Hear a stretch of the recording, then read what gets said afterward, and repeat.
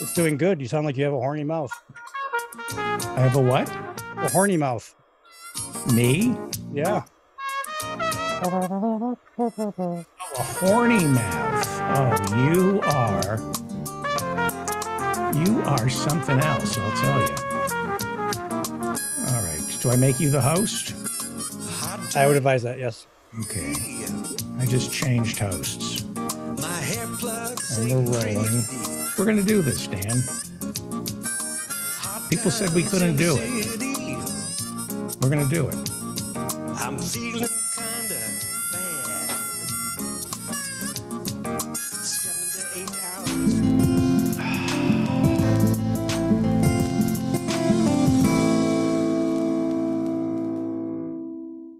All right, the show the show has started because this is as good as it's going to get right now. This is as good as it gets. It's Labor Day and oy vey. Welcome to the mop up for September 5th, 2022. I'm David Feldman coming to you from an air shaft overlooking a parking garage somewhere in Manhattan where the temperature is 92 degrees and partly cloudy. I want to welcome home the mice. They're back. They were vacationing on the Hamptons for the past weekend. I'd like to thank the cockroaches for filling in for them. They did a great job annoying me, but the mice are now back. Happy Labor Day. Happy Labor Day. Dan, happy Labor Day, Dan. Happy Labor Day to you. Yeah, I'm sorry you had to work today, but uh, you know, we're all leftists here on the David Feldman show.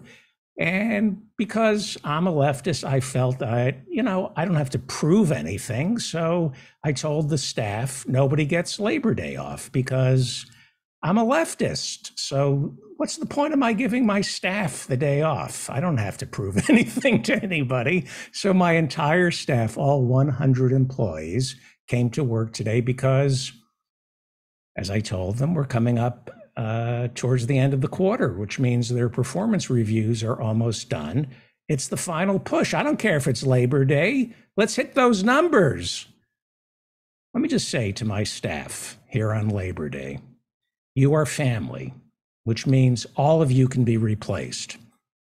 Now, it pains me to think of finding new family members because I love you. So many of you have purchased homes since joining my staff, and the thought of your not being able to pay your mortgages because you disappointed me and I had to let you go, while strangely titillating, uh, I find it too much to think about right now. It does excite me, the idea of firing somebody knowing they have a mortgage and a family, but I don't have time. The quarter is almost over. I'd rather think about who I'm going to fire on Christmas Eve when I have time to think clearly about who on the David Feldman show has been naughty and who's been nice. And uh, then I announce my my firings on Christmas Day. That's the present I give to myself every Christmas. I announce who is going to get fired from this show on Christmas Day. So for I know I know some of you have been sitting around craft services all day, my staff bitching and moaning that you had to come in on Labor Day. I get it. I get it, but the question you should be asking isn't why do we have to work on Labor Day? The question you should be asking yourselves is what kind of Christmas do I want for myself and my family? That's the question my staff should be asking itself right now. Do you want to do you want me to call you on Christmas morning to tell you I had to let you go? Is that the Christmas you want?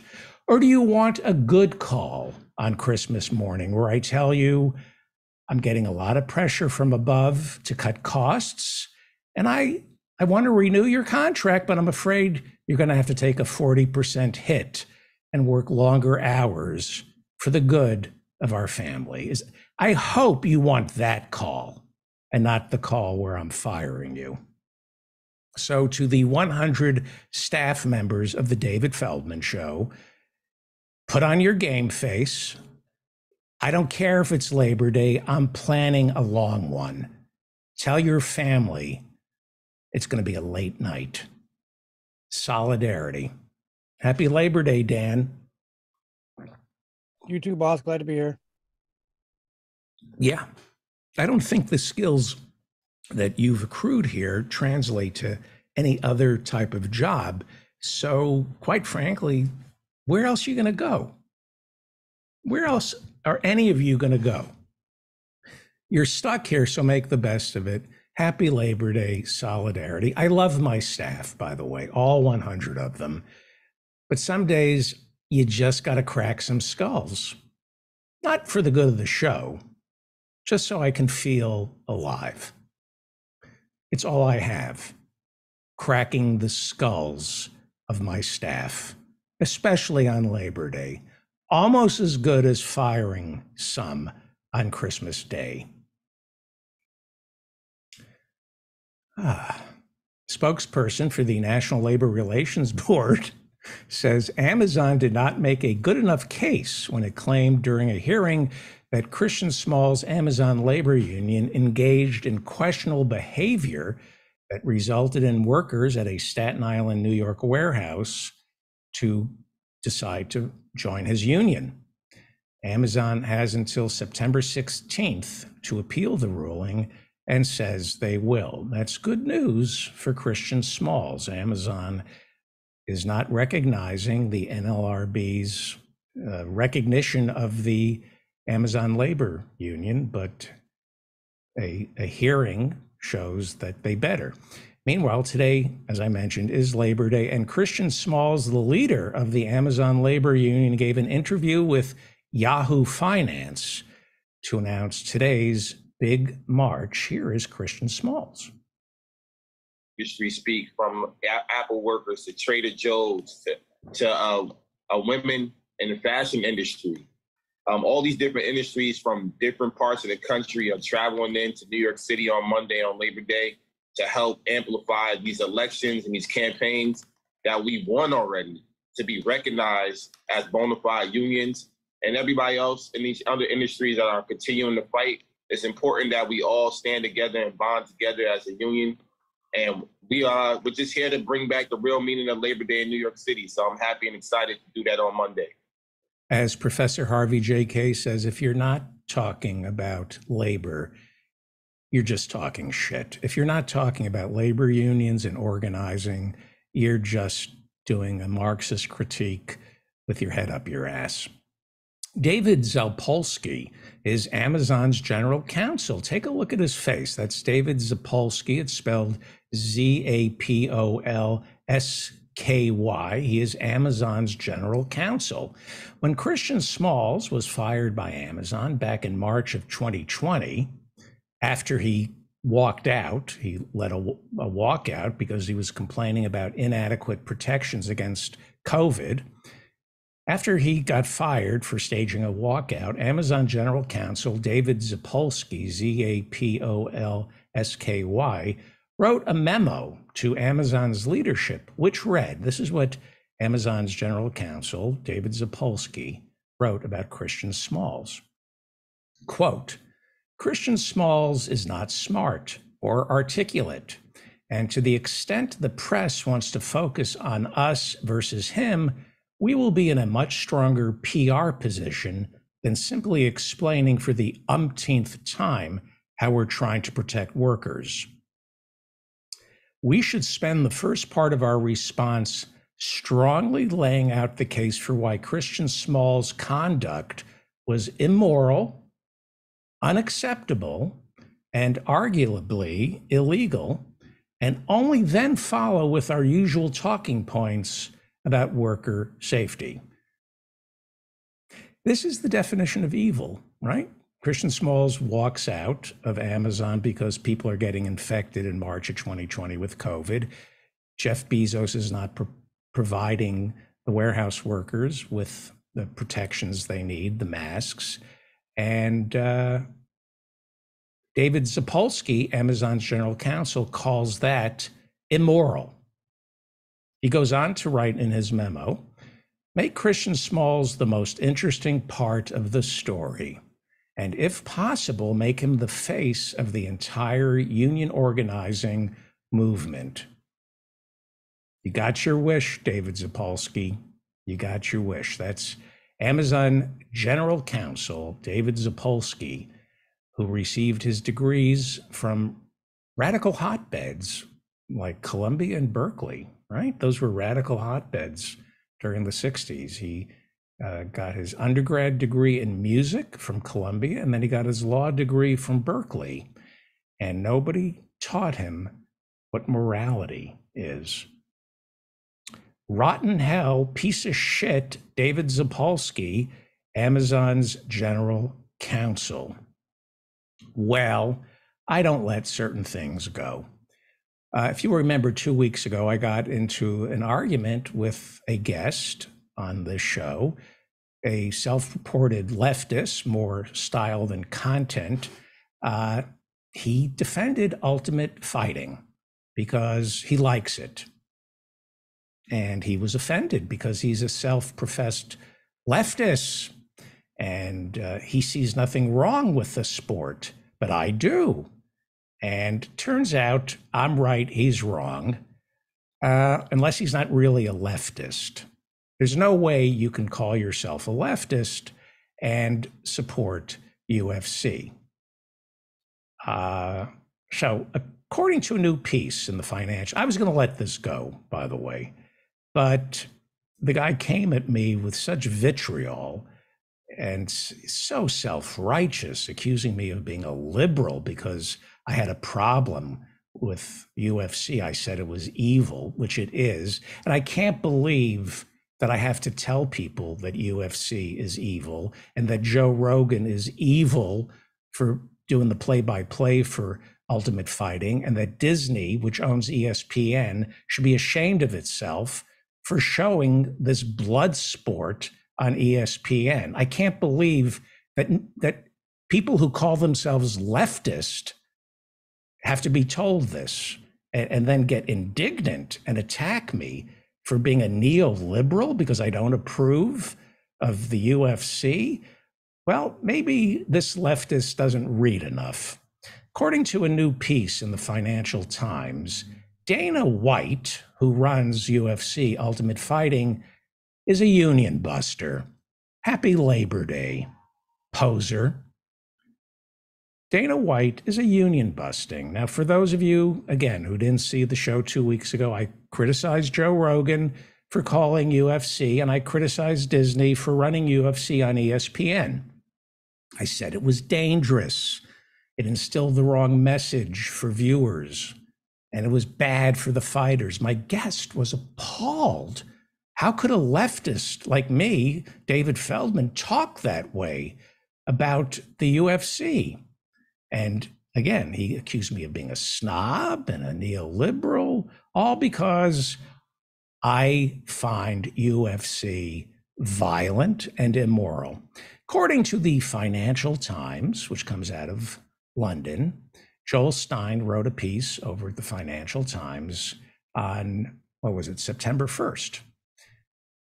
Uh, in a poll of UFC fighters, 95% say they want to form a union. The Financial Times says that UFC exploits its players. It points out that while the NFL, the NBA, Major League Baseball give half the revenues to players, the UFC distributes fewer than 17%, which tends to end up in the hands of a rarefied few, the winners. Dana White, and here is what's really appalling about UFC and the guest on my show.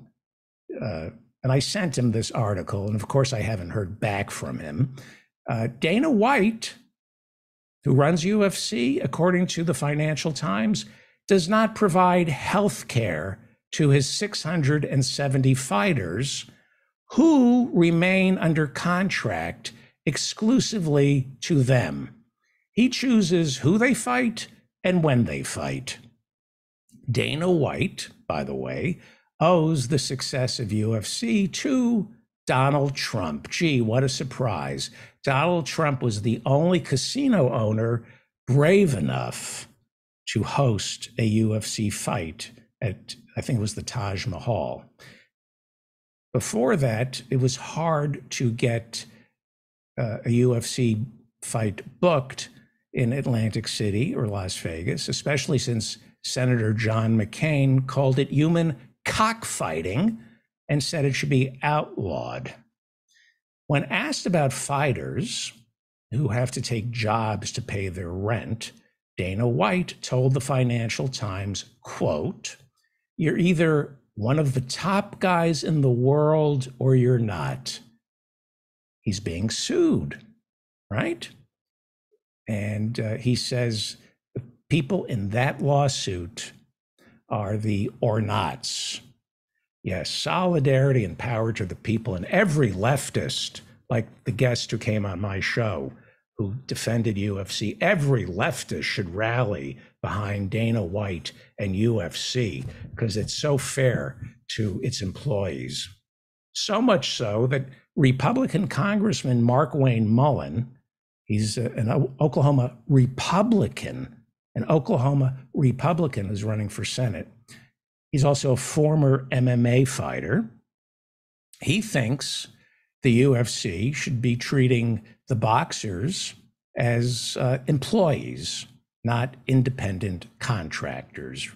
He says they have only one boss, it's Dana White, and he says Dana White exploits the boxers, the MMA boxers, the fighters. He is introducing a bill that would extend the Muhammad, Muhammad Ali Boxing Reform Act to mixed martial arts. My guest, uh, I, I, two weeks ago, he was indignant. He, he said I wasn't a real leftist. I didn't understand UFC. I shouldn't watch it. I shouldn't be passing judgment on it. Uh, I sent him the article, no response, of course, but he's a leftist who cares about the people, right? You come on my show looking for a fight, claiming you're on the left, a man of the people, but when presented with incontrovertible evidence that UFC is the height of exploitation, crickets, because that guest wasn't looking for discussion, he was looking for a fight. Well, it's Labor Day. Let's have a peaceful, relaxing Labor Day. It's uh, Labor Day. Everyone is kicking back. I'm kicking back. I'm not angry. I'm not picking a fight with posers who come on my show looking for a fight. That's not who I am. I'm all about peace. And uh, America spent Labor Day weekend kicking back. Wait, we have late breaking news. Authorities in Norfolk, Virginia, confirming a shooter early this morning opened fire at an off campus party near Old Dominion University. Seven people shot, two killed, including Angelia McKnight, a 19 year old student at another school, Norfolk State University. Back to you. Okay, so yeah, I mean, this is still Labor Day weekend. We're we're chilling, we're taking it easy, and well, there are about 360 million people in America. The odds are there's there's going to be a shoot. Oh, another. one. Hang on. And on Friday, a deadly shooting outside a Baltimore high school shortly after students were dismissed for the day. Hmm. Back to you. Yeah, well, I mean, that was Friday, and technically the Labor Day weekend hadn't really started. So, yeah, but this, it's been a relaxing weekend where we're all being nice to one another. We are, we're we're good people. In Florida, five people were shot, two of them killed after someone opened fire inside a packed restaurant. Back to you. Yeah, okay, so that's Florida. And, you know, Florida doesn't really count as, you know, whatever happens in Florida, that doesn't figure into the stats. It's been a peaceful, quiet Labor Day weekend. It has. In Maryland, one person dead, several injured in two separate shootings. One outside a 7 Eleven. Minutes away in Largo, moviegoers flee a theater after one person was shot in a parking lot.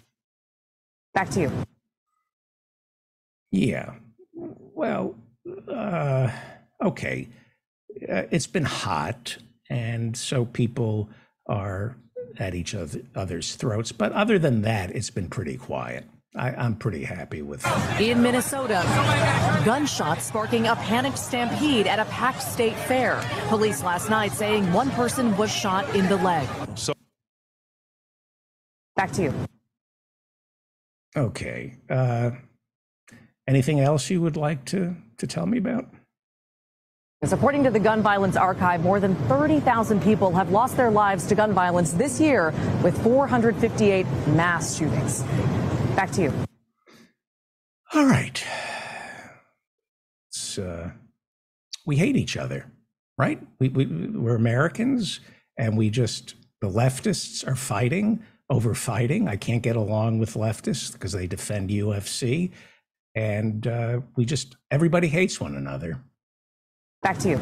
Yeah. Okay. Back to you too. Right back at you. Well, one of Nevada's best well known investigative journalists, Jeff German, who made a career looking into mobsters and corruption in Las Vegas City Hall, as well as the casinos, was found stabbed to death outside his Las Vegas home Saturday night. At the time of his murder, German was working for the Las Vegas Review Journal. Police say German had not called them to report any threats on his life, but always uh, suspicious when a well respected investigative journalist is stabbed outside his home. What is Trump doing with those files? The Trump presidency began with compromise. I've talked about this. Uh, I do believe in Russiagate, sorry. Uh, and it began, the presidency began with compromise. Compromise being what did Putin have on Trump and how could he control Trump? Compromise, what did Putin or what did secret agents give Trump so he could have on Lindsey Graham? I mean, I rumor is that Trump had compromised on Lindsey Graham, that Graham was straight. I mean, this would be devastating if that ever got out that Lindsey Graham was straight. What did Trump have on everyone else, and what did everyone else have on Trump? Trump's relationship with the National Enquirer made it possible for people like David Pecker, who ran the National Enquirer, yes, his name is David Pecker, they would catch and kill stories in order to protect Trump.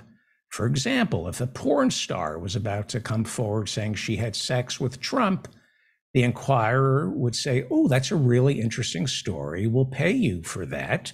And they would pay the porn star hundreds of thousands of dollars for an exclusive and then not run it. It's called catch and kill. That's how you protect Donald Trump through catch and kill. And that is why Michael Cohen, Trump's lawyer, ended up going to prison because setting up hush payments uh, that end up being funneled through the Enquirer to shut down a bad story is considered an illegal campaign contribution. It's called it an illegal con- campaign contribution in kind, right? So Trump loves compromise. He's all about compromise because compromise is how you get judges and prosecutors to look the other way. We always say, how does he do it? How, why isn't he in compromise? He doesn't go to prison because a manila envelope ends up on the desk of a prosecutor, which the prosecutor then opens up and says, you know, these photographs, uh, you know, I love my family too much. Uh, Trump isn't worth it. If my family found out that this is the only way I can get an erection, uh, it's just not worth it. And they go away. Compromat, compromise, compromise. So, why was Donald Trump storing classified information in Mar a Lago? He, I think, needed compromise. I think he wanted compromise. That's what I think. That's what I've been saying. And that's what his former communications director, Stephanie Grisham, said over the weekend on CNN. I think it's some kind of a, a leverage. Well, leverage, she calls it leverage, uh, because Donald Trump is the king of leverage. He said it himself. He was talking about leverage as in debt, but uh, he is the king of leverage. I have some leverage over you, and if your wife finds out, she will no longer be your wife. You're sunk here. You're going to drop the charges. Here is Alyssa Farah Griffin, who also worked at Trump's White House, pretty much telling CNN the same exact thing. even the subject matter. Because I think knowing the former president, we have to kind of think about why he does things and his motivations behind things. And, and one we have to keep in mind is leverage. That's what he wanted leverage. We don't know over whom, not sure. We will find out. Unless he's got leverage on our attorney general. Bill Barr served as Trump's attorney general and protected Trump from prosecution when the Mueller report came out. Now, the second half of the Mueller report, if you remember, was a blueprint on how the Justice Department could prosecute Trump for obstruction of justice. But Bill Barr didn't want to prosecute a sitting president. There was a, a memo from the Office of Legal Counsel within the Justice Department that says we're not going to prosecute sitting presidents. The, the memo was decades old, and Bill Barr was uh, standing by it. Is it Bob Barr or Bill Barr? Bob Bob Barr. One of the one of the Barrs drove his mistress to an abortion while he was impeaching Bill Clinton for a blowjob. The Attorney General, I think, is Bill Barr. Bob Barr is the congressman from Republican congressman from Georgia. Anyway, pretty sure it's late, it's hot, no air conditioning. Anyway, former Attorney General Barr does not want to prosecute. He does not believe in prosecuting presidents. Doesn't believe in prosecuting powerful people. But he's no longer defending Donald Trump. Here is former Attorney General Barr on Fox News talking about the chances of Donald Trump getting prosecuted for holding onto classified documents. This could not have made Fox viewers happy hearing Bill Barr talking about Donald Trump this way. Okay, it is clearly foolish what, what happened and inexplicable. But beyond that, they, they may well be able to make a case out here. But then there's an additional question. Given the fact this is a former president, given the state of the nation, is it, and, and given the fact that the government has gotten its documents back, does it really make sense to bring a case as a matter of prudential judgment? And that's a question that I think will turn on how clear the evidence of obstruction or deceit is. If, if they clearly have the president moving stuff around and hiding stuff in his uh, uh, desk and, and telling people to dissemble with the, with the government, they may be they may be inclined to bring that case. And you know, there's going to be differences of opinion whether that makes sense. Uh, but we really have to know the facts to say, you know, uh, to make a judgment about that. I, I hope it doesn't happen. Of course, he hopes it doesn't happen. He doesn't think powerful people should go to jail, only poor people. That's why he's a Republican. It's not good for the country when powerful men like Donald Trump go to prison. But Barr has been Attorney General twice. And out of professional courtesy, he did defend Attorney General Merrick Garland and the search of Mar a Lago, something Fox viewers do not want to hear. Here is former Attorney General Barr defending Merrick Garland. Shocking to see this on Fox News. I think the driver on this from the beginning was the, was you know loads of classified information sitting in Mar-a-Lago. People say this was unprecedented. Well, it's also unprecedented for a president to take all this classified information and put him in a country club.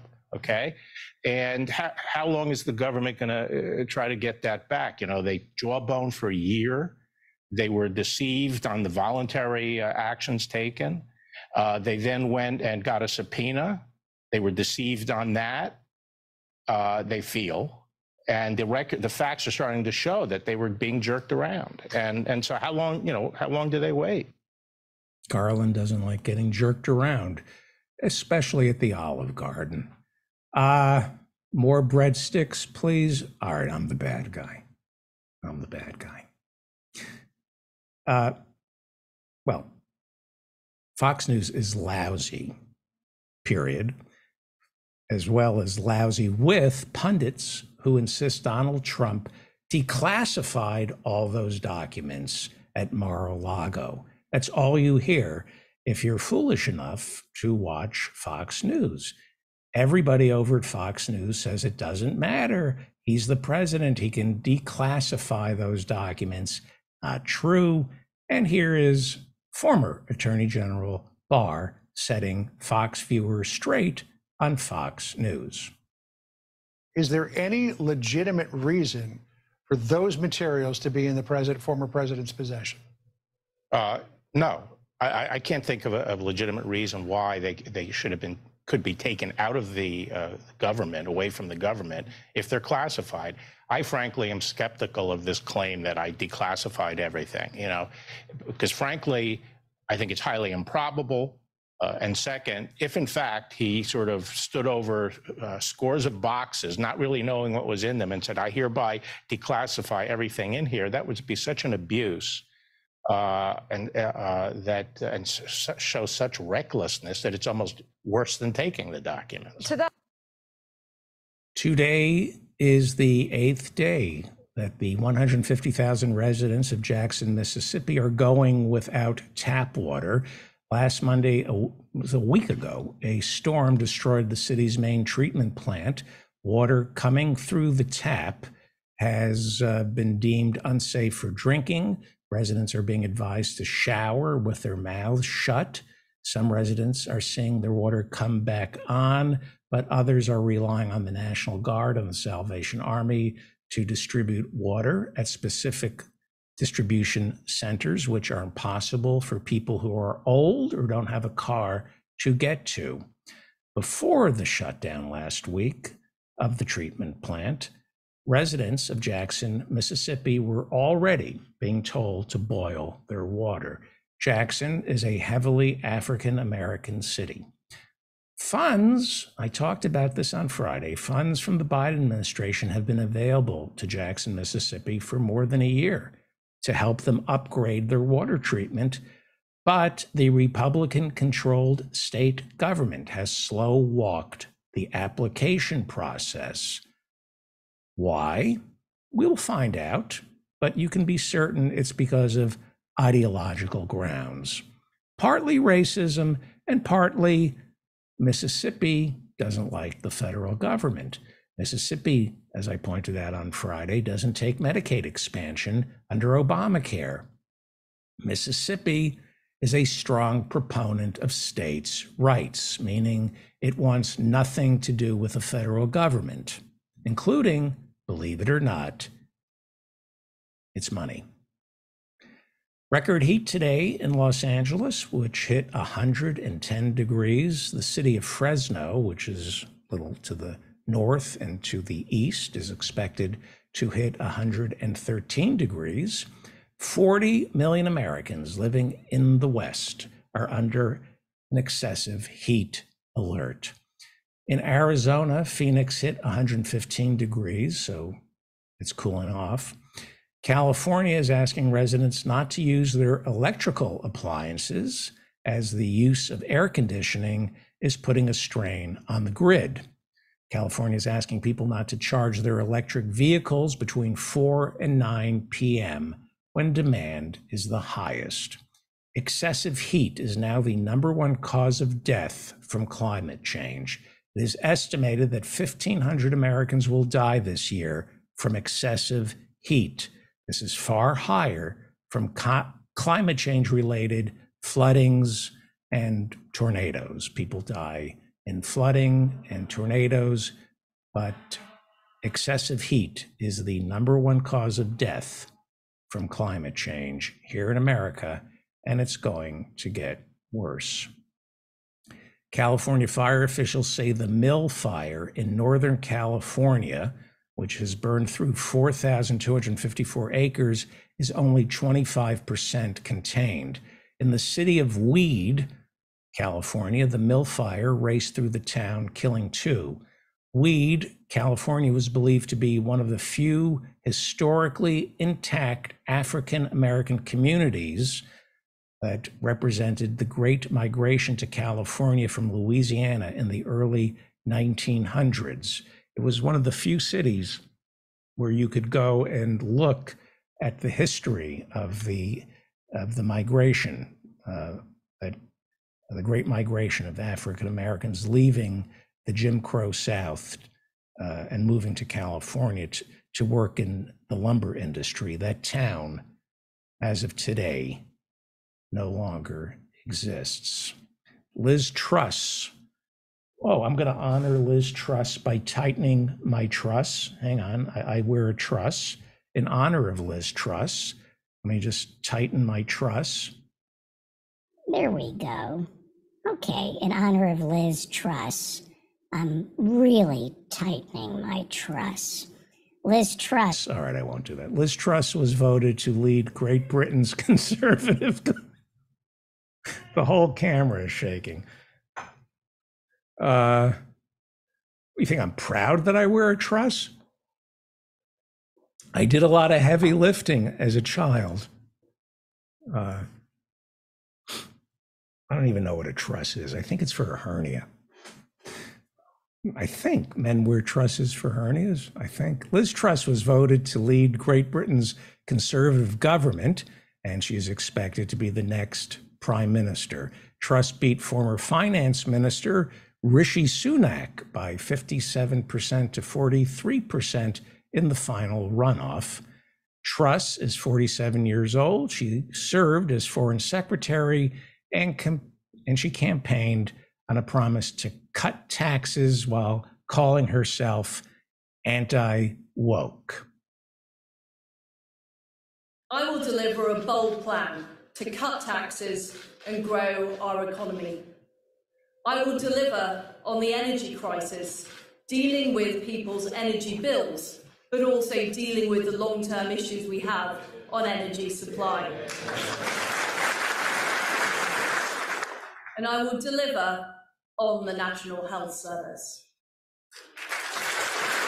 That's a lot of delivering. She's starting to sound like Jeff Bezos because she's pretty much the same as Jeff Bezos, a piece of shit. Uh, well, anyway, former, she would be the third female prime minister of Great Britain. That's a, that's a real, anyway, I won't say it. Former president of Brazil and now candidate in October's election for president, Lula warned today of violence in the lead up to the elections. This after a Brazilian in Argentina pointed a loaded gun at the face of Argentinian Vice President Cristina Fernandez. This was in Buenos Aires over the weekend. The gun jammed, didn't fire, and she survived. Lula in Brazil represents the Workers' Party. That party's treasurer, Marcelo de Arruda, and I think I pronounced that properly. I think I pronounced that correct. Uh, the party's treasurer, Marcelo de Arruda, was shot to death during his 50th birthday party two months ago after one of President Bolsonaro's fans fired three bullets into him before dying, Arruda shot back, and that assassin was taken to the hospital. In true Trumpian fashion, Bolsonaro, after the assassination, immediately posted a series of tweets accusing Lula's party of committing acts of violence against the right wing. This is why they call Bolsonaro, the current president of Brazil, the Trump of the tropics. You can't argue with fascists. You have to defeat them. And that's why I hope you're all registered to vote. US midterms are only 63 days away. Howie Klein is coming up at 7 o'clock, and the midterms are 63 days away here in the United States. On Friday, a Rasmussen generic congressional vote poll shows Republicans leading by five points. In other words, in terms of the popular vote, you don't take into fact, you know, gerry, gerrymandering, but just a congressional popular vote, Republicans are leading by five points. On Thursday, the Wall Street Journal showed Democrats leading by three. The Wall Street Journal also says that if the presidential election were held today between Joe Biden and Donald Trump, Biden would win by six points. The New York Times reported over the weekend that since Roe was overturned, women are registering to vote at record numbers. This election might be remembered as the Roe wave. The Republicans have pretty much, by the way, given up on taking back the Senate. This is really important. Mitch McConnell, the Senate Minority Leader, is reportedly furious with the leader of the National Republican Senatorial Committee. That would be Florida's idiot Senator Rick Scott, who reportedly blew through $172 million using it to raise more money through online ads. He had $172 million. He hired some Trump consultants and he said, let's spend $172 million advertising on Facebook and Google in order to raise more money. And of course, the consultants, when they make ad buys, get a cut of the $172 million. And now he only has $8.8 million left because he's an effing idiot. Rick Scott is an effing idiot. You understand what he did? He had $172 million as leader of the National Republic Senatorial Committee, spent $172 million on advertising to make more money, and now they're broke. They they have something like $8 million left, and Mitch McConnell is said to be furious with Florida Senator Rick Scott. If you remember, Rick Scott turned to politics after the healthcare company he ran was found guilty of committing $1.7 billion of Medicare fraud. Rick Scott's healthcare company reached two settlements with the Justice Department one for $840 million back in 2000 and in 2002, another settlement for $881 million during Rick Scott's, that would be Senator Rick Scott's deposition. He pleaded the fifth 75 times. Well, like I said, women are registering to vote. Some think at record numbers. We don't know yet because of Roe. And Congressman Tom Emmer is in charge of the Republican Congressional Committee. Rick Scott is in charge of the Republic, Republican Senate Committee. Tom Emmer is in charge of the Republican Congressional Committee. And he thinks the Democrats are making a huge mistake appealing to women. Here he was yesterday. Uh, if Democrats want to make abortion the main issue when every poll we have seen says that the economy and the cost of uh, living is the number one issue. Uh, good luck to them trying to defend their extreme position. Every one of them voted for what I call the Chinese genocide bill, which would allow abortion up to moments before a child takes its first breath. I think uh, our candidates know how to message that, and they'll be just fine in the midterms. Yes, the Democrats are extremists, which is why I voted for the what what is it the, the Chinese killing baby what bill whatever. I but uh, see, women know you're lying about abortion, killing babies uh, right before they're born. Late term abortions are practically non-existent, and women know that, and so this could spell trouble for the Republicans. I hope. This election, I believe, is ultimately about abortion because abortion is an economic issue, right? We know that. Women get pregnant, they can't work. Daycare is too expensive. Uh, women get pregnant, if they're not allowed to get an abortion, they stay home. And if they live in Texas, good chance of starving to death. Uh, well, this election, like I said, is about abortion. In 1992, women turned out to vote in record numbers because of Clarence Thomas. He was approved to sit on the Supreme Court a year before by a Senate Judiciary Committee that didn't have a single woman sitting on it. Because of that, 1992 became the year of the women. Women voted, and we had new senators sent to Washington. Barbara Boxer was sent to uh, Washington in 1992. That was the year of the woman, thanks to Clarence Thomas.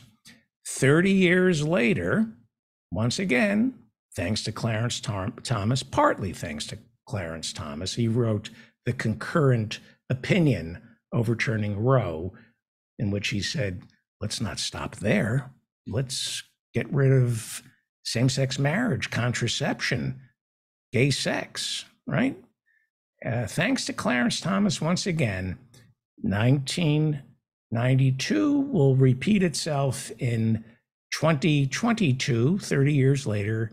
We'll also be seeing the year of the woman. Women are going to vote. And why would they vote for the Republicans, a party that has revealed itself to be the exemplars of misogyny? They they don't believe in sexual harassment. They trivialize sexual assault, and they're opposed to abortion. Well, on Thursday, there you go. Joe Biden delivered a speech warning that MAGA Republicans are semi fascist. That's not true. They are fascists. He called them semi fascists. And Republicans, especially who identify as Trump supporters, were deeply offended at the president calling them fascists.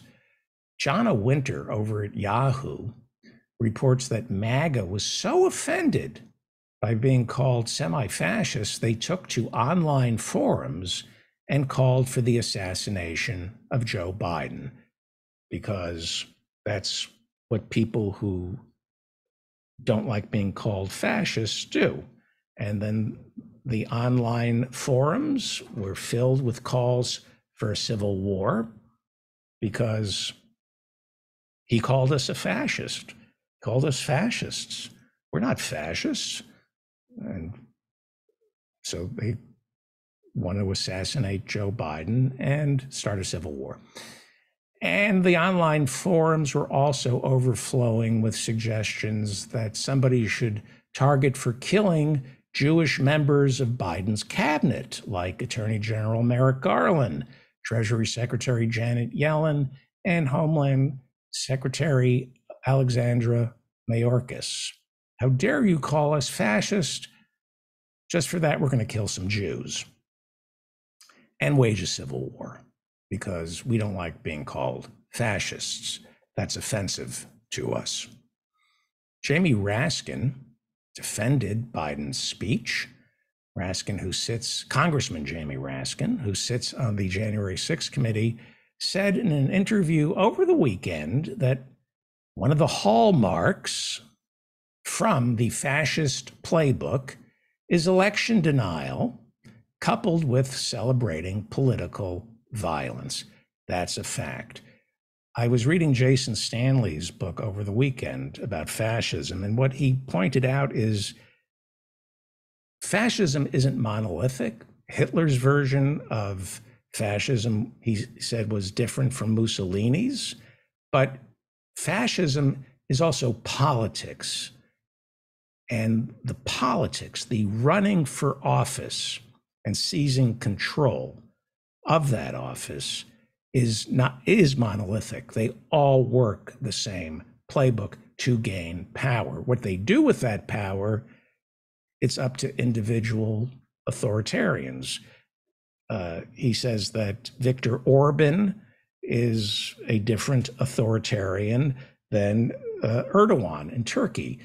And, you know, uh, Mussolini was different from Hitler. But in the seizure of power. They rely on nationalism, racism, othering people. lying about election results and uh, oppression of women and uh, violence, the threat of violence.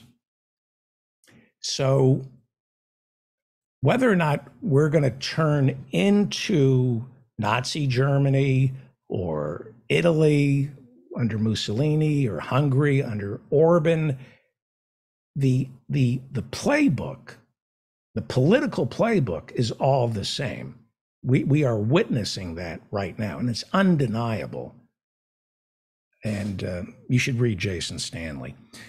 Monica Crowley was going to serve as Donald Trump's deputy national security advisor, but she had a little problem. She had a little problem. She stole other people's ideas in writing. It was learned just when she was going to be approved deputy national security advisor, she had plagiarized significant chunks of her 2012 book entitled What the Bleep Just Happened. So she's back on Fox, and no plagiarist she. Monica Crowley is an original thinker, always with an original take. Here is her unplagiarized original take on Joe Biden's speech from Thursday night. Yeah, the imagery there was almost satanic with that blood red uh, lighting and the two Marines behind him. It was just insane. Yep, her days of plagiarizing are over. That was an original take. However, Trump's former UN Secretary, Nikki Haley, was on Fox earlier that day, and she said this. The only threat was the man at that podium with a backdrop of hell sitting there lecturing Americans on the road that we're going down. Well, mediocre minds think alike. And I'm being generous by calling those mediocre minds. Nobody says it better. And I do mean this. Now, you just heard Nikki Haley and Monica Crowley saying the same thing. But take a look at Trump. No matter what you think of him, here he is, uh, Saturday night at Wilkes-Barre. I, that I don't know how to. Wilkes-Barre, Wilkes-Barre Township, Pennsylvania. Wilkes-Barre, Wilkes Township. Uh, here he is in Pennsylvania campaigning for Dr. Oz. And compare what Monica Crowley and Nikki Haley said to how brilliantly Donald Trump said it. How'd you like the red lighting behind him like the devil? it just, he would make such a great, I, I, I he would make a stand, he, I could never be as funny a stand up comic as Donald Trump. He is brilliant. He is. He's funny. But Republicans don't like being called fascists. They talk tough, but they're thin skinned. Ben Shapiro says facts don't care about your feelings. He loves to say facts don't care about your feelings. That's what Republicans say. Facts don't care about your feelings. Now, Joe Biden called MAGA Republicans fascists, and that's a fact that doesn't care about your feelings. Fascists use nationalism, racism, lies, and political violence to get elected. That's a fact. A fact that doesn't care about your feelings, Republicans. That's who you are. And these facts are hurting your feelings. Here's Nikki Haley once again. The idea that he condemned us was worse than Hillary calling us deplorables, was worse than Obama calling us extremists. He basically called us bad people. Oh my God. Uh, no, he called you fascists, is what he called you. And fascists, yes, are bad people. You are bad. You're bad. You're deplorable. You're extremists. You're racist. You're homophobic. You hate Jews. You hate Arabs, Muslims, Hispanics. You're hateful, hateful people. Speaking of hateful, hateful people, Charlie Kirk from Turning Points. He's the 29 year old who runs Turning Points, gets all his money from millionaires and uh, all his talking points from billionaires.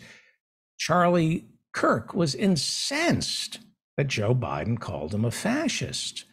And, uh, you know, this is Charlie Kirk who says uh, racism doesn't exist. He trivializes, if not celebrates, January 6th and other forms of violence. Of course, he's a nationalist, says uh, America is a Christian nation. In other words, he's a fascist. And apparently, these facts hurt his feelings, even though facts don't care about your feelings. Here is Charlie Kirk. Democrats in control. Every time you hear democracy, you should just say, oh, you mean Democrats Exactly in control. right. Because if they actually meant representative government, that's the MAGA movement. It is grassroots. It is people centered. It is school boards. It's city council meetings. It's small dollar donations. We don't have kleptocratic billionaires behind us. We have welders, police officers, teachers, and moms building the parents' party. We don't have kleptocratic billionaires behind us. Now, MAGA, Make America Great Again. Who started that? That would be that would be Donald Trump. And Charlie Kirk is saying MAGA doesn't have kleptocratic billionaires. And he's right because Donald Trump isn't a billionaire, but he's a kleptocrat. So you're right about that. He says it's all about representative government, and yet they are all about voter suppression. They pass one law after another, scrubbing the voter rolls, making it harder for people of color, poor people to vote. But it's about representative government. Okay, you you you read your talking points from the Koch brothers uh, correctly. What else? So what did you say? We don't have kleptocratic billionaires behind us. Right. Okay, we got that. What else? What else is MAGA? What else is it? It's small dollar donations. We don't have kleptocratic billionaires behind us. We have welders, police Small officers, teachers, dollar- and moms building the parents' party. It's small dollar donations. Uh, that would be nice to believe if it were true, but it's just astroturf. It's just money donated, dark, dark money donated by billionaires. The Tea Party didn't come from small party donations, small people donations, small dollar donations. That's just a lie. Turning Points doesn't come from small dollar donations. All millions. Uh, Charlie Kirk's Turning Points makes millions and millions of dollars from millions and millions of millionaires. Millionaires pay Charlie Kirk. He doesn't get his money from small dollar donations. That is a lie. That is a lie. Well, fascism. Fascism. Donald Trump is a fascist. And here he is telling us who the real enemy in America is. Uh, he called Joe Biden an enemy of the state and called called the FBI raid uh, one of the most hateful things ever done by a president. And here he is talking about Biden's speech. Joe Biden came to Philadelphia, Pennsylvania to give the most vicious, hateful, and divisive speech ever delivered by an American president. Apparently, Donald Trump doesn't listen when he talks. He- no, it wasn't the most uh, divisive speech ever given by uh, an American president. I think a president who calls for a ban on Muslims or Arabs, uh, I think that's uh, the most divisive speech uh, ever given by a, a president, at least in modern history. But the people at the Trump rally this Saturday believe every word, every lie that comes out of his mouth. He knows that. We won with poorly educated. I love the poorly educated.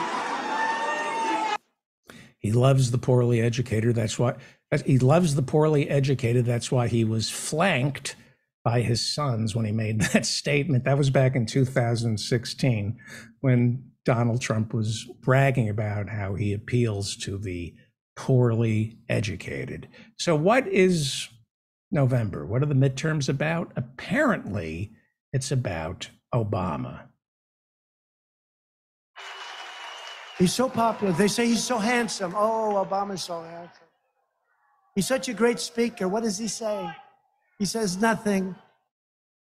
Right. He's talking like oh, Obama. Uh, Joe Biden makes a lot of mistakes. Uh, some would say uh, he's a little febrile. Feb, febrile. Uh, I think I'm febrile. I don't know how to pronounce that word. Here is Donald Trump telling his supporters that he is still president, he's still living in the White House, and Mark Zuckerberg, the head of Facebook, came and visited him last week. Last week, weirdo, he's a weirdo, Mark Zuckerberg came to the White House, kissed my ass. Kissed my ass. Sir, I'd love to have dinner. Sir, I'd love to have dinner. I'd love to bring my lovely wife. All right, Mark, come on in. Sir, you're number one on Facebook. I'd like to congratulate you. Oh, thank you very much, Mark. I appreciate it. Now, maybe it was a mistake that Trump, I mean, listen to this again. Listen to this. Last week, weirdo, he's a weirdo, Mark Zuckerberg came to the White House, kissed my ass. Kissed my I ass. mean, Sir, I'd love to. Last week, he came to the White House there are people in that rally who think he's still president, that he's still in the White House. I don't know. I maybe he's trying to convince people that he's still the president and he's still in the White House. I love the poorly educated. Yeah, I know. That's everybody who who's voting for you. Well, because most of your supporters are poorly educated and stupid, they'll believe whatever you tell them, because you hosted The Apprentice. Here he is breaking down Joe Biden's Inflation Reduction Act, which he says costs $4 trillion, not even close. Can you imagine that that was approved, that they allowed that to get through? And all Mitch McConnell had to do is waive the debt ceiling. I'm not approving anything having to do with debt ceiling unless See, you this drop is why this. this is why I think he's attacking Mitch McConnell. He's been going after McConnell's wife, Elaine Chao. This is why I think the Republicans are going to stay home for the midterms. He's very divisive. A divisive person is divisive, not just uh, in the country, he's divisive in his own party. And I'm hoping uh, he will, in fact, destroy it. Uh, please continue. Can you imagine that that was approved, that they allowed that to get through? And all Mitch McConnell had to do is waive the debt ceiling. I'm not approving anything having to do with debt ceiling unless you drop all this crap. Four trillion dollars worth because Manchin folded like a dog. You saw that. And I always said he would. I told you he would. He did. And West Virginia, which voted for me, 45 points. I was up 45 points. West Virginia is not happy with Joe Manchin because he killed coal and they put taxes on coal. Clean, beautiful coal. he killed it. I can't imagine he's going to do well. I don't know what the hell got to him. Clean, beautiful coal. Clean, beautiful coal. Well, Pennsylvania, parts of Pennsylvania used to be coal country. Nobody works the coal mines anymore. And if they do, uh, they don't want to. Coal is filthy. There's no way to make it clean. And nobody wants to work the coal mines. They just want to send people down there to get rich. But uh, he loves beautiful, clean coal. And because uh, he's a clean freak, he loves things are, that are clean. This guy's a disaster. He comes in with a sweatsuit on. I've never seen him wear a suit. A dirty, dirty, dirty sweatsuit. It's really disgusting. You know, I'm a clean freak. I'm a clean freak, Oz. I don't like those dirty sweatsuits. They're disgusting. Yes, uh, Fetterman is running for uh, Senate against Dr. Oz, and he wears a, uh, a sweatsuit. And Donald Trump doesn't like sweatsuits. Uh, obviously, you can tell he's never worn one himself. He's and he's a clean freak because a sweatsuit implies that you were sweaty. And uh, he's a clean freak. He loves beautiful, clean coal, and he doesn't want anybody wearing a, a sweatsuit. And you know that nobody at that rally was in a sweatsuit. Nobody. They were all wearing suits, just like Donald Trump, right? Then the former president, maybe he is the president. He, he said Zuckerberg visited him last week in the White House. I don't know. You know, uh, Donald Trump went after wind energy. Now, you got to remember he's campaigning for Dr. Oz and Mastriano in Pennsylvania, and this is fracking country. Although Pennsylvanians are beginning to realize that, much like coal, fracking causes lung cancer, and it's just bad. It's just bad. But he doesn't, you know, he thinks windmills, wind turbines are evil. That's what he's selling to the people of Pennsylvania. If you want to see a dead bird cemetery go under a windmill sometime, it's not a pretty sight. It's also the single most expensive form of energy No, it's not. you You're can lying. get. Lying. And all of those big giant turbines are built in China and Germany to a lesser extent. Well, he is. See, this is you gotta love him because he's. You know, watch what he did. This this was funny. Look at the timing. This is self awareness. I, I I gotta hand it to him. China and Germany to a lesser extent. If only he used that evil for good. So, yeah. Then he name drops and talks about all the great leaders he's met, all the strong men, all the authoritarians, and how the the, the fake news media lies and i- insists that he thinks uh, Putin and Xi, the head of China, uh, are smart, right? But then he says Putin and Xi are smart. First, he says the media lies about my calling Putin and Xi smart. And then he says they're smart. Oh, you know, I got to know a lot of the foreign leaders, and let me tell you, uh, unlike our leader, uh, they're at the top of their game. These are like central casting. There's nobody that could play the role in Hollywood. All of Hollywood, nobody can play the role of President Xi of China. Nobody could play the role. He's a fierce person. Putin, fierce, is smart. You know, a lot of times I'll say somebody's smart, and the fake news will go, he called President Xi smart. He rules with an iron fist 1.5 billion people. Yeah, I'd say he's smart. Wouldn't you say he's smart? He loves his authoritarian dictators, and he thinks authoritarian dictators are smart because they can rule their people with an iron fist. It's very telling. By the way, fascism. This is fascism.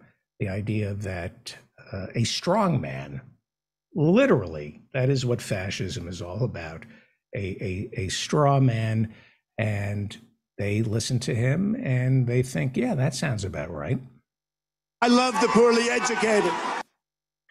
He does. He really does. You you can only be poorly educated to uh, show up for a Trump rally. There's just simply not trying to be cruel, not trying to be a snob, but only the poorly educated could uh, vote for Trump, Dr. Oz or Mastriano. Only the poorly educated. Uh, well, anyway, and racists. You can be you can be educated and still be a racist and a bigot. So Donald Trump praising Xi, China, praising Putin, Russia. He is a man of peace. He never got us into a war, right? He killed Soleimani. There were some airstrikes in Syria, but he really, four years, he really didn't get us into a major war. He says he never would be, uh, Putin never would have invaded Ukraine if Trump were still president. He he's belligerent towards China, but you know he's not calling for war with China. Who is our enemy, right? A, a fascist has to find an enemy. Tell us who the biggest threat is to America, Donald Trump. Despite great outside dangers, our biggest threat remains the sick, sinister, and evil people from within our own country. We, we, we should hear that again. That's who our enemy is. There's no outside force that we have to be afraid of. There are people within our own ranks who we have to weed out. This is fascism. Despite great outside dangers, our biggest threat remains the sick, sinister, and evil people from within our own country. Sick, sinister, evil people within our own country are a bigger threat to us. That is, that's the fascist political playbook. Like Jason Stanley writes in the book, fascism, when you're governing as a fascist, it's not monolithic. But when you're politicking as a fascist, it is monolithic. It is playing the same exact notes over and over again. Despite great outside dangers, our biggest threat remains the sick, sinister, and evil people from within our own country. And he just decides, the Republicans, there's always a new sick and sinister, evil person within our own country that needs to be demonized. Arabs, Muslims, marauding Hispanics, people of color from Haiti or Guatemala storming our border, the LGBTQ community, transgender children who uh, want to use the wrong bathroom, uh, different different evil, sinister enemy every day.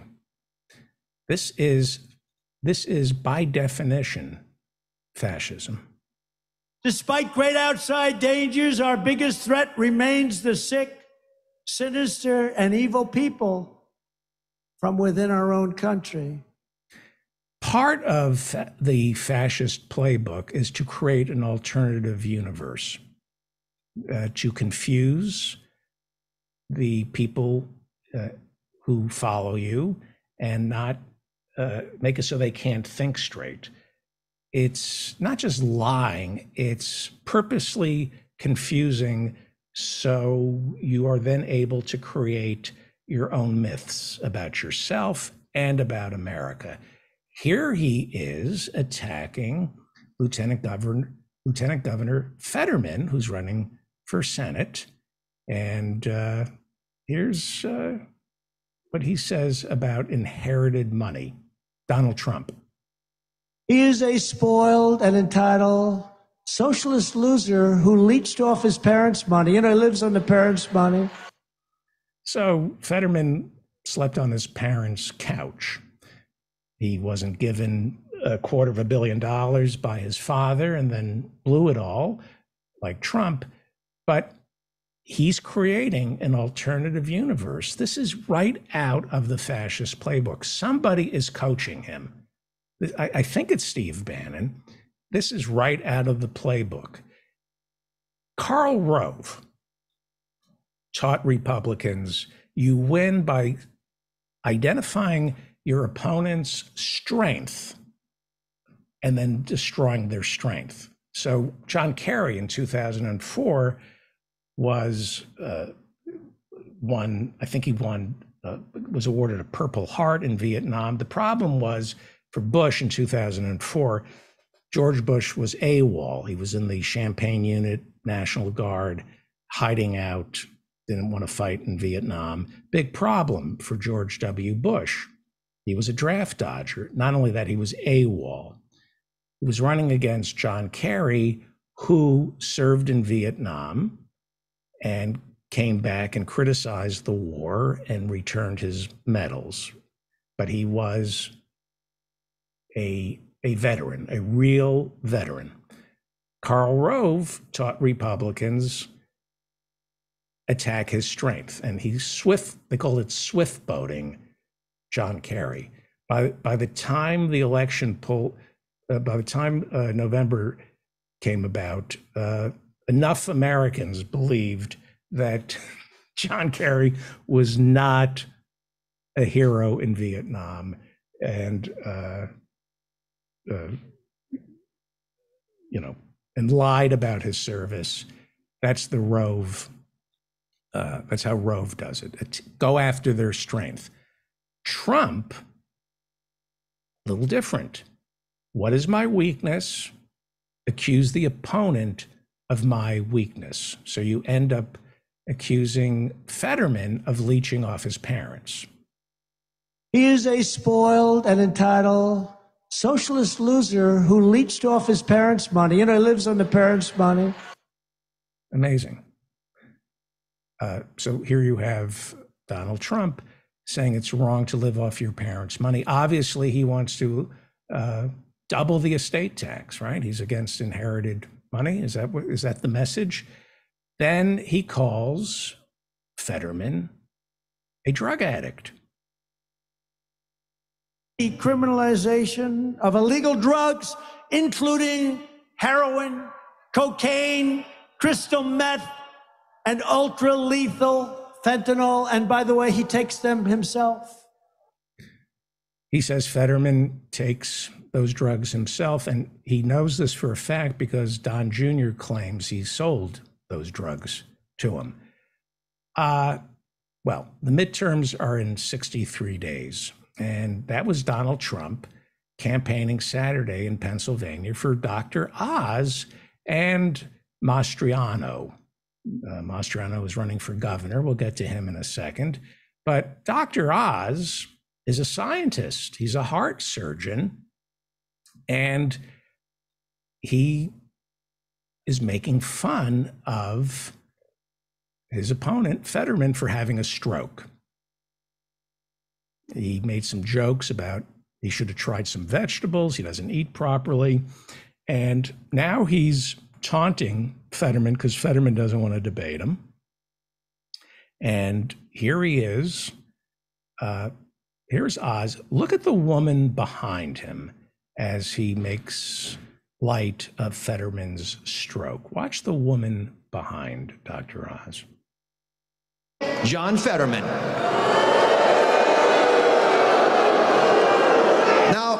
Have challenged Mr. Fetterman to a debate. You've been following all the news on this. I'm empathetic. I'm a doctor. I understand how Sure, difficult it is sure. when you've had a stroke. Sure, I've yeah. asked him to work with us to find out some way for him to answer questions, but he hasn't come forth and wanted to talk about it. And I think for democracy to work, you have to answer questions, right? Here's a question Why are you such an asshole? Uh, well, Oz is anti stroke. Uh, watch the woman, and this is why I think this is going to be the year of the woman, this election. Why it's to our to his left, our right. Watch her reaction when he brings up the stroke. Women, I mean to traffic in stereotypes. Women identify bullies. They they know uh, mean men and frauds.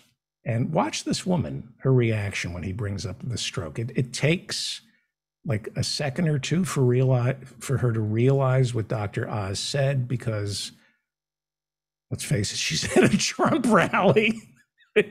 Things take a little while for uh, it to sink in. There's that little delay. Uh, so give her a second to to actually realize what Dr. Oz just said and watch her reaction. Understand how difficult it is when you've had a stroke. I've asked him to work with us to find out some way for him to answer questions, but he hasn't come forth and wanted to talk about it. Yeah, I mean, she she's like, oh my god, this is why I think women they humor their boyfriends and show up to these Trump rallies. They know who Trump is. They know exactly. They know how dangerous, and they know who Doctor Oz is. He's he's got an ice cold speculum. Well, Doctor Oz, despite that woman uh, being appalled, was doing pretty well. Uh, it was going really well for him. Watch, and then he then he said something to the poorly educated, and it did not look good. So, your homework assignment. By the way, uh, it's still going. That's not frozen. That that is literally Dr. Oz realizing he just said the dumbest thing possible to the dumbest people possible. He used the words homework assignment. That's him. That, this is it's still rolling. That's just him frozen, realizing he just lost the election. Uh yeah. So, Pennsylvania. There's a, a trial going on right now. It's hard to believe, but it's been four years since the uh, the synagogue in Pennsylvania was shot up. Uh, someone with a, an AR 15, no surprise, and three handguns shouting anti Semitic slurs, opened fire inside a synagogue in Pittsburgh. And he killed 11 people, 11 Jews, wounded four police officers and two others. This rampage has been described as the deadliest attack against the Jewish community ever in the United States. And that trial is going on now. It's been four years. His trial is going on. We're talking about the Tree of Life Synagogue, right? And uh, they're doing, uh, they're picking the jury right now. Attorneys, this is from the uh, Pittsburgh, uh, I don't know the name of the paper. I apologize. It's from a Pittsburgh paper. Attorneys for the man accused of killing 11 people at the Tree of Life Synagogue in Squirrel Hill nearly four years ago want permission to ask potential jurors about their religious affiliation, uh, partly because uh, they want Catholics on the on the jury because Catholics do not believe in the death penalty. We're talking about the Tree of Life synagogue shooting, the worst attack ever on the Jewish community, any Jewish community in American history. Pennsylvania. And Pennsylvania has uh, someone running for governor named Shapiro. And uh, he's running against someone named Mastriano. That's the governor's race. Mastriano was at the January 6th uh, insurrection and We'll get to him in a second. But again, this is MAGA. This is what fascists do. Here is Marjorie Taylor Greene, who spoke at the rally in Pennsylvania. She opened for Dr. Oz. Marjorie Taylor Greene is a self avowed Christian nationalist and I say it proudly, we should be Christian nationalists. Right? Maybe you didn't hear that. So I'm going to play it again because these are what are called anti Semitic dog whistles. Uh, this is her, I believe this was her at CPAC saying, this was about a month ago, saying that the Republican Party should identify as the party of Christian nationalists. Uh, we need to be the party of nationalism. And I'm a Christian and I say it proudly. We should be Christian nationalists. And that is something you're not supposed to get caught saying. You, you keep that secret, but she said it out loud. She believes the Republican Party should be the party of Christian nationalists. In other words, if you're a Muslim, a Jew, a Buddhist, Hindu, Sikh, uh, Shinto, whatever, uh, not your country, at least not your party. That's what she repeatedly says. And a lot of people at CPAC and Turning Point said the Constitution was written by Christians. This is a Christian nation. So these are dog whistles. Lee Atwater, in his deathbed confession, talked about this. He said, you know, you can't use the N word anymore. Lee Atwater was a right wing, he got George Herbert Walker Bush elected president using the Willie Horton ads, which very racist. He said, times have changed. We can't use the N word anymore. So what we say is busing, uh, things like that. But it's still playing. It's a dog whistle that play that plays to racists. They know what you're saying. We can't say it, but we know what you're saying. So remember all this as the Tree of Life synagogue synagogue trial is going on. This is the dog whistles that uh, that the Republicans are employing, deploying in Pennsylvania, where Pittsburgh is. Andrew Torba is the founder of Gab. It's uh, an online, kind of like Twitter for racists. The shooter uh, at the Tree of Life, the guy who shot up the Tree of Life, was on Gab. He explained himself uh, why he was killing all these Jews on Gab. And it has very lax policies uh, uh, when it comes to racism, homophobia, misogyny. It is the platform for neo Nazis, white nationalists, uh, the alt right. Here is one of his tweets. This is Andrew Torba on June 4th. Good morning. Reminder that we are going to deprogram 150 years of Zionist theological and cultural indoctrination and do our own indoctrinating of the next generation at the same time. What has been started cannot be stopped. Uh, God wins. God wins. Here he is.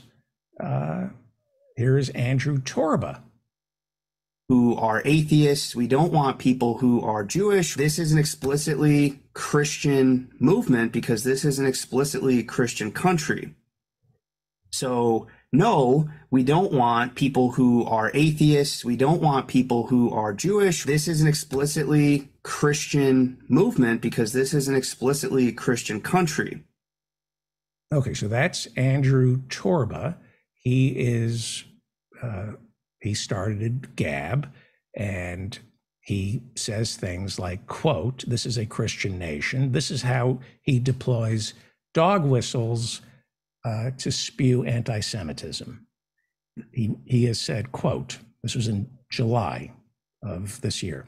This is a Christian nation. Christians outnumber you by a lot, a lot. And we're not going to listen to 2%, right? 2%. He's not talking about milk. He's talking about Jews. Jews make up 2%. That's a dog whistle, right?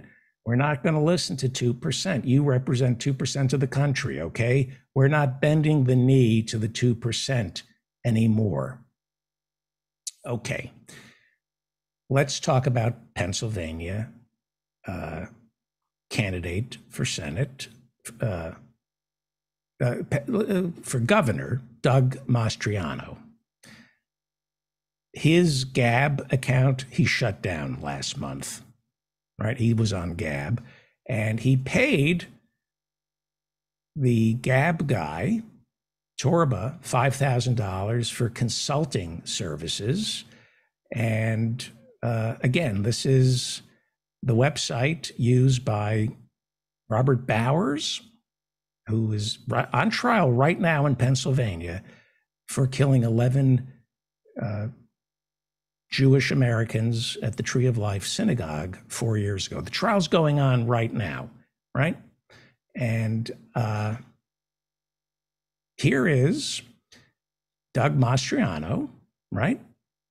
Hired this guy from Gab. Here he is speaking about uh, Health and Human Services, Dr. Levine, a Jew, last name Levine, also a transgender person. A lot of you have probably seen her picture. And uh, Doug Mastriano uh, brings up Levine, and everybody seems to know who Dr. Levine is because Dr. Levine is a transgender uh, person. So here he is talking about Levine. Levine. Neither do I. Levine, Levine sent the sick back into homes, killing thousands of our elderly. Found out that was a bad idea and stuck mommy out while our moms and dads were left to die alone. They don't want to talk about Shapiro. right? Levine and Shapiro. This was at the Trump rally.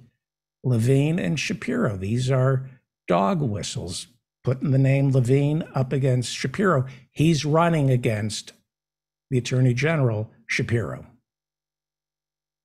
Who did nothing, who didn't lift a finger to help your loved ones. You know, my opponent has been the Attorney General for six years, and the guy's a big failure. On his watch, crime has gone up 37%. Murders has doubled.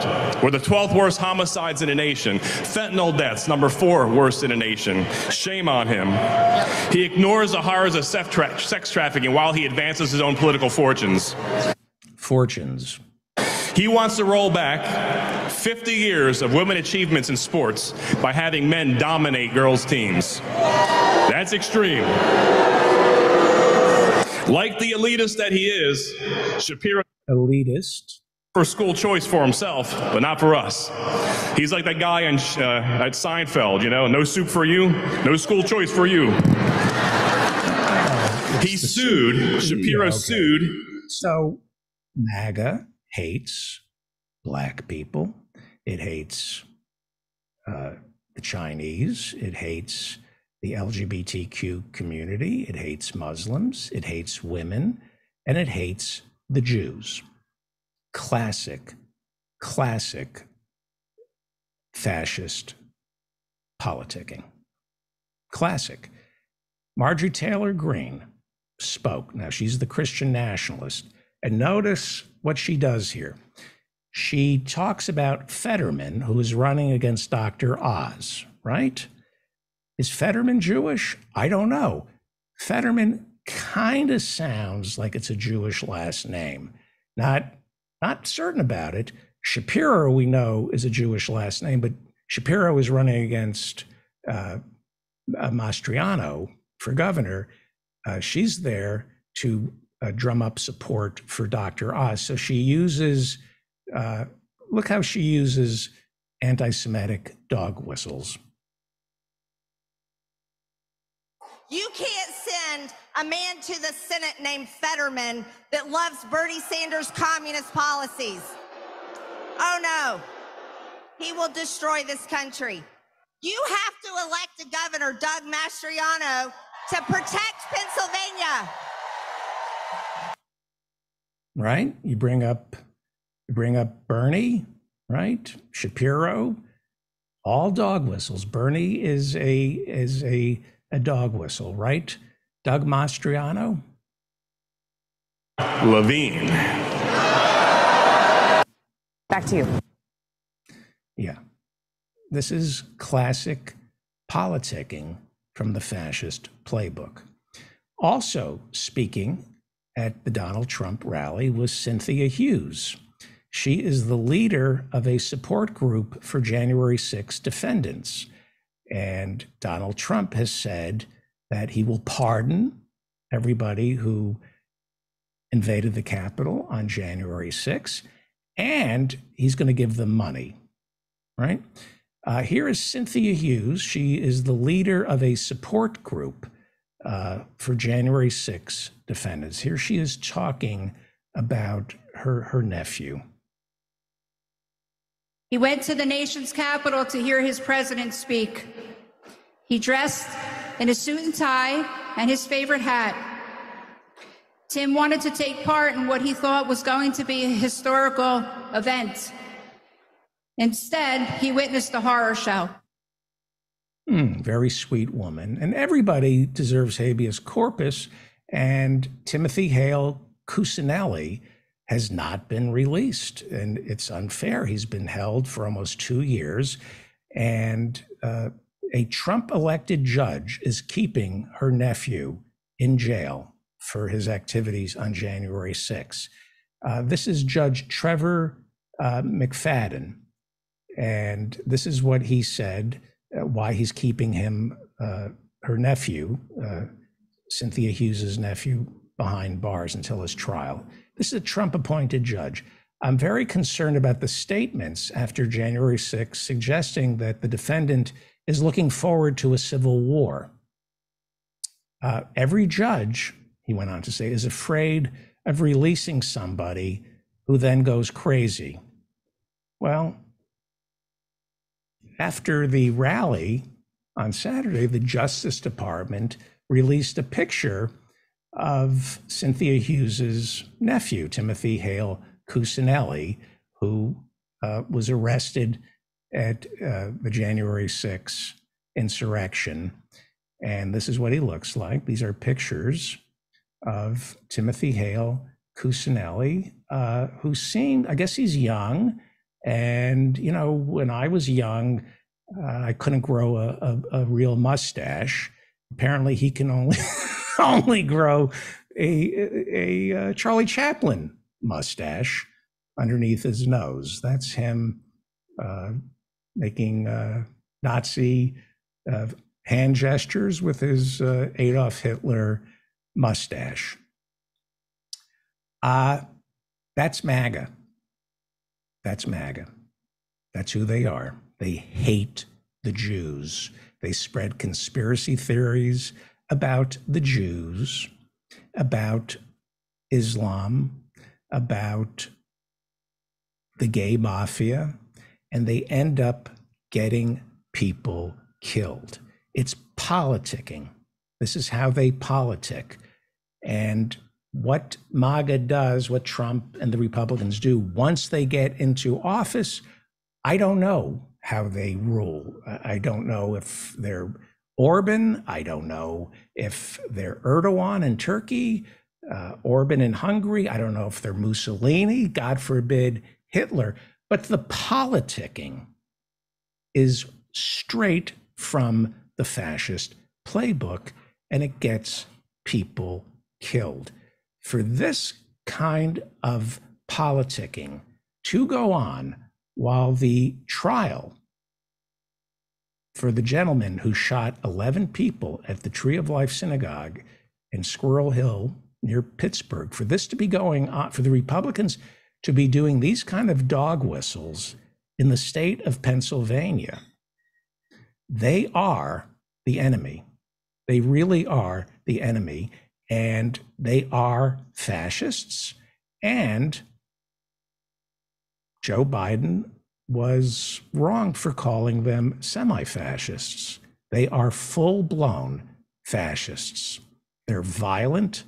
They are violent white Christian nationalists, and they're getting people killed. You are listening to the David Feldman Show. I hope you vote. I hope everybody, especially women, I hope women vote come midterms because this party hates women and you know it.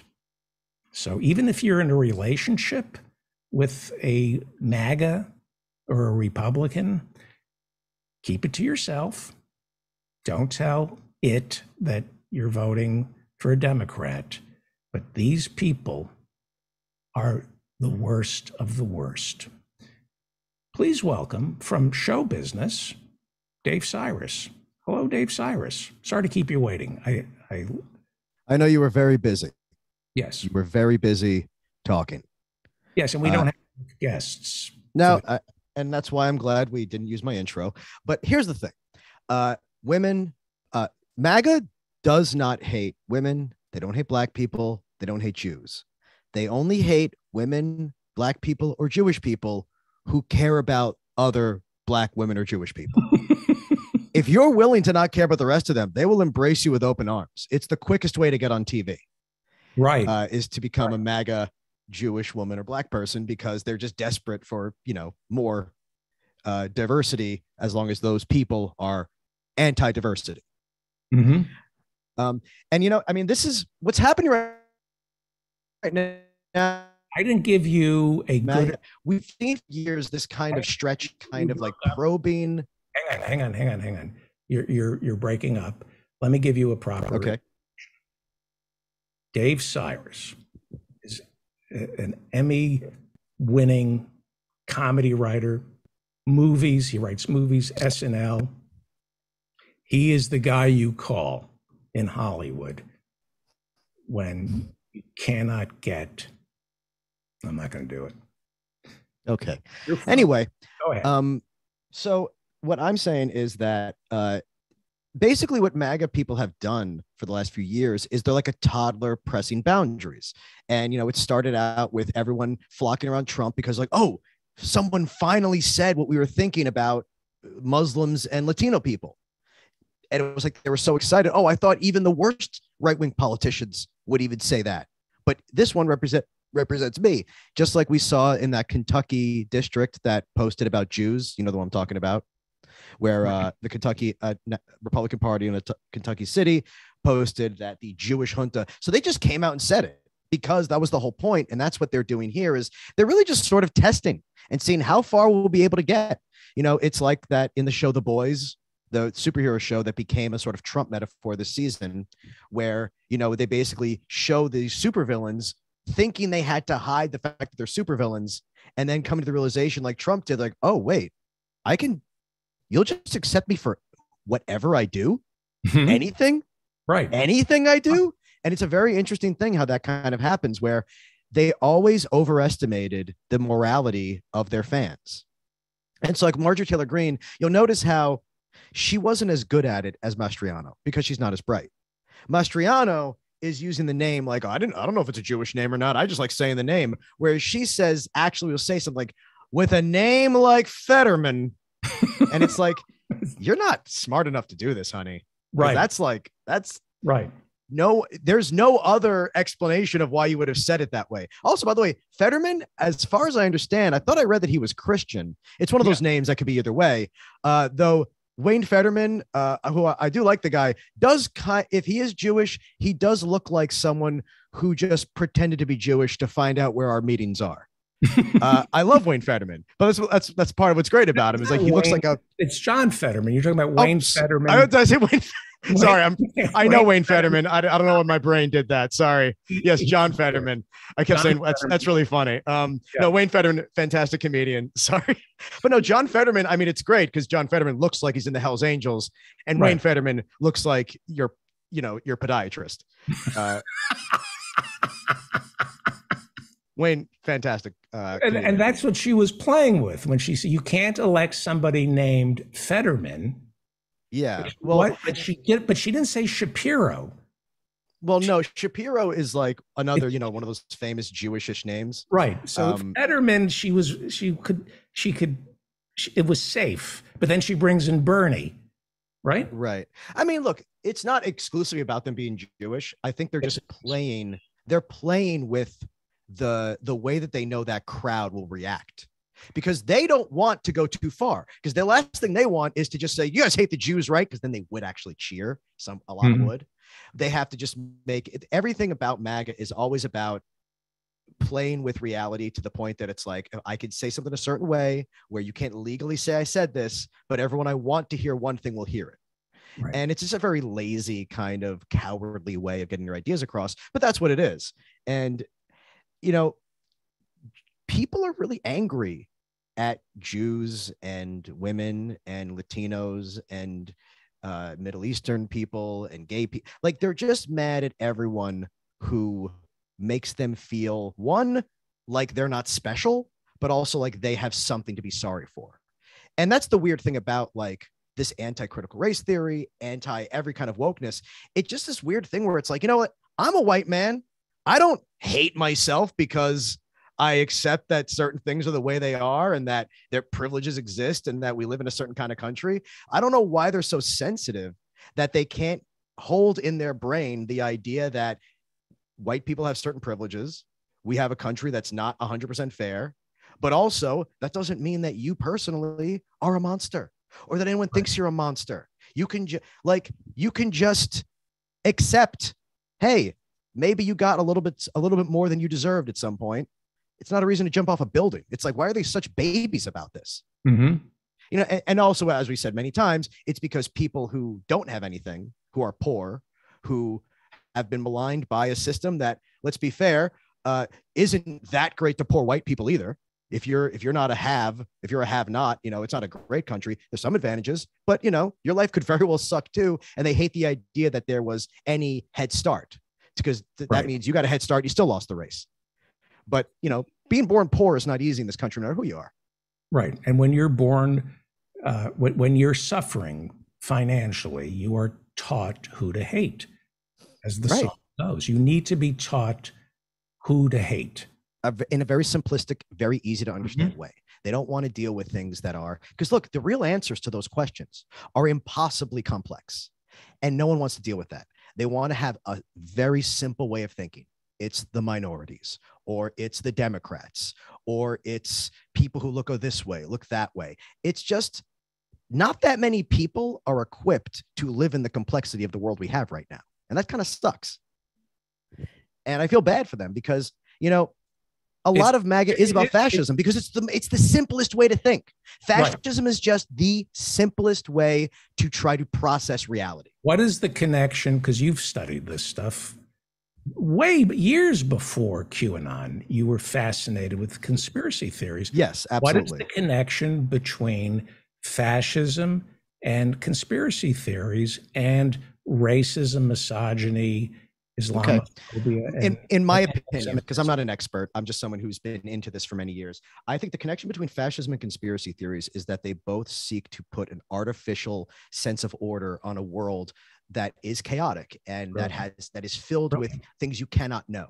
So both fascism and conspiracy seek to put very very simple answers to all of life's questions.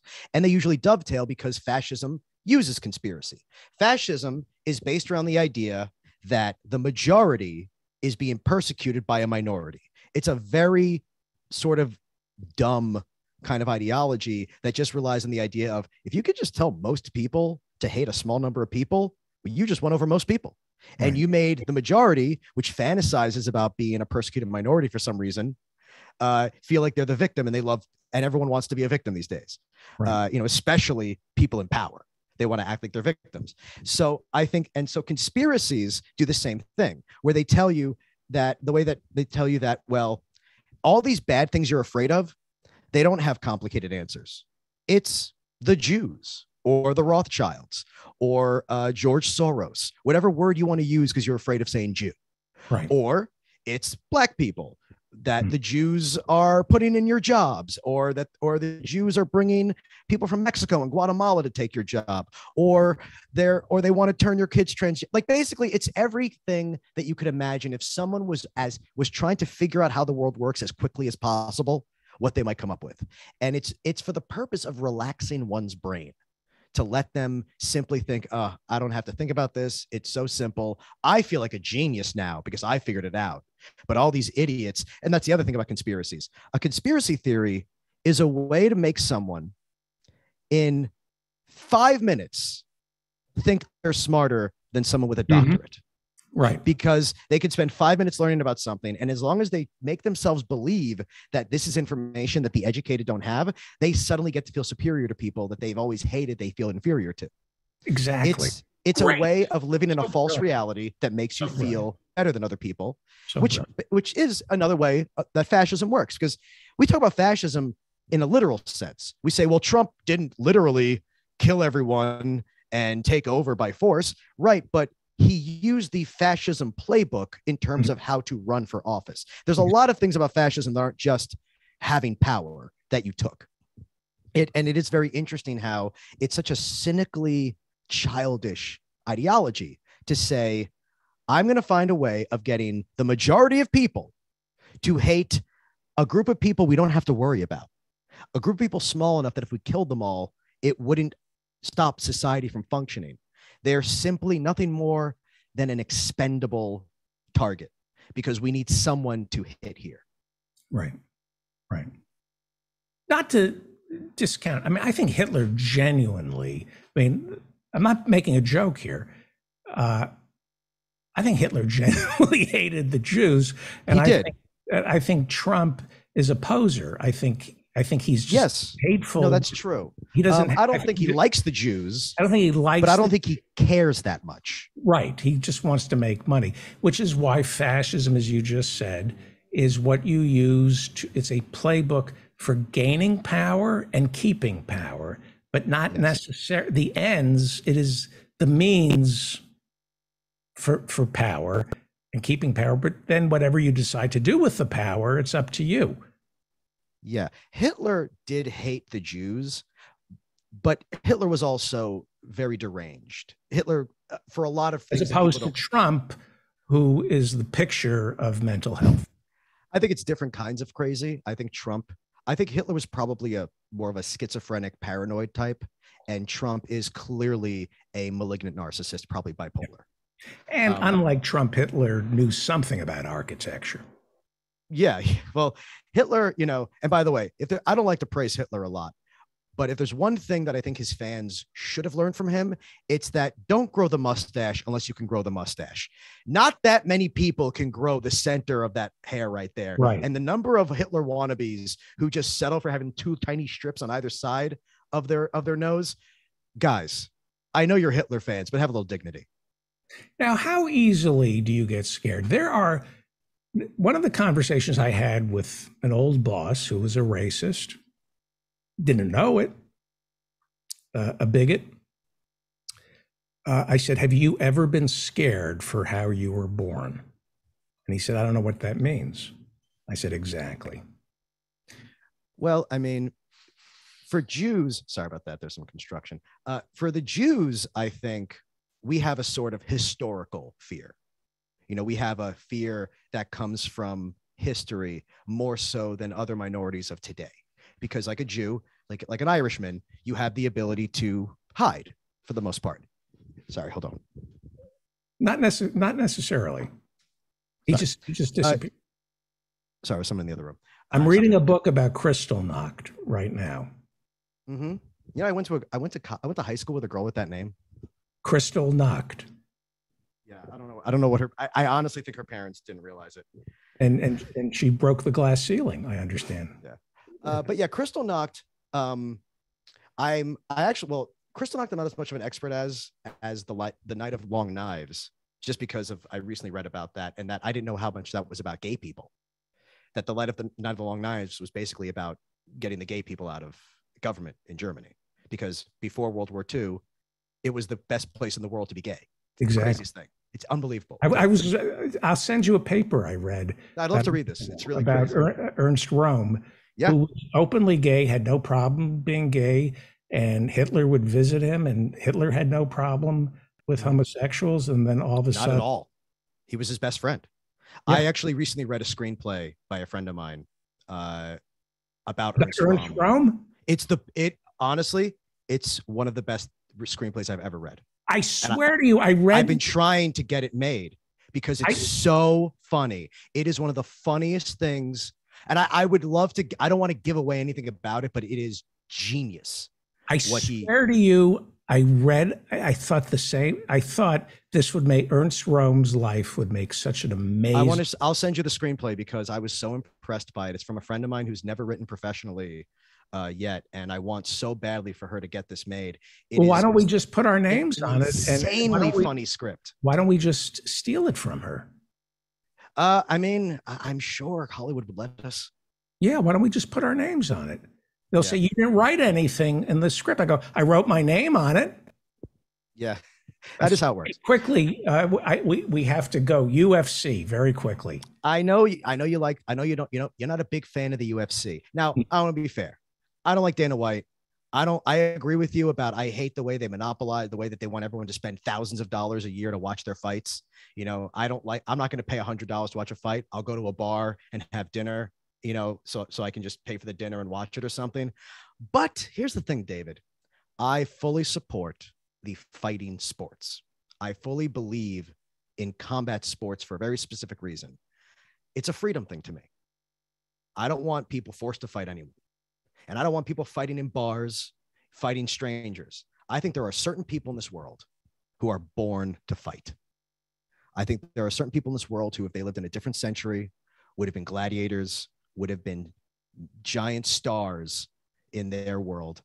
And I think that, you know, if you're the kind of person who that's what your drive is, that's what your that's what your passion is and you and another person want to sign a piece of paper that says these are the rules this is what we're going to do this is we know exactly what we're going into i honestly i don't have a problem with it i think that boxing or jujitsu or mixed martial arts are noble because they're people who maybe weren't going to be doctors maybe weren't going to be executives maybe this is what they truly want in life and don't get me wrong I, I'm not saying I want people to have to do this to get out of poverty or, you know, anything like that. I'm just saying that I, I've thought, you know, I, I've trained in fighting. I thought it was exciting. I never wanted to actually fight like professionally or, or like get punched in the face by someone who's trying to kill me. But I just thought, no, this is, this is interesting. I'm interested in this sport. This is, you know, it's life and death. It goes back millions of years. And uh, I know you were talking about the Paulo Costa Luke Rockhold fight, where Luke Rockhold, who was bleeding profusely out of his face after three rounds of getting the crap beaten out of him, finally got on top of Paulo Costa and proceeded to wipe his bloody face all over Paulo's face. Now, here's the important point that you forgot about that. If you watch that fight, Paulo was laughing. He was laughing about the fact that Luke was That doing makes- this. That makes it even worse.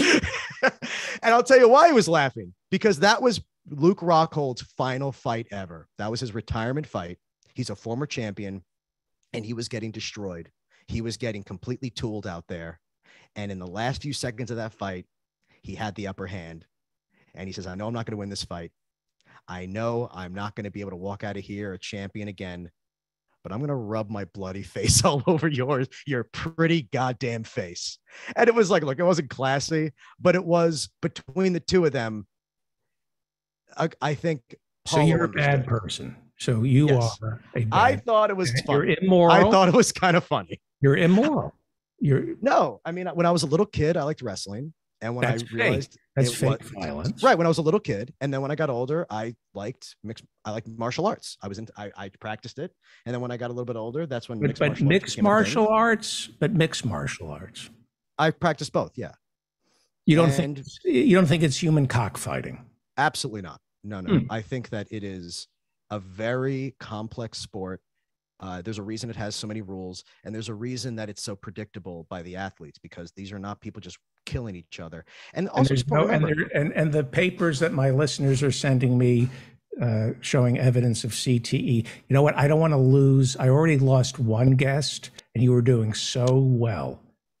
Right? No, like, look, we're not losing anything here. Look, I absolutely believe that boxers, football players, and mixed martial artists will have uh, evidence of CTE at some point.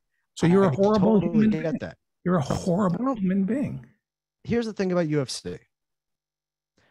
Someone dies boxing every year, right? No one's ever died in the UFC.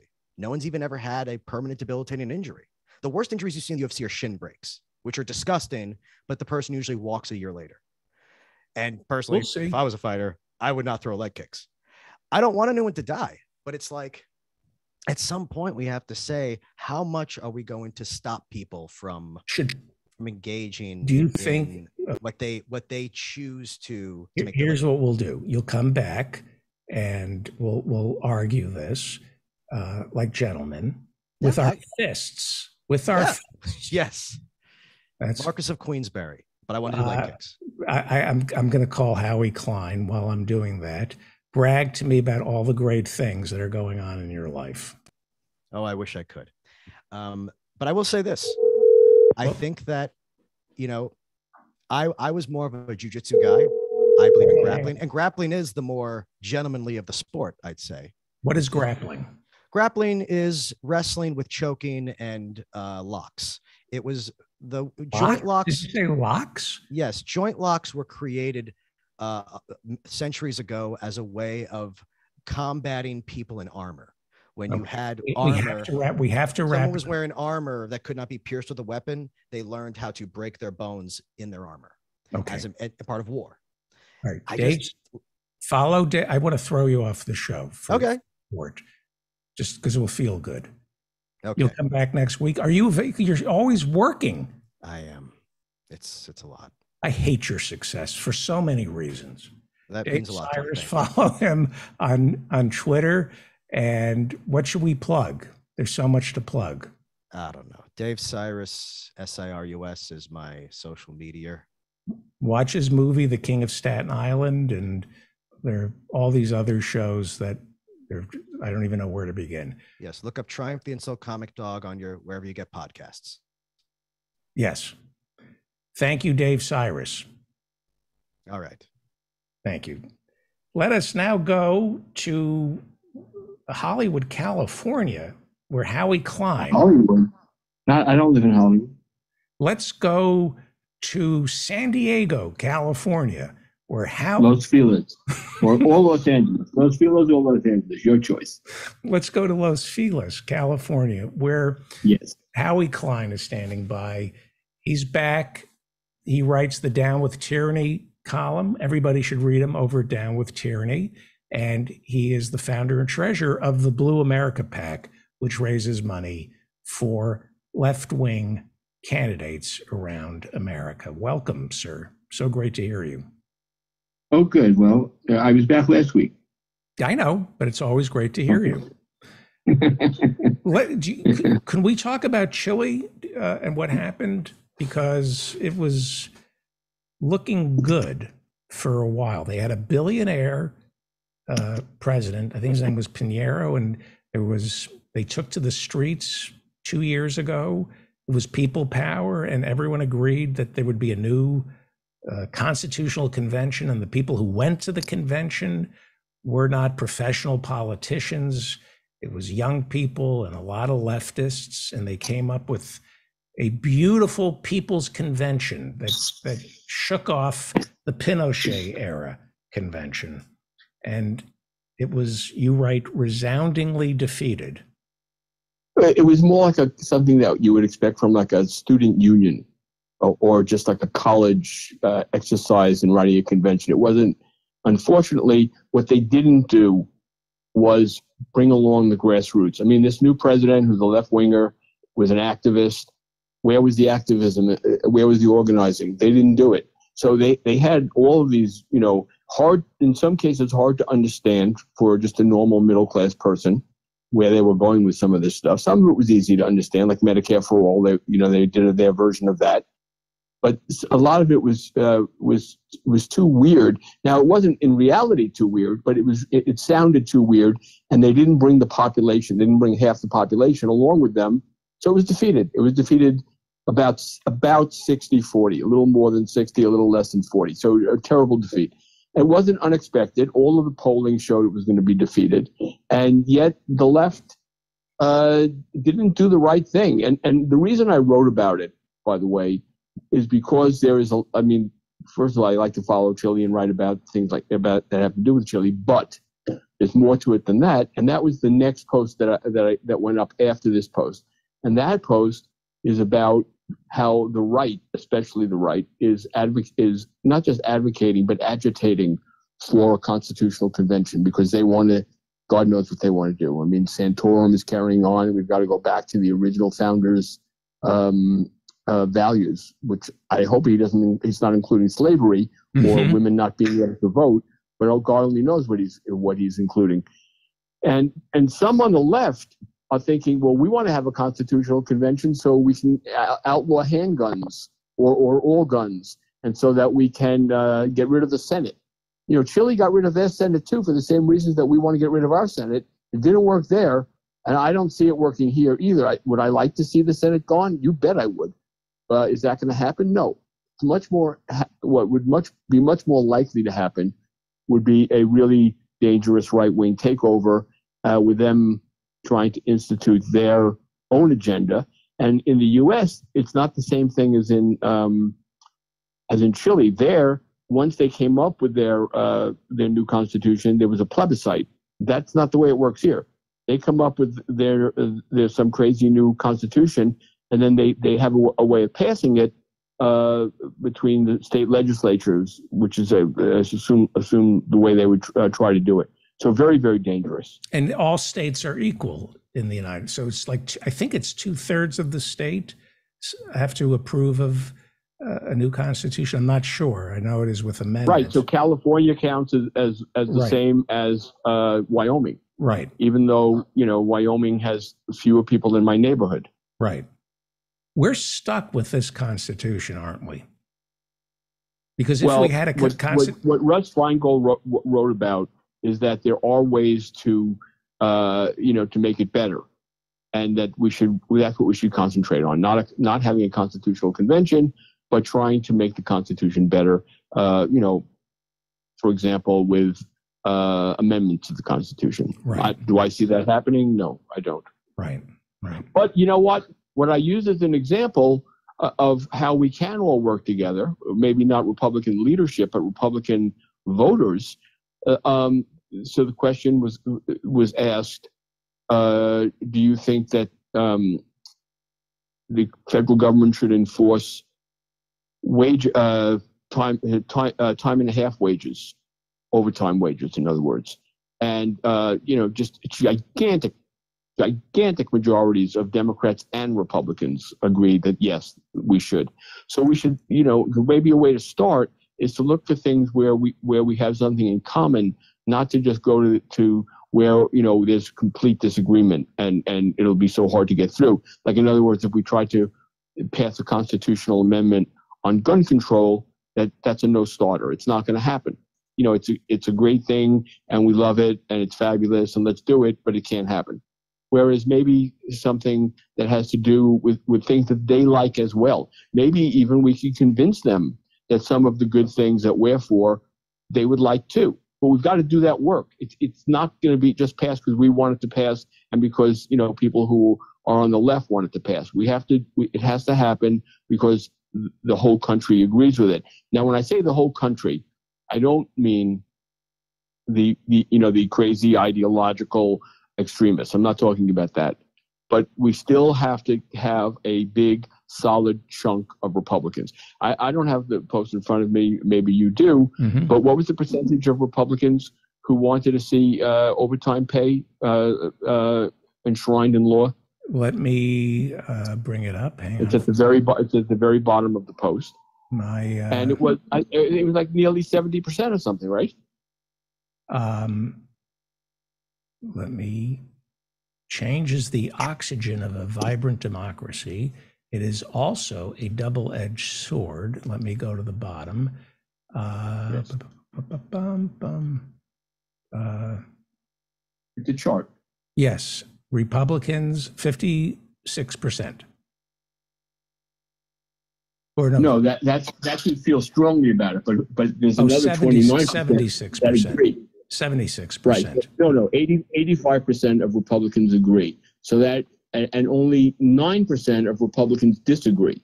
So we're never going to get that 9% on anything. They're never going to, they're never going to come along uh, and hell with them. You know, they, you can't convince them. They're out of their minds. But on the other hand, look at this 85% of Republicans agree with 91% of Democrats because we've also got 5% of Democrats that don't agree. I don't know why they have D next to their names. It doesn't make any sense to me. I mean, you'll have to explain that to me sometime. So, if Did you listen to Biden's speech today? Did I listen to who? Biden's speech today? Biden had another speech today. Yes, this was this was, was very scary. He was he was speaking unless they were showing a rerun of something or uh, you know or or just just like trying to like be insane. But it was he was you know, I don't know whatever he whatever they did to make him seem alive and vibrant the other night when he called them the Republicans fascists. Whatever that was that he was on, he should have been on that today. He was in in Pittsburgh doing a Labor Day speech in front of a bunch of union workers, and wow, is he boring! I mean, he he kept promising he I'm not going to go on much longer, and then he kept on going on much Mhm. longer. But at one point, he slipped up and he said, you know, when I was in Delaware, the reason I joined the Democrats, it was a southern, it was the Southern Democrats. He's going on about What? about. Yes, I mean he was slipping up. I mean he was telling the truth, but that's not what he meant to say. I mean he started talking about how he joined the Democrats because he was active in civil rights. What he didn't say is that his activity in civil rights was to be against them. Right. right. It was such a bad speech. It was so terrible. But that's that's what we're, that's what we're stuck with. So you have a and, and I, I had dinner the other night with um, a guy who's the head of uh, PDA, uh, Progressive Democrats of America, and Alan and I said to Minsky. him, Alan Minsky. Oh yeah, Alan. You know Alan? Of Did you have course. him on the show Yeah, sometimes? yeah, yeah, oh, yeah. fabulous. Yeah. So I said to Alan, "Do we have a candidate, a viable candidate for uh, president in 2024?" And he just looked at me and he said, "No." But we've I'm old enough to have heard that, uh, you know, uh, every election cycle. When I said viable, I meant progressives. By the way, I didn't mean Democrats. I meant Oh, okay. progressives. But but they do emerge. If you know, if uh, Clyburn and Obama and the Clintons don't put their thumb on the scale, and we have an actual. Well, what do you mean if they don't? Of course they will. But I mean, what happened in 2020? That's what they do. but that was because of what, COVID. That's what the Clintons no, it's because that's what they do because that's who they are. They are conservative. They don't want a progressive, and they will not accept a progressive. So it's a it's a and you know the, the I know one progressive who's going to run for president, whether Biden runs or not, and that's Marianne Williamson. I mean that, that she's got a very very steep uh, hill to climb to to you know for even for the media to take her seriously. They don't want to, and she's going to have to prove it before they do. I know you love her, and I do. I love. I love Marianne. She's fantastic, and she's been going around uh, to not just to Iowa and New Hampshire, but to other states as well, and in, introducing herself to the uh, to Democrats, uh, you know, Democratic leaders and and committeemen and people like that. And you know, I, I it's going to be very, very, very hard for her uh, to uh, to get past a media that refuses to take her her seriously, and at every instance uh, tries to uh, you know insinuate that she's crazy and she's just about uh, yoga and incense, and that's that's none of that's true. I mean, she was a Bernie surrogate. That's more true than than that she's running around with beads. Bernie, highest favorability I heard, highest favorability of any politician in America. Could that and be? that's been the case year after year after year after year. So, is he? Here's what I'm thinking. As I'm, No, he's he's too old. He's not going to do it. He may be teasing it a little bit now, but he just in the end, he's just not going to do it. I, I wish it was otherwise. So Biden needs. But I hope I'm wrong. Biden needs Trump to stay out of prison, so he doesn't get a primary challenge. It would be considered unseemly to challenge Joe Biden with the threat of Donald Trump's reemergence. Correct? There's a bunch of different ways uh, to look at that, but Biden has said himself that the, the what's that what's pushing him to run for another term is the danger of Trump. But you know, that, you know what doesn't make sense about that? You know, it doesn't take a lot to figure out that DeSantis is maybe more dangerous than Trump. Mm-hmm. I mean, what do you think? You think this DeSantis is more dangerous than Trump? Well, let me. I was gonna, just going to ask you a similar question that I rather have you answer. If you get rid of Trump, does the fever break? Even with DeSantis, does this fever break within the Republican? No, it doesn't. no. I mean, what, what? what no, they're not. Uh, you know, DeSantis is appealing to the same uh, kind of ignoramucy. Is that a word? I think it's well, ignorant. So maybe ignorance. I just call them just call them Republicans. It's okay. uh, so he's appealing to the same kind of uh, backward, ignorant, uh, you know, uh, Marjorie Trader Greene kind of perspective. You know that Marjorie Trader Greene is now Trump's uh, opening act everywhere he goes. Yep. She she goes to all of his shows, and she is the opening act, and they love her. They love her. Does I can that- imagine that she'll- can run as vice president under uh, DeSantis. the the danger I run into is I ignore Trump. I try to ignore Trump on this show because everybody else is talking about him.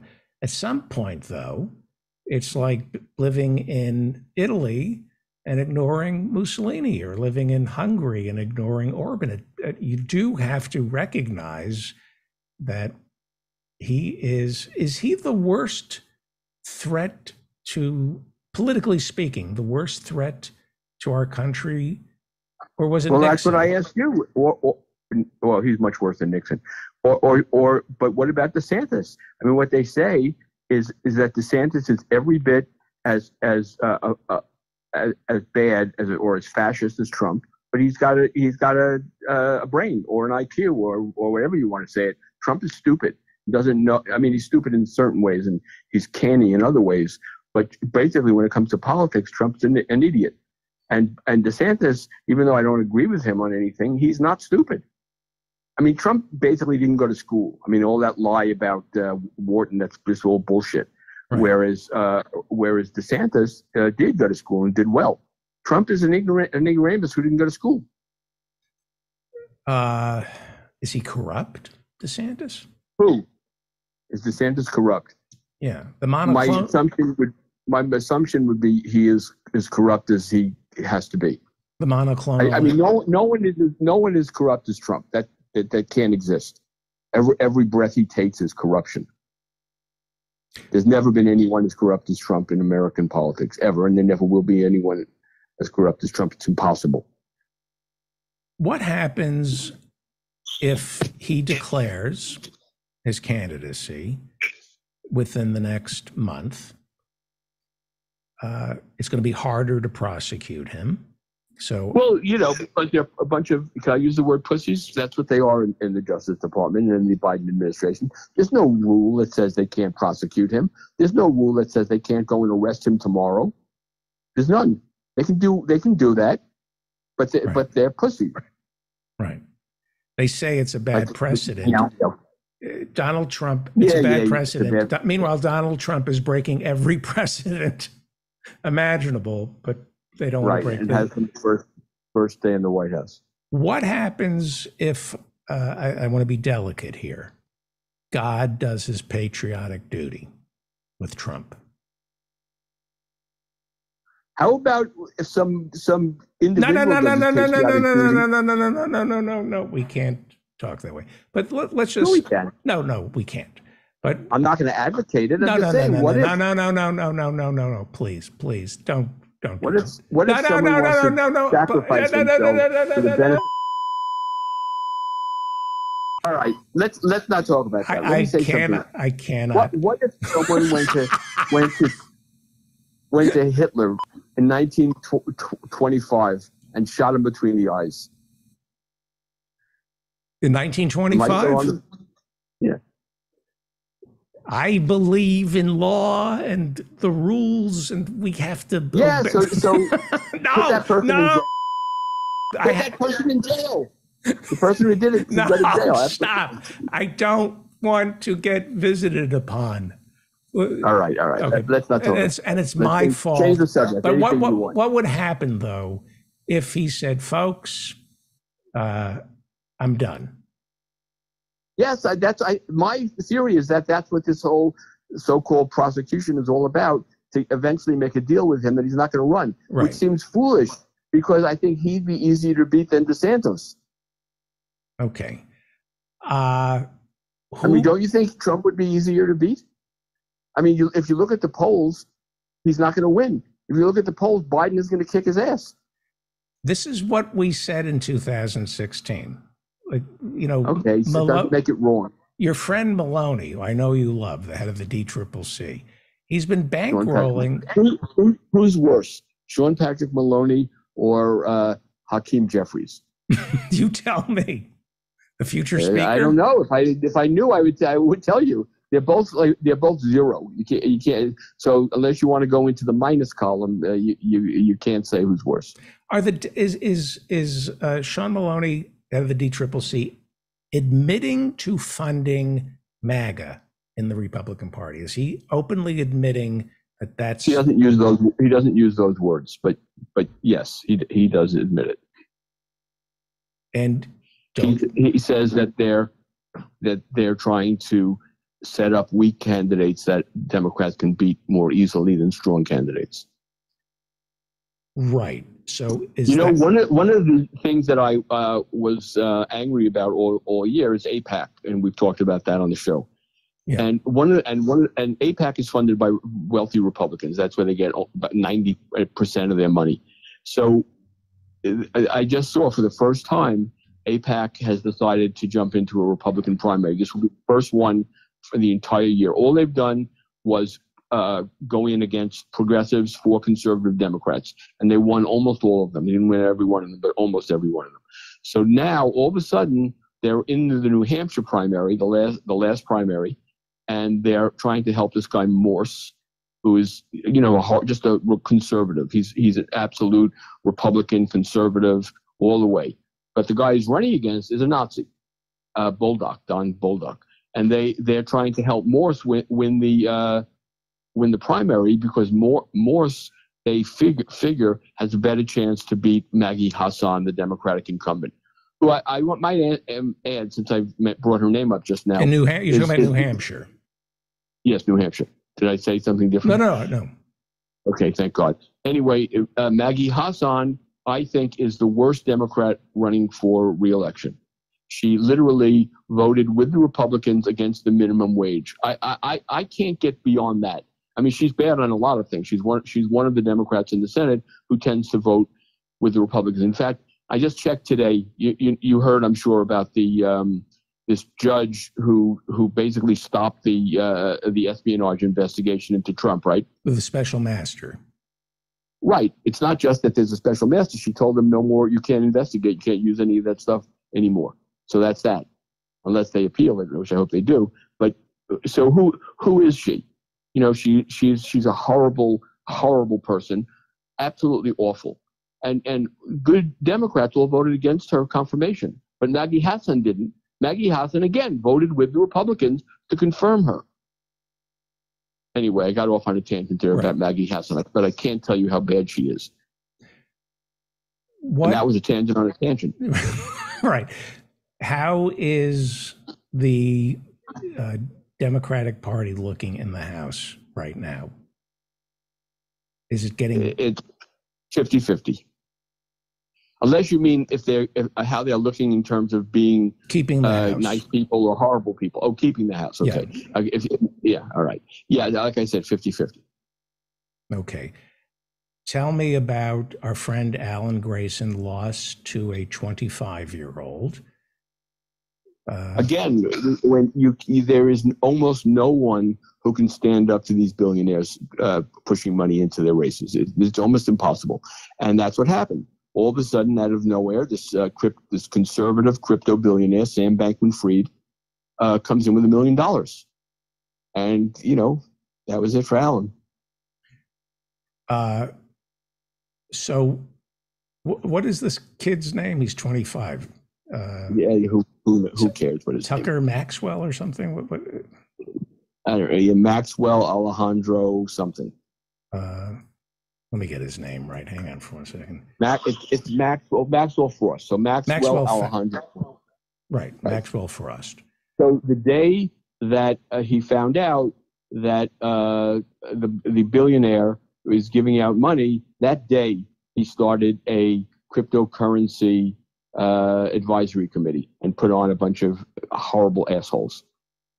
That's and that will tell you who Maxwell Frost is. Doesn't matter what color T-shirt he's wearing. It doesn't matter uh, what he says about you know he's you know because what he says is like putting on a T-shirt. He'll say anything today, and and then we'll see what happens when he gets into Congress. I hope I'm wrong about him, and it's possible that I am wrong about him. But he did call me twice get a Blue America endorsement, and this was before Alan Grayson was in the race.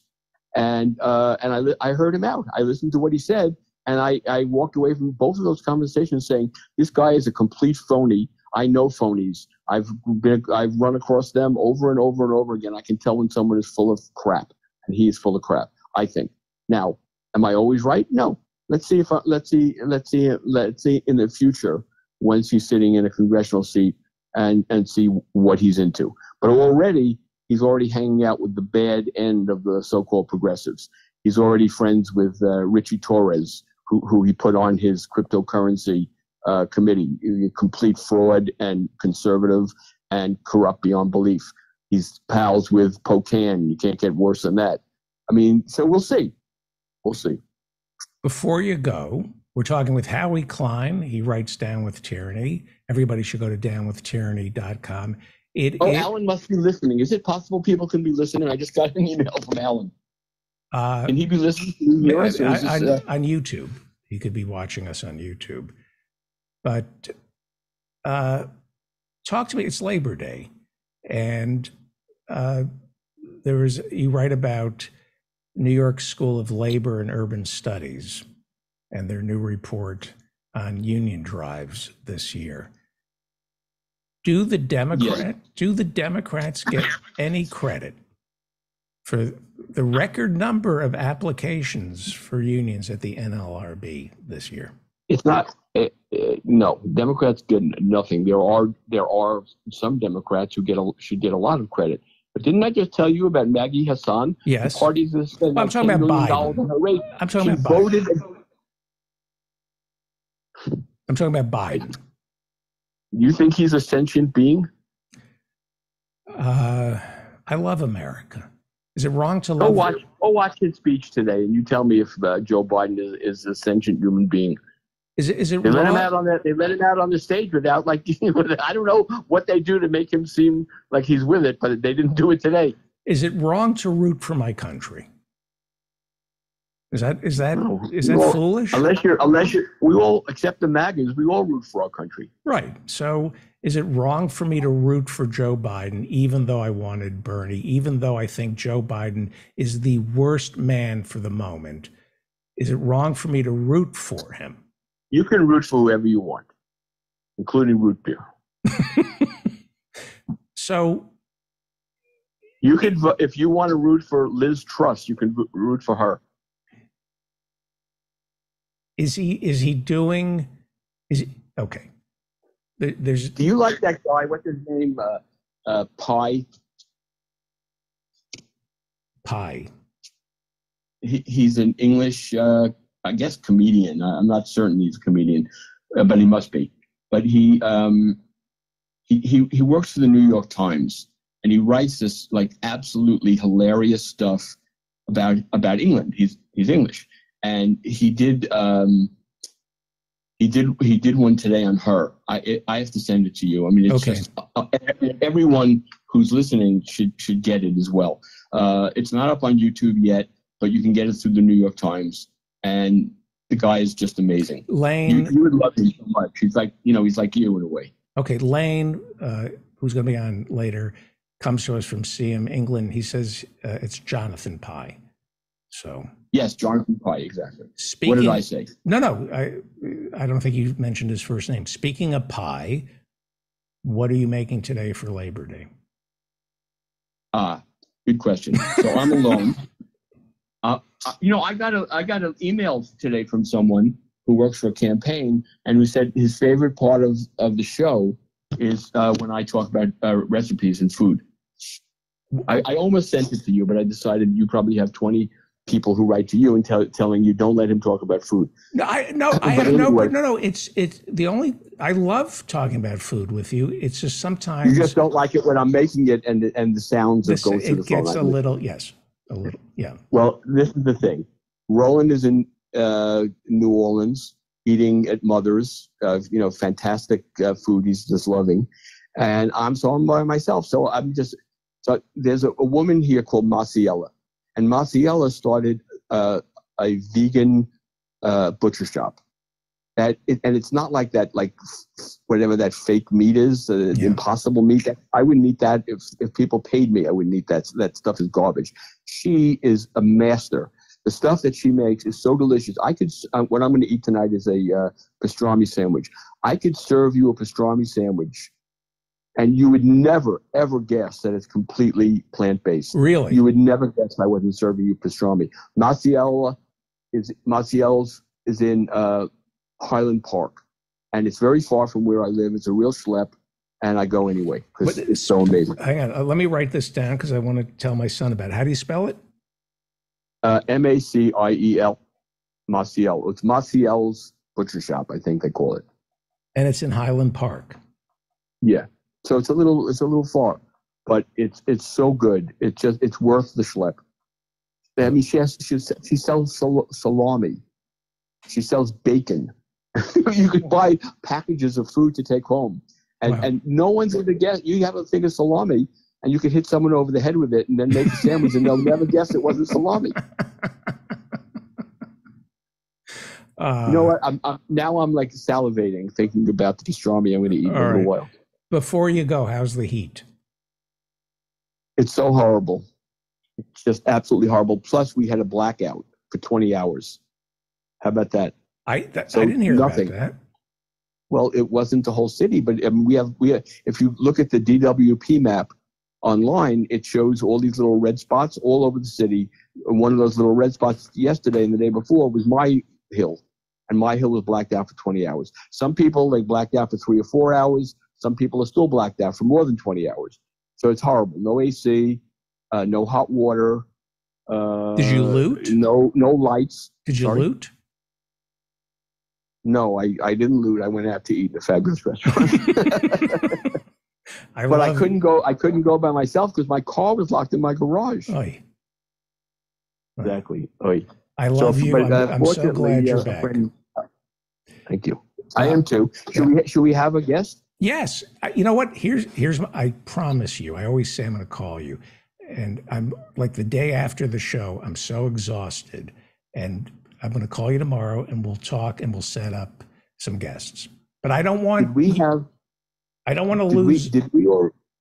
You, yeah, yeah, yeah. I'll be there. Yeah. You know, did we have? um uh Now I can't remember his name. Never mind. We'll have we'll have good guests. Okay. some- you know, these are the people we're going to have on are the ones who already won their primaries and that are going up against Republicans, generally speaking, in um, in November. In California, we have a little bit of a different situation because sometimes uh, there'll be two Democrats because they win in the primaries in the jungle primaries, so there's no Republican at all. So we have we have a case like this with Angelica Duenas, who's very very interesting. She's on and the I want show. to have her we, on. we had her on. But You brought her something on. very, very, I, I bet I did, but something very, very big is about to happen, which is a movie is going to come out that's going to be mind boggling. And I, what I want to do is time our, uh, our uh, situation with, uh, with Angelica for just when that movie is coming out. So our, our viewers can look at the movie and then they'll have Angelica to speak with. Fantastic. I will talk to you Yes. tomorrow. Howie Klein. Good. You always say that. Howie, before you go, this is David Cobb. I want to also encourage y'all to think about David Segal in Rhode Island. Yes, he's, he's one of our candidates. By the way, David, let me introduce you again to Howie Klein because David didn't know your previous life as a record uh, executive. Well, you know what? I'm in the middle of writing a memoir, and and what I'm doing, I'm taking pages whenever I feel like it. Like I have one coming out tonight. I take the pages and I put them on my blog. So sometimes late at night, sometimes not that late. But uh, and and at the bottom, it, there there are links, and and if if you click on the link that says Howie, you get all the pages. So you know, like today, what did I write? I wrote about uh, I wrote about a musical thing today. Uh, God, I just Andy, wrote, it- pa-. Andy Paley is No, that was that was a few days ago. Andy Paley, because that and that comes from a, a Patti Smith song. She in, he was in her in her band when they played in 1976 in Sweden, and she's screaming, "Andy Paley is a nigga" in, in the song called "Rock and Roll Nigga."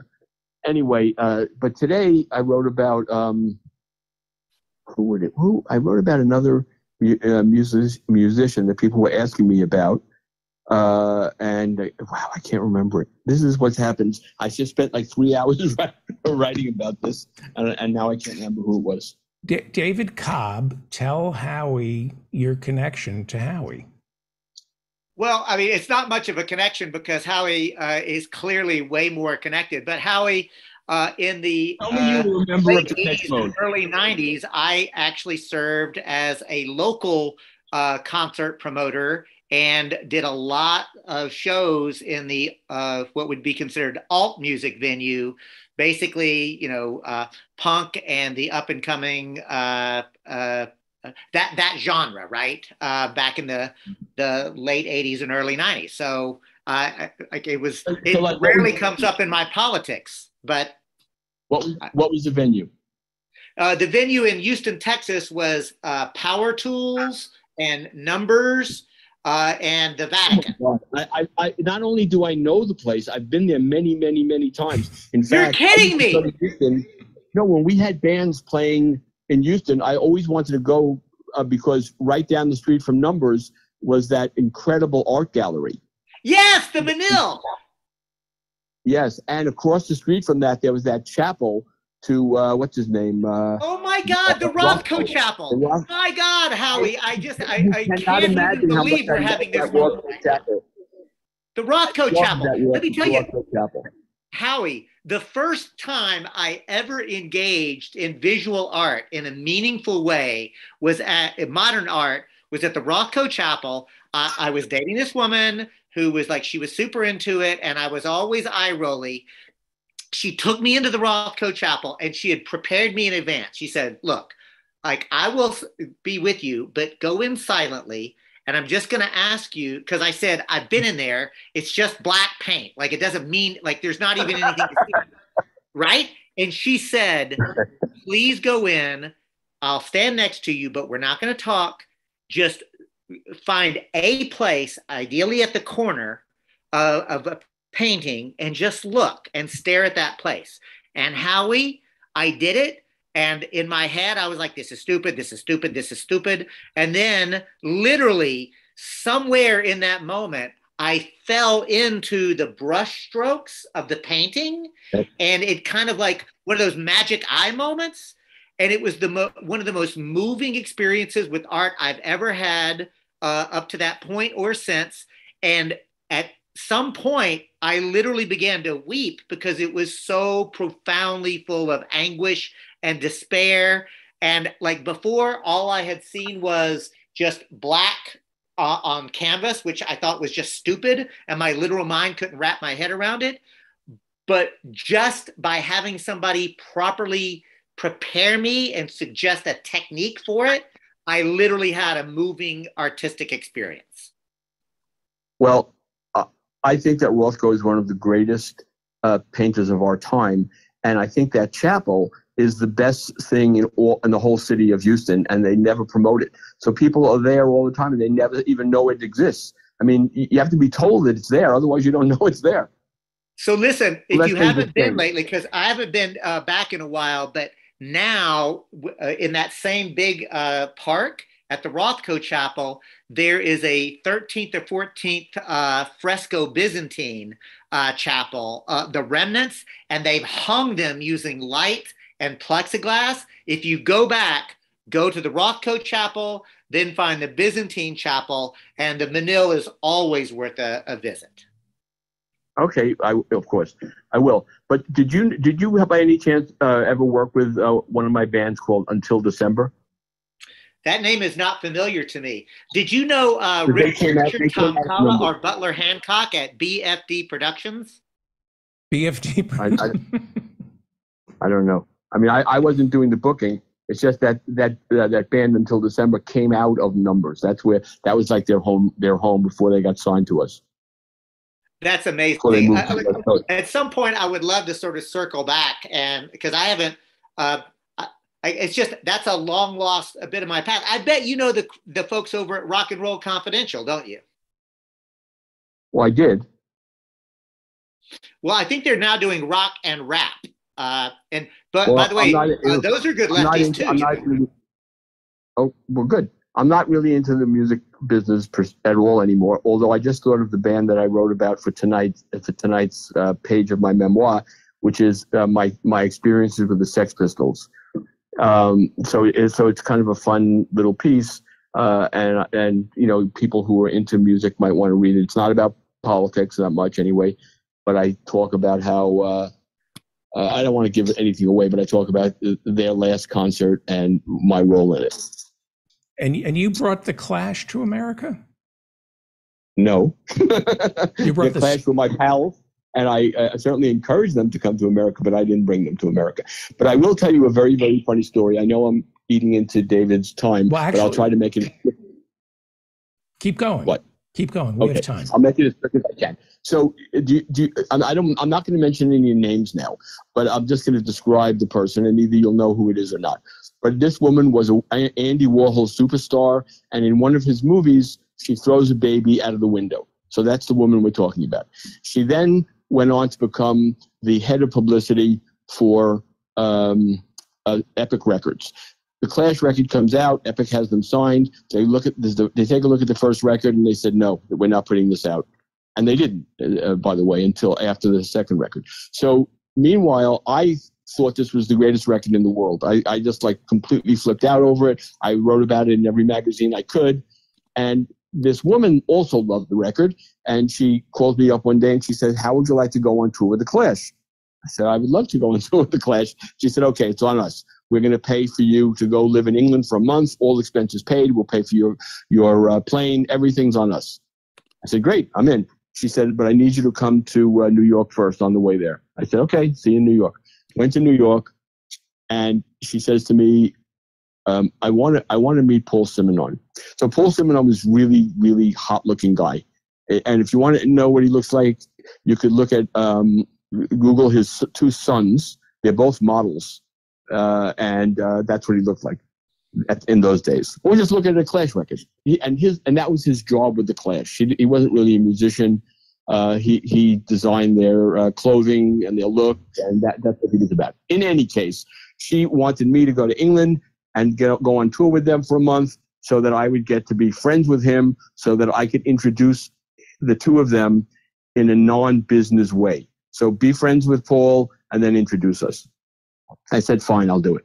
So a couple of years later, she calls me up. She says, so the Clash are going to be in San Francisco next week. Are you doing anything with them? I said, yeah, uh, I'm, I'm having, I'm doing a few interviews with them on, on various stations and I'm hanging out with them. And she said, well, I want you to do something uh, that's going to, uh, you know, I want you to make sure that uh, uh, Paul and I get together. Can you do that for me? I said, yes, of course. I'll be happy to. So I invited, I was doing a midnight show on, on uh, the biggest radio station in the city. I invited uh, both Paul and this woman to come on the show. And we all, the show was just about the two of them. And at one point I said to them, you know, this isn't TV, it's radio. No one knows what you guys look like. Can you describe each other? Can you describe each other? And that led to the two of them leaving and, and my part of the deal was finished. Hmm. Amazing. You think that's a good story? Absolutely. A, it would be it would be a better story if I could like name name the person, but I feel really terrible because she, you know, she had a long and fabulous career, and now she's a Hasidic Jew. It's, I'm not. You think I'm telling a joke because you're a comedian, but I'm not telling a joke. I'm telling you that this, what happened. What happened to this woman? So I feel like I can't. I can't. I can't tell the story. You know. I mean, what if her grandchildren find out? But the, the Hasids are joyous. I'm being serious. It, it- wasn't it a 19th century cult of dancing and Yeah. I don't think that I don't think they're that joyous anymore. And uh, you know, and I told a very, very uh, mild version of the story just now. and I have pictures. You have, by the way, I have pictures. David Cobb and Howie Klein, you both have a background in music and promotion and dealing with audiences, and you both gravitated to politics. I've asked Howie this, but let me ask Howie first, and then David, you answer this. What did you learn about politics from concert promotions? Look, I was in politics before uh, music, so so it's a, a little bit backwards for me. When I was just a kid, my grandfather, who was a socialist from Russia, uh, you know, really taught me about politics, and that was before I was listening to music. And uh, I don't know if I learned anything. It was uh, to be against racism. You know, I'm talking about as a small child now. And in the mu- and the music industry is all about Yes, yes. No, that's what I mean. I, I mean, I'm, I, I mean, I, I learned a lot from my grandfather about politics, but when you relate it to the music business, it was about it was about not being racist. In fact, the very I was just trying to think of her name the other day. Um, the very first woman I ever kissed was Maxine Brown. I went to a show at the Brooklyn um, Paramount, and she she was she was singing. You know, they would go on and they each act would do like you know two, three, four numbers, and and they would have a mix up, you know, of every kind of music all going on, and it was they were wonderful. The shows were incredible. I was just a little kid, but no one wanted to come to the shows with me. It was you know a long subway ride, and I would go by myself all the time. Anyway, Maxine Brown was singing. I thought she was the greatest. After she was done, I went. Um, I couldn't get in those days. I couldn't go backstage as a little kid. But I went. I went around to the alley where I knew the artist would leave, and I knew that she would she would be coming out through that alley. And I waited for her there at the door, and asked her if she'd give me an autograph, and she did. And then I asked her if she'd give me a kiss, and she did. there you go. Rock's original sin is America's original sin. When what was Rock's original sin? In terms of how it treated African Americans. Ah, how white America treated African Americans. That's right. Yeah. Uh, David, would you like to respond? Boy, uh, it, it is interesting, right? So uh, I'm going to make a couple of points, uh, and thank you, Howie. Uh, I'm really glad I tuned in a little bit early to get to be uh, a part of this. So, uh, I like am Howie, because, I had uh, one, of, one of my one of my pals at uh, down with at uh, uh, uh, Blue America, Jackie, keeps saying you've got to get together with, with this guy who comes on after you. He's Yes. amazing. I mean, she loves you. Oh, that's so kind. Thank you. Uh, uh, and yeah, like I, again, I, I, I typically only get the very tail end of uh, what y'all are talking about, and I'm always intrigued. Um, so looky here. I'm going to say this, David. Uh, like Howie, uh, I t- dabbled in politics before I did uh, the music biz, right? Like remember, I got my first involvement with with politics was in the anti-apartheid movement. To be clear, we weren't electing people; it wasn't electoral politics, but uh, like I learned a lot in the anti-apartheid movement at the University of Houston. Here's something I learned, for example, is if you just follow the rules as the ruling elite tell you, they'll let you go and have your like one or two minutes at the beginning of the Board of Regents meeting, uh, but you can't ever actually do anything. But if you're willing to be disruptive and actually shut down the, the meeting, you can actually exercise some power. And so, from the anti apartheid movement, as a young student activist, uh, I naturally fell into Jesse Jackson. And, you know, that's the, I'm, I'm almost 60. I'll, I'll be 60 in a couple of months, Howie. So I'm a little bit younger, maybe. But what I'm getting at is my involvement with electoral politics began with Jesse Jackson, right? So I, I and I had the privilege of meeting in person the Reverend, you know, about it, you know, 15 years ago, and I laughed and I said, Reverend, you spoiled me because I thought electoral politics was always going to be about the fight for structural justice, and you know, like like again, like that. So that was my experience. So I can't help it. I've had authentic left electoral politics. And so now everything I engage with. And it was after that experience, Howie, that I started in uh, doing rock promotion and I kind of fell into it by accident. So I'm giving you that backstory to say here is a lesson that I learned when I was doing shows at, especially at the Vatican and Power Tools, which were punk scenes. The numbers was more uh, was was a little bit different, but definitely what I learned during the skinhead fights, right, between the the Nazi skinheads and the the liberation skinheads, and that's this: when white nationalists or actual Nazis and fascists show up at your venue, one of two things are always going to happen. One, they drive you out, or two, you drive them out. Because fascists are not interested in nor capable of having discourse, debate, etc. Like it is an ideology that is evil, uh, that is, and they want to kill people like us, right? Uh, they are at their core uh, racist, uh, anti-Semitic, uh, uh, homophobes. Like they're dangerous people. Here's the second thing that I want to touch on, and that is Howie, or pardon me, David Feldman. Your point about white America's original sin is true, but may, as a Southerner, can I just say, may the goddess bless Gregg Allman, who taught this white boy from the South what real tolerance could look like. And I'm getting a little choked up because I had the experience of actually coming to terms with the shame of being a white Southerner. And actually, Gregg Allman showed me that it was possible to be proud of being from the South and be tolerant and, and, and to actually understand uh, that Black people are not only humans, but are actually capable of being our dear and cherished friends. And unless we come to terms with white supremacy at its core, we can never unite to defeat the right. Wow. That's what I learned.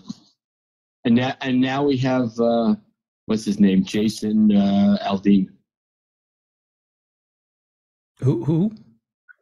Jason Aldean. Big, big news story in, in that world now uh, his wife. I mean, they're not racist per se. I mean, he's a MAGA guy. He's friends with Trump. He's a, you know very very rich, and his wife made a big fuss on uh, uh, around trans uh, around trans stuff. Trans stuff, yeah, I, I, yeah, just horrible, crazy, evil people. No, there it, again. But here's the thing, Howie. Like what the other thing that I learned, uh, Feldo, and that is that we make a mistake on the left if we don't engage art and culture and comedy and humor.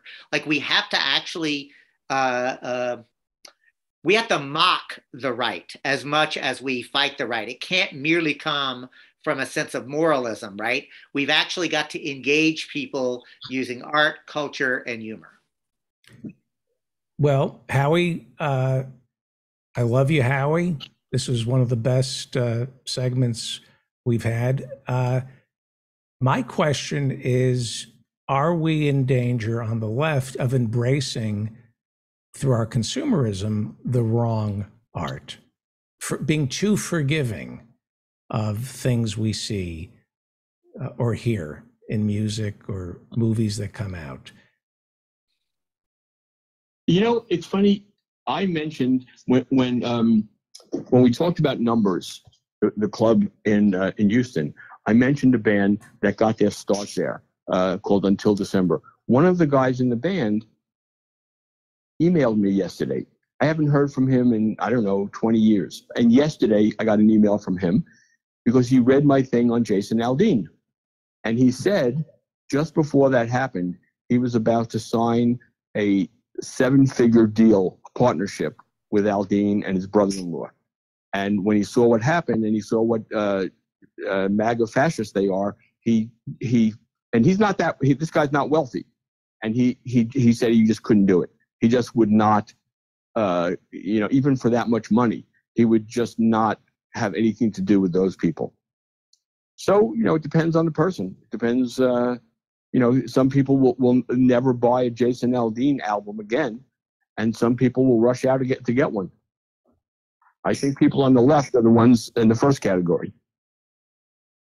When and, we and the guy's good, by the way. He, he's he's he's a good musician. His songs are good. Uh, you know, I hate to say that about someone with his politics, but it happens to be the case. Now, if you don't like country music, you're not going to like him anyway. But I do like country music, and uh, you know, and this guy this guy's good. I'll never listen to him again. Uh, I'm certainly not going to buy any of his music. Not that I buy I bought any of it before, but I'm now I would never even put it on. Right. So I so I don't know I don't know the answer to your question, David. Okay. Well, Howie, thank you for this. Uh, thank you. Thank you. Thank you. And uh, I'll talk to you tomorrow. Howie Klein writes down with tyranny. Re- I didn't even say goodbye to him. Uh, that was fast. Uh, Howie Klein writes down with tyranny and read them there every day and he is the founder and treasurer of the Blue America PAC. Joining us is Dr. Harriet Fraad. She is the host of Capitalism Hits Home, as well as It's Not Just in Your Head. We'll learn who your co-hosts are. We we had scheduled a, an hour together. Uh, I thought. Hang on for one second. Let me unmute you. There you go. Hello. I, I thought we were going to do this uh, a half hour ago. That was well, my. That's my problem. I forgot. Me too. Good. Thank you for saying that. It's Labor Day. Yes. And this 15th Street Manifesto, now that I reread it after all these, it's almost um, almost 20 years ago that we wrote this at our 15th Street apartment. Um, I was so happy to read that because things have progressed since then. So why don't we do this? So I I'm going to lay low. Uh, Duane Allman played on Lay Low, not Gregg Allman, right? That's right. Layla. Uh, I want to ask you about Gregg Allman uh, later. Uh, I'm going to lay low. David Cobb, set this up. Explain what you read and what you what you'd like to. I, I will. Thank you, Feldo, and thanks for thanks for being so generous with the time. And uh, Dr. Fraad, thank you for picking up on this. So, uh, to the listeners and those watching live on, uh, on YouTube, viewers, let me set the stage. Last week, uh, I mentioned to Dr. Fraad that I had stumbled across this piece, uh, and I got really excited about it. Uh, and then uh, going deeper, I was like, oh my gosh, Dr. Fraad, you were a co author of this piece. And to be clear, this piece that I'm referring to is called Manifesto for a Left Turn An Open Letter to US Radicals. Now, when I, I first read it, it's because, look, I'm a voracious reader, and I, I also say all the time, I study theory and I study history not so I can be a good movement trivial pursuit player. I study theory and, and history because I want to win, because I, I describe myself as a serious revolutionary, because I believe that we have to restructure the entire social, political, and economic economy, right? And I'll, I'll, I'll give a hat tip to Trotsky and say, I don't think we need just a political revolution. We need a social revolution. We need to completely reorganize how social reproduction occurs, how needs are met. And it, it is not just the objective material economics of it, but it is the psychology of it. It is in all aspects. And that's, I think, what, without knowing Dr. Fraad's background, why she and I quickly developed a, a rapport yeah. here on Feldo's show because, frankly, one Marxist to another, but also her constant uh, returning to the deeper uh, uh, understanding of therapy and uh, the you know feminism, uh, and, and without it becoming just a health and healing crowd, right? So, and I am setting us up here because when I read this, I got super excited when I first started to read it because I thought this is exactly what we need. But very quickly, I was like, wait a minute, it's talking about Obama. Like, and then I had to, I mm-hmm. realized, oh, wait, this this was written in 2008, y'all. But it's so prescient because I, uh, as a as a writing in 2008, it was incredibly astute. Yes, some things have advanced, but the basic call, Dr. Fraad, is, I think, still germane.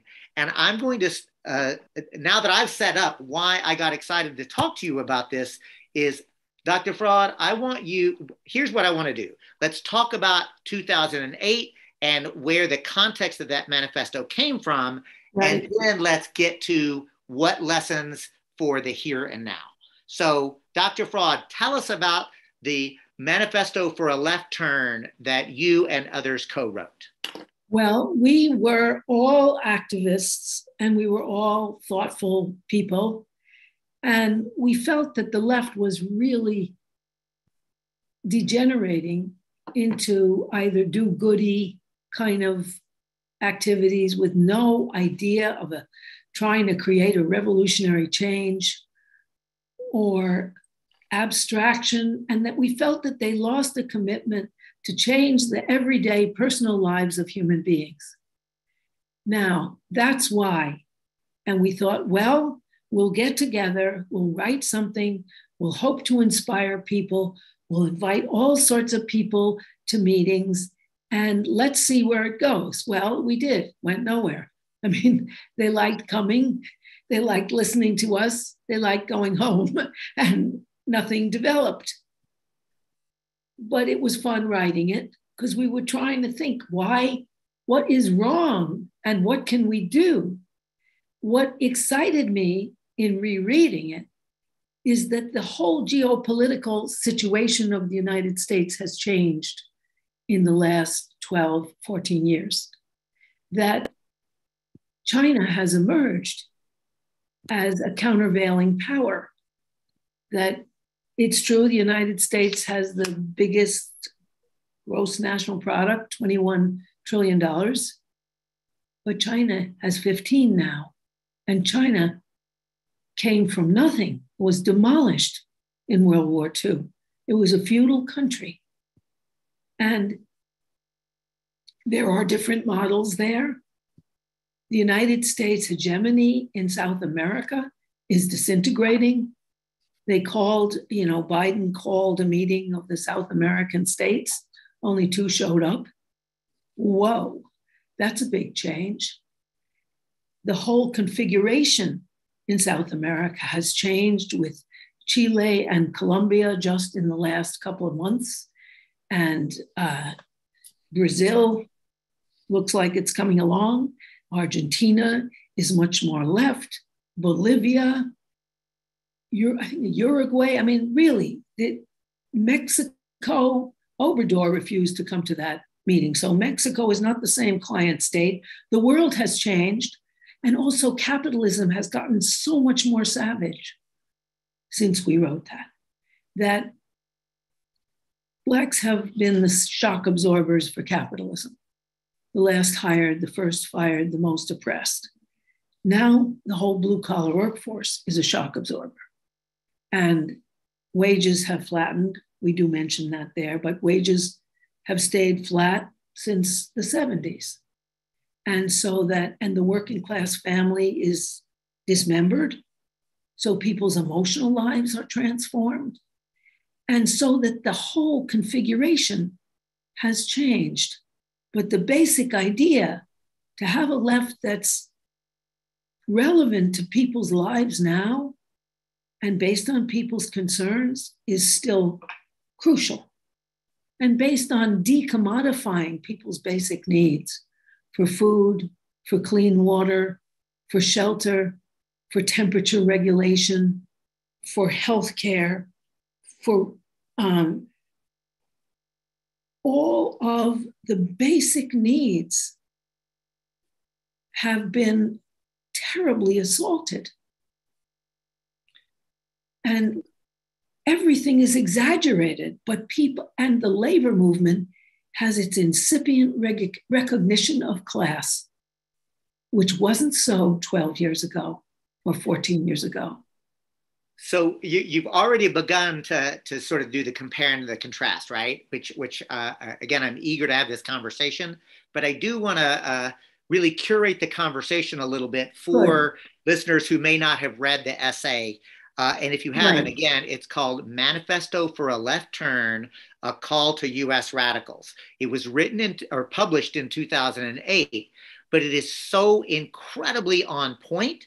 And uh, again, uh, Dr. Fraad, I'm going to publicly say if you would be interested in revisiting this, shortening a little bit, I think that the moment is now. I, I do. And I, am sincere about this because one of the things that you and your colleagues, uh, comrades, I imagine, uh, uh, who wrote this really have a incredibly astute observation about the, the left and its what passes for the left in the US now basically subsumed within the Democratic Party. So a scathing critique about that but also a stern warning to us not to go headlong into electoral party formations, right?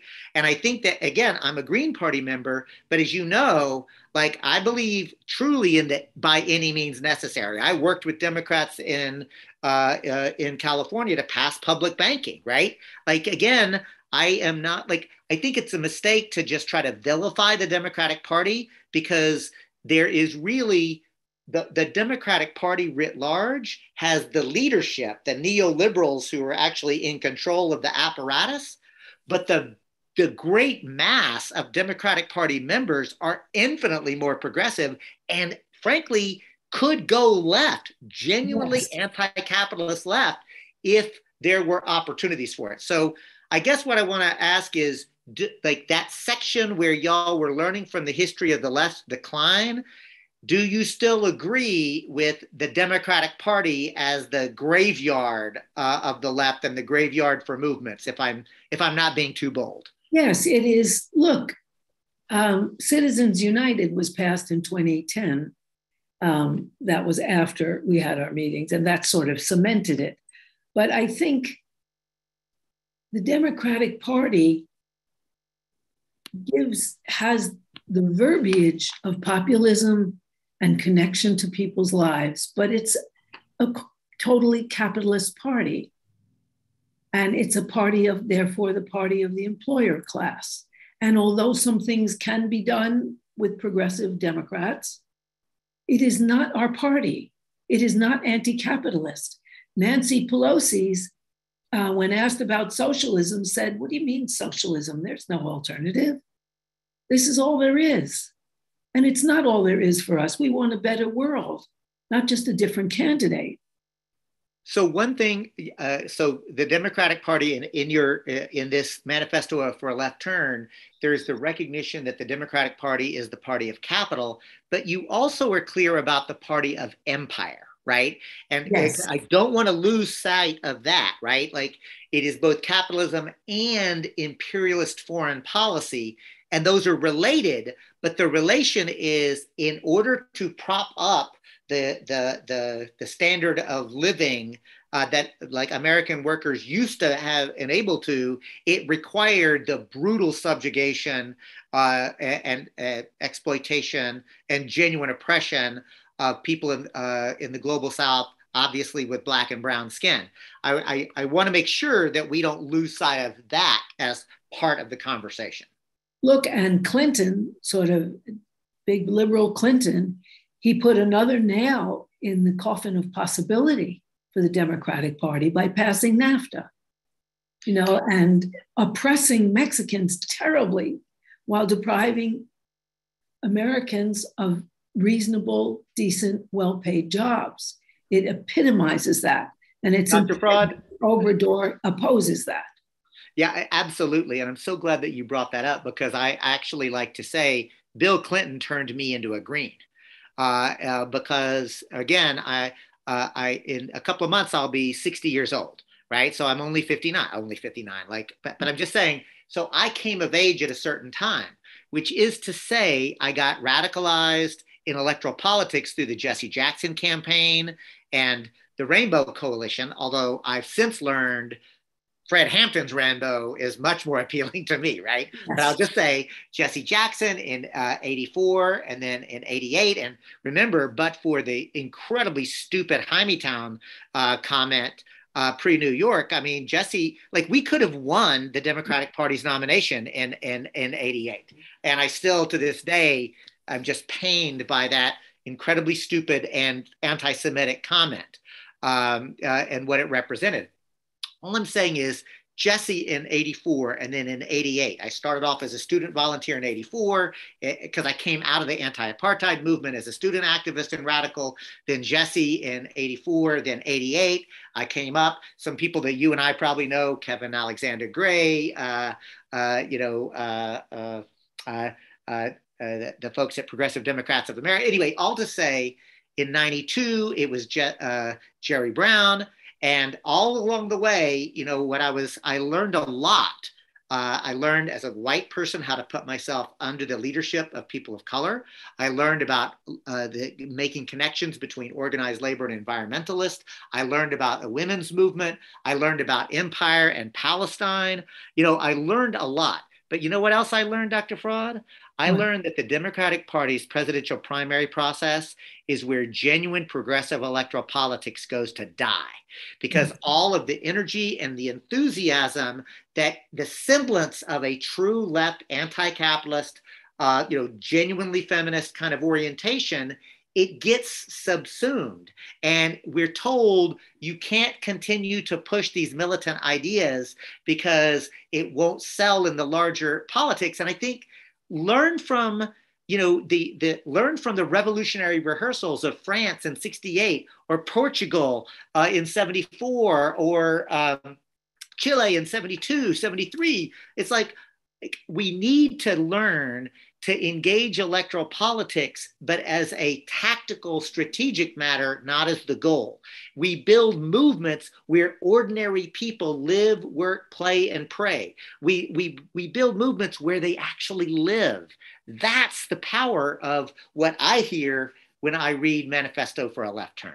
It is, and it's the power of the recent revolutionary election in Colombia, where he said, We are the party of ordinary people.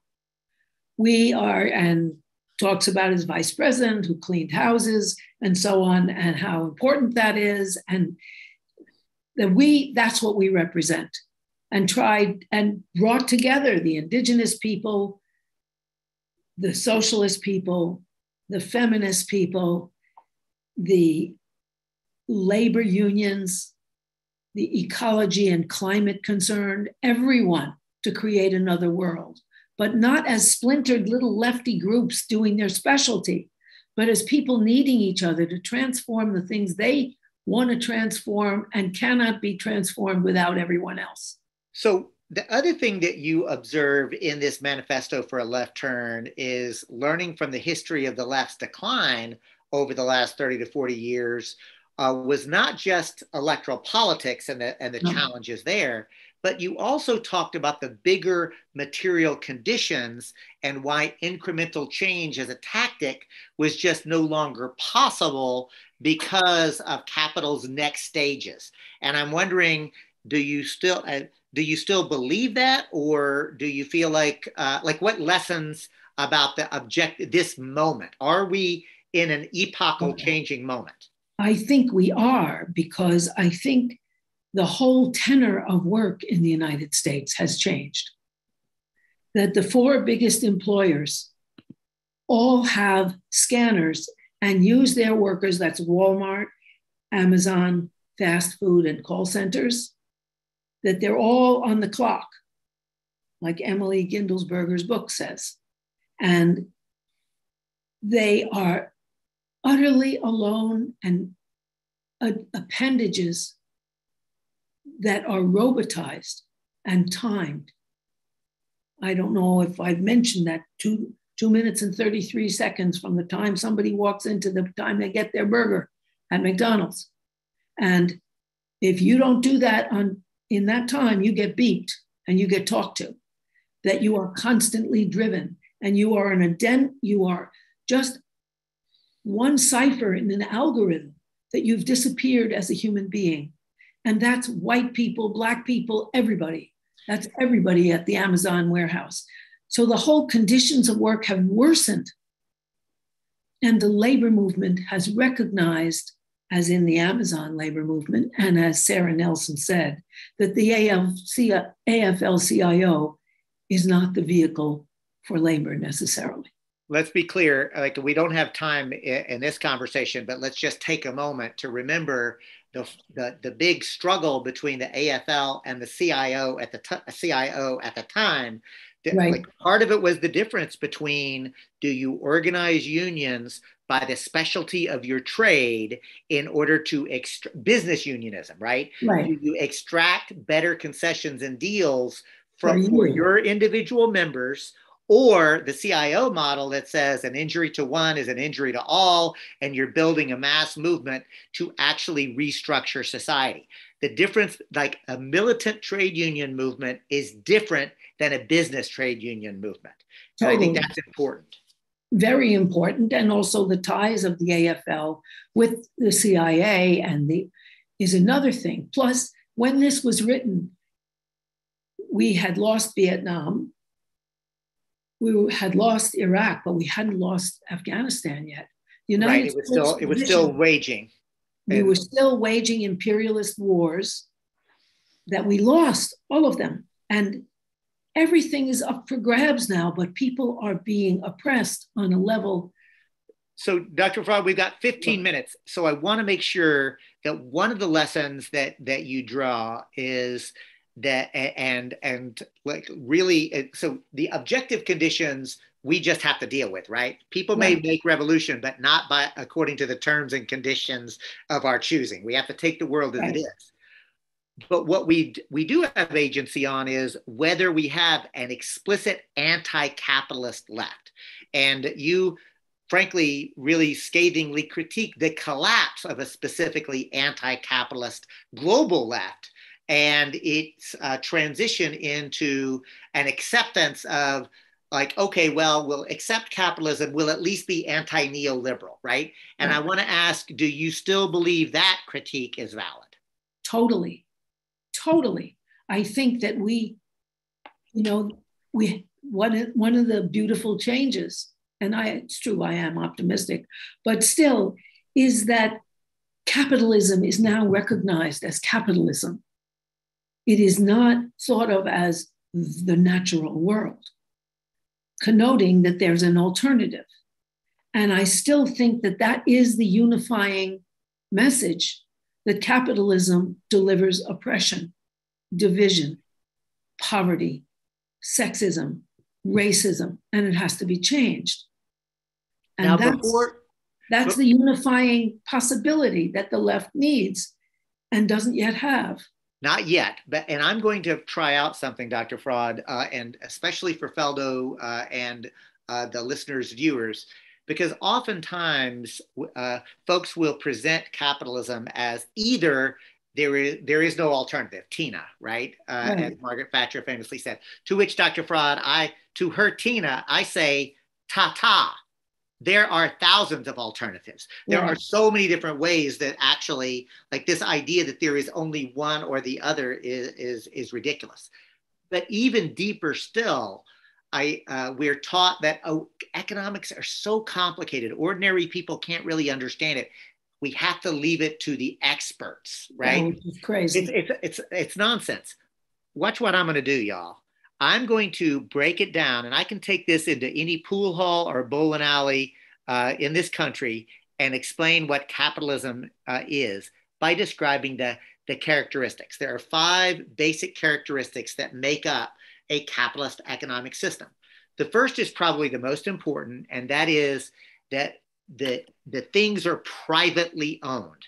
You have the private ownership. And if I'm in a pool hall or a bowling alley, I won't say the means of production. Instead, I'll say the private ownership of those uh, businesses and ranches and farms and factories where, where the things are produced. So, number one, private ownership of the means of production.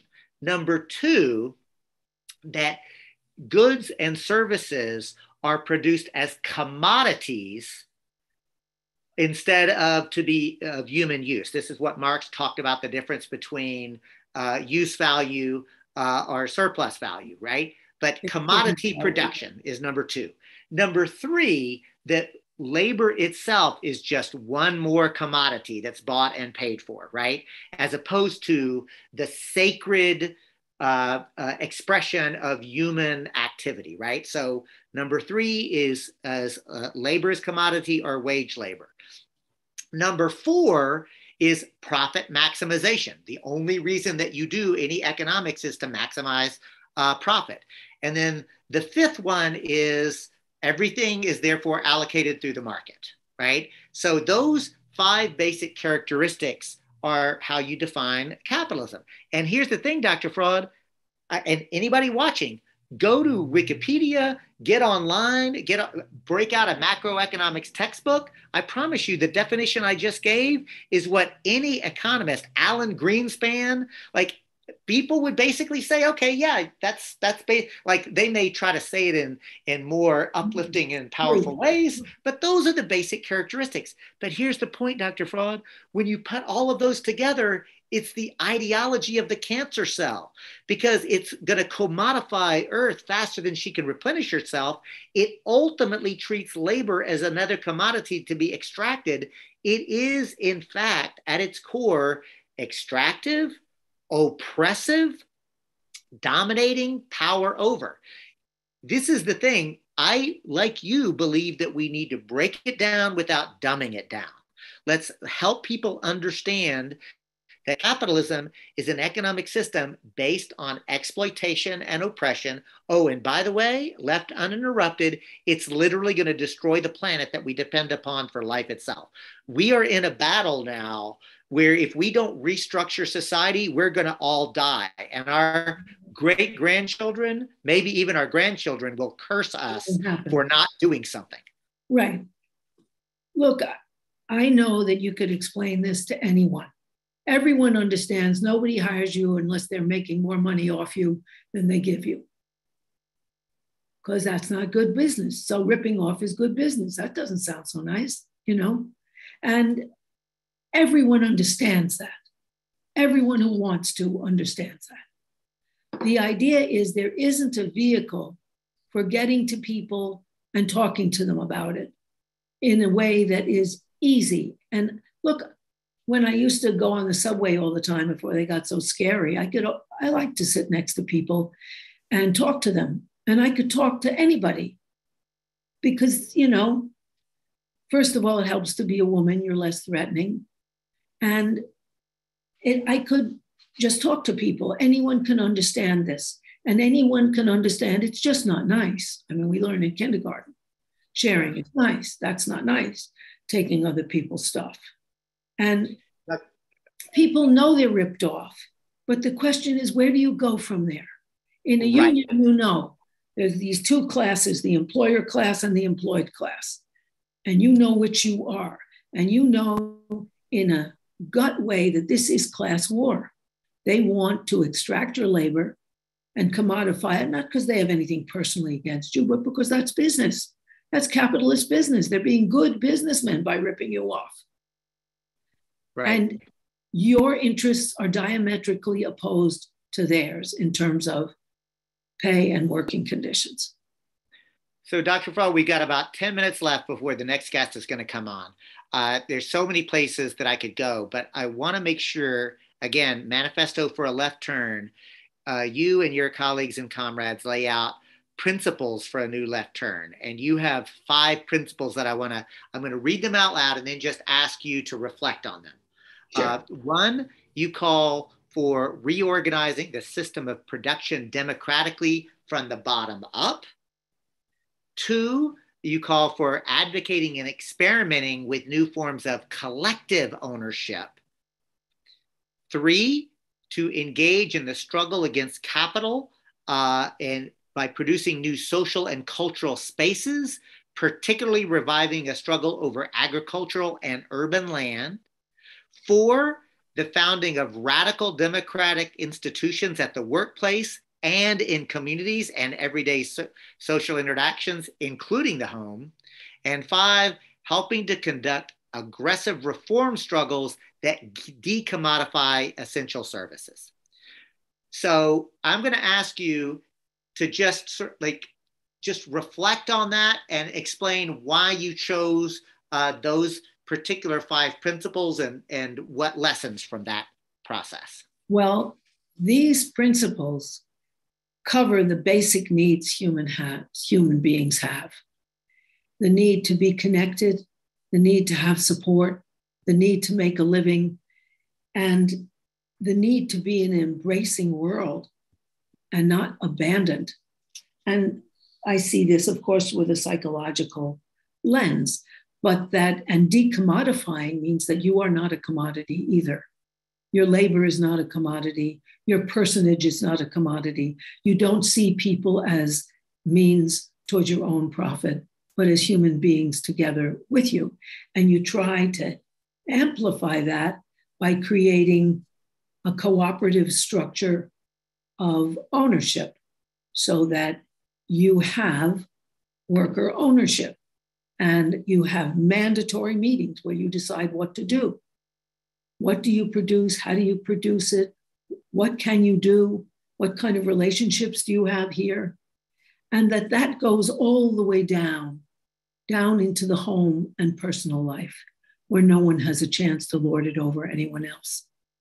And that there is a social and cultural space for that. And what it means on a nitty gritty level is that where you live is not a commodity privately owned and needs to be in recognition of collectivity. You know, I live in New York City and I live in Stuytown, which has something, you know, has some of that. You have big collective spaces. You have big group activities. You have things organized so that people's collective work together. And you have possibilities of co housing where people who don't want kids but like to play with them can play with some of the kids. And people can make decisions together and know that they are in charge. The basic thing is don't give up our authority over our own lives anywhere. And that we are all connected and we have to recognize that and facilitate that instead of do the opposite. Yeah, it's no it's it's no accident that Occupy Wall Street started at Zuccotti Park, which is a very interesting privately owned public space, right? Like it's a like mm-hmm. like like there's there's so much in what you just said, uh, Dr. Fraad, but uh, because we are running out of time, I want to make sure to touch on what you and your comrades described as the problems of organization. Like, in other words, uh, I'm going to just ask uh, if we know that we don't want to headlong rush into just electoralism, again, I'm a Green Party member. Uh, and, and I'm proud to be a Green Party member. But most of my work these days is incubating worker owned cooperatives, helping build community land trust, I mean, democratizing economics. I still engage elections, uh, but and I, I, but I also I like I don't demonize Democrats. Uh, although I understand that Democratic Party is not ultimately going to be a liberating uh, formation. So I'm wondering uh, if you can say or two, a word or two about your thinking about the problems of how to organize uh, and cultivate uh, these five principles you've just articulated.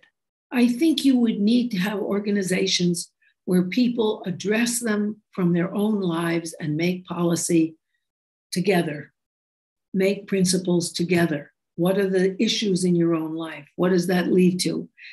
And how do they relate?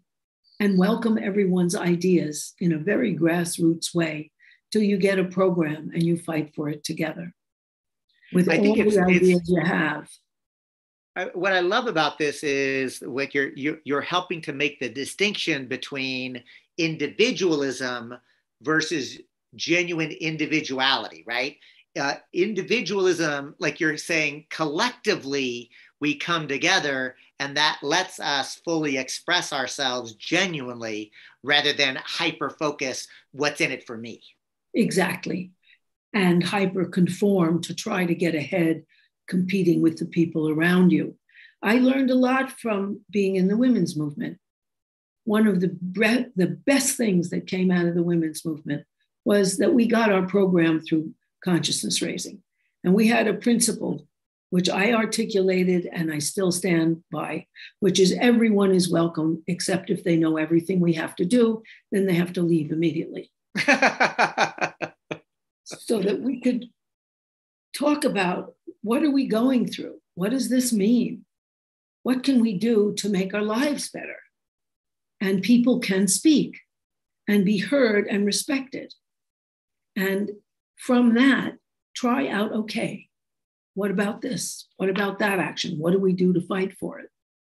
Dr. Fraad, the other thing that you and your comrades in this manifesto for a left turn calls for is an extended period of research, discussion, uh, and, and, and study, but not merely intellectual study. I'm no anti-intellectual, but you make a distinction between like studying, but also studying based on the practice, right? Mm-hmm. Like it's not merely study group.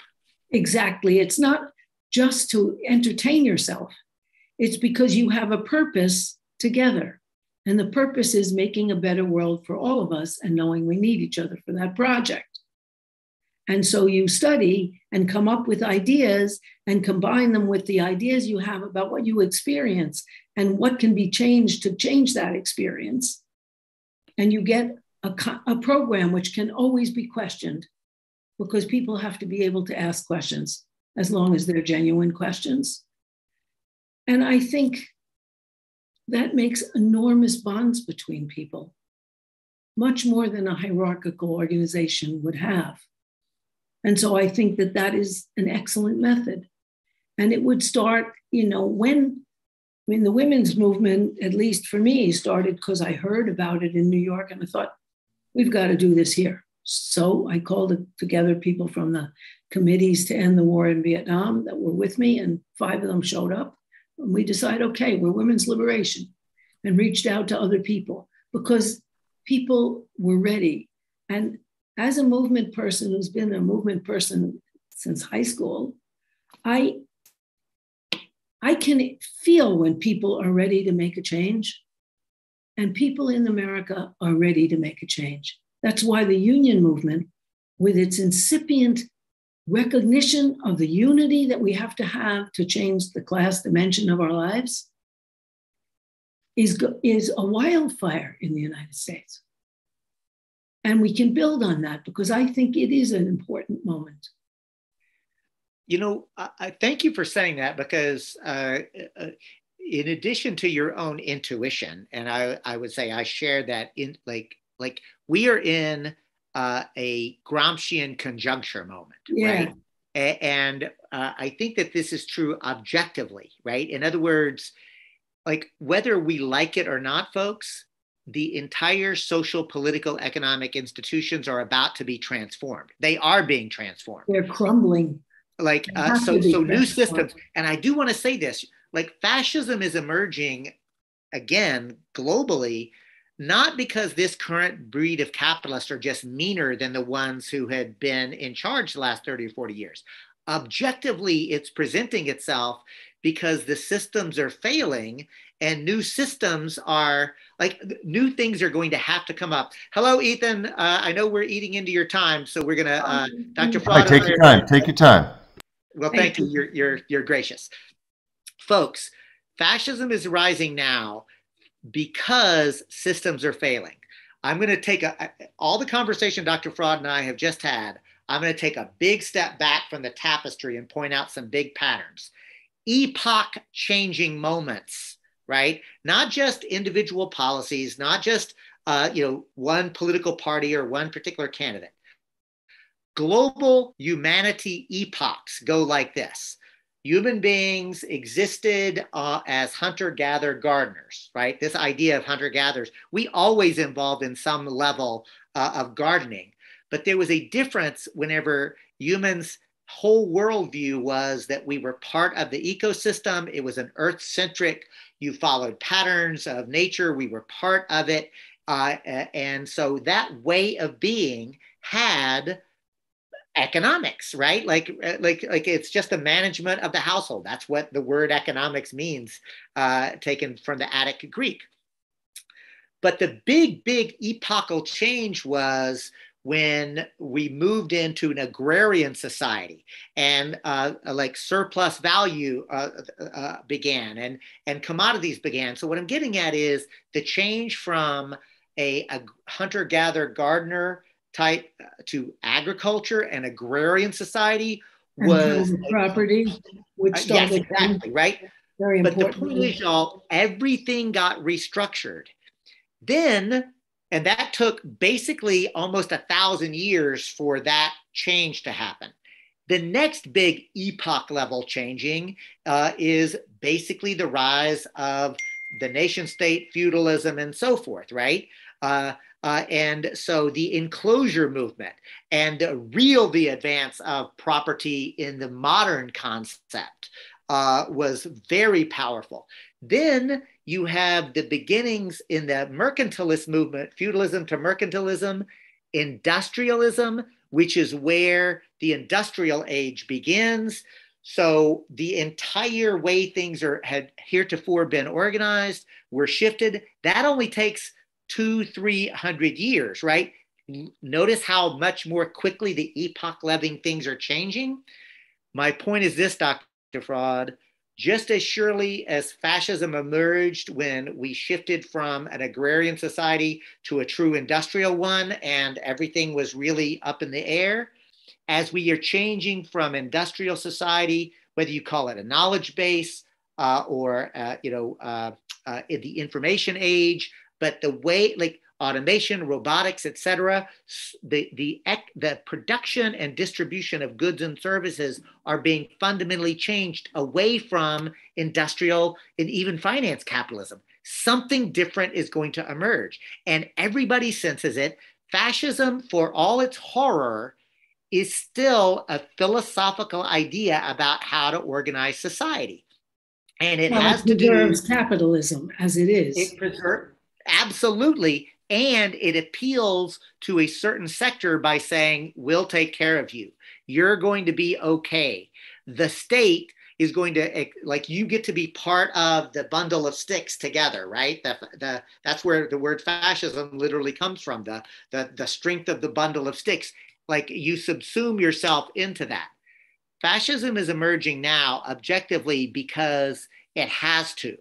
I genuinely believe that eco socialism or some version of that uh, is the path forward. Uh, and it's the only path forward. We're not going to get there through neoliberalism or the Democratic Party's efforts to make uh, capitalism kinder and gentler. We have to embrace a, a peaceful, loving, revolutionary new movement. And Ethan, I'm going to say thank you. That was a full five minutes of your time we uh, we ate into. Ethan. No, don't- hello, hello. Let's can, can you hear me? Yeah. Uh, why don't we do this again next week? Seven thirty, because then I'll, I'll remember. Did you'll remember this time, Dr. Fraad? I hope so. I'm writing it in. Here's what I learned listening. It was great. Great job, David Cobb. Great job, Dr. Harriet Fraad. I learned capitalism is private ownership, commodity production, labor as a commodity, profit maximalization, and five, the market. That's what I learned from David Cobb. Simple definition of capitalism. What I learned from Dr. Harriet Fraad and her manifesto for Left Turn. You, uh, one, reorganize the systems of production from the bottom up. Two, collective ownership. Three, social and cultural spaces. Four, more democratic communities. And uh, reform and decommodify essential services. So I learned through repetition. I think we can keep hammering these points. And uh, I see no, go ahead. So I'm going to actually ask this, Dr. Fraad. One of our uh, one of our common dear friends and comrades.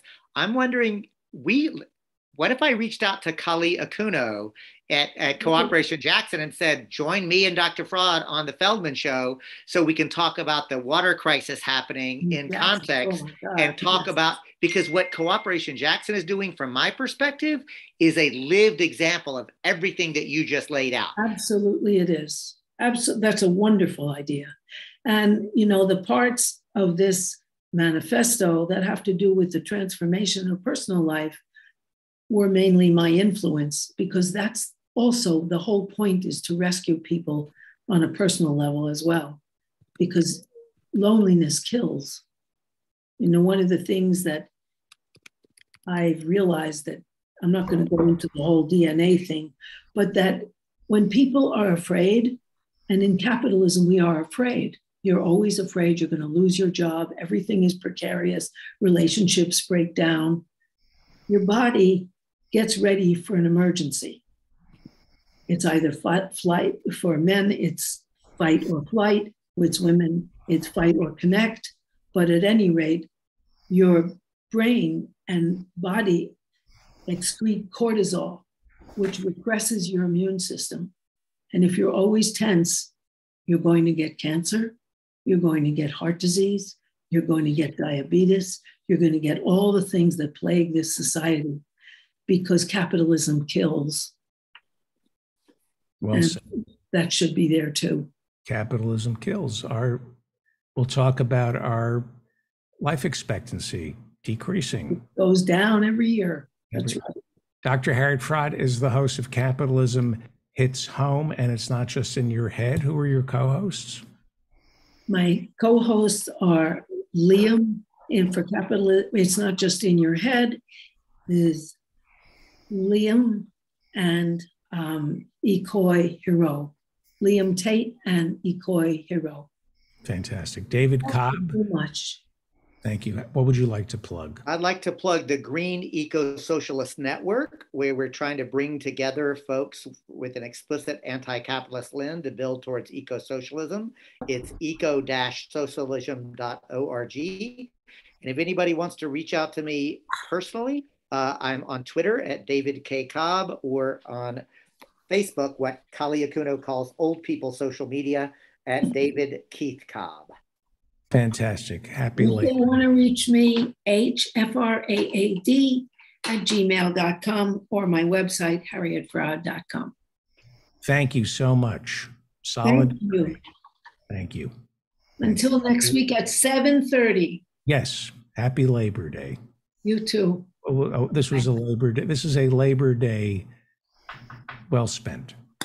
A labor, a labor of love. Thank you so Yeah. much. Well, joining us is Ethan Herschenfeld. His book is Today is Now, written by his alter ego, Dr. Samuel Benjamin, and he's joining us today. Where are you joining us, Dr. I'm I'm I'm in Cape Cod. I'm uh, here beneath uh, one of uh, my partner's paintings, and uh, and when you say partner, you're in business with somebody?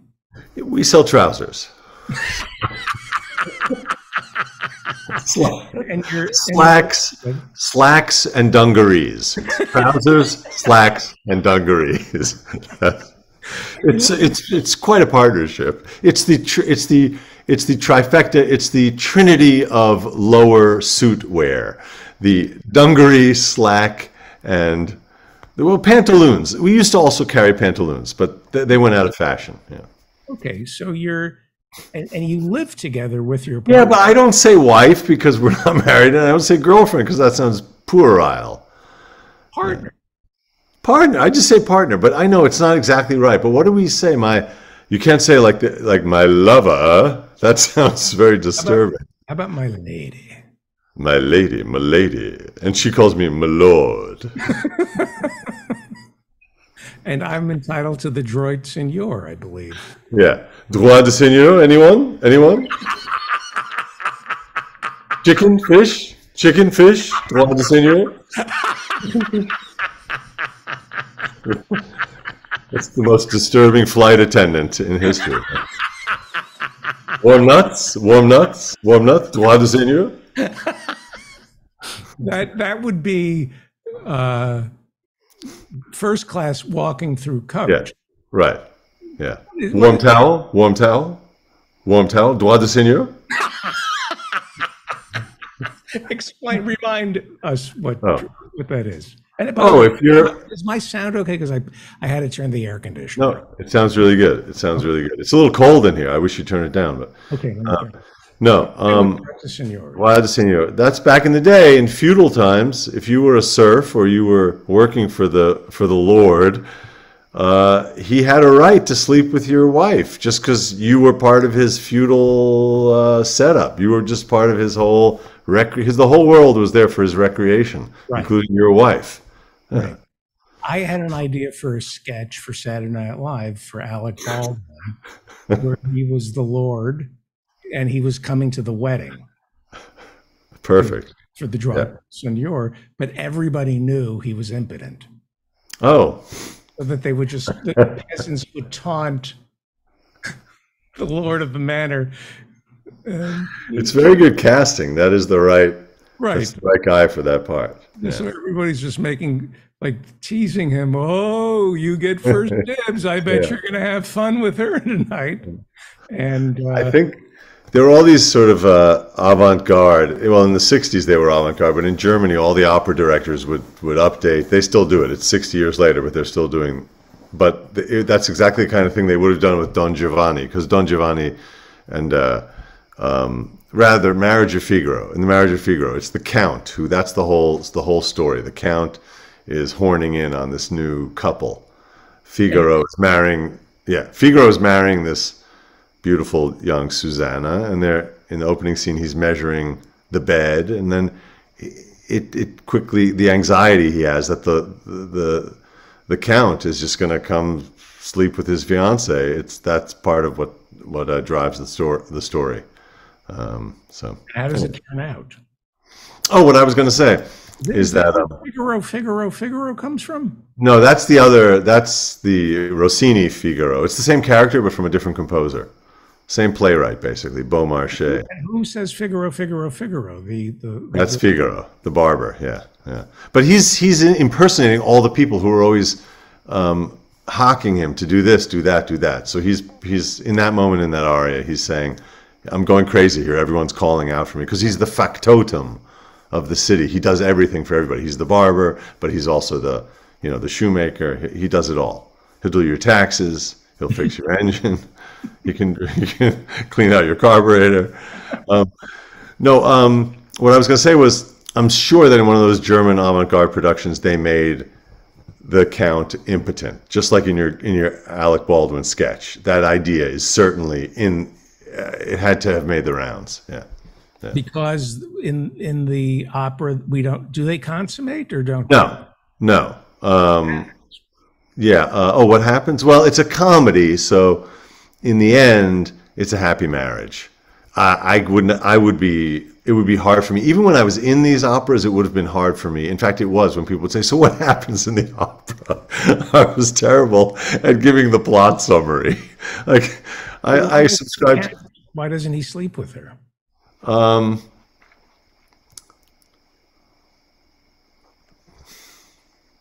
I've uh, I don't know. I can't remember. I'm, I play my my role is like the old guy in that opera, like in a lot of the operas. Don Bartolo. He's uh, he's like a music teacher or like a an old fuddy duddy. Remember of the music. The music? Oh, well, I can remember like you know, yeah, I know a lot of that opera because there was a lot of. Also, if you were a bass like I was, if you were a, a bass with a slightly higher voice, you could sing the role of Figaro. That's sort of a bass baritone role. I couldn't really sing that part, but I was relegated to singing the old, this old character who has one one funny aria uh, in uh, in the opera um, about spreading rumors and how effective that can be. Oh no no no, that's the Barber of Seville. See, I'm I'm mix- mixing it all up. How Um, many years were you in opera? it's according to this interview about two. How many years were you a professional opera singer?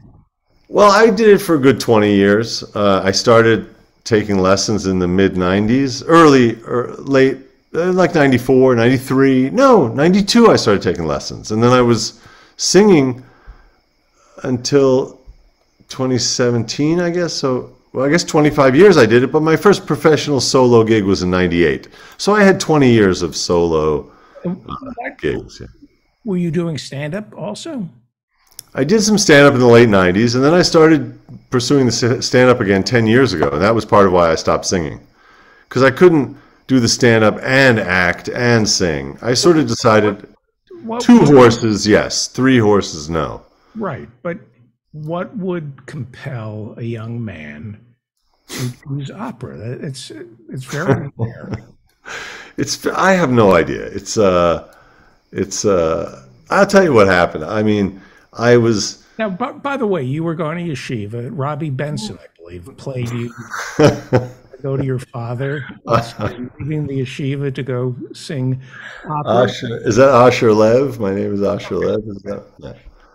Um, no, I did theater in college, and then I was doing what? Well, you wake up one morning and say, "I'm." I woke up and I was like, "No!" I started. I yawned. I was like,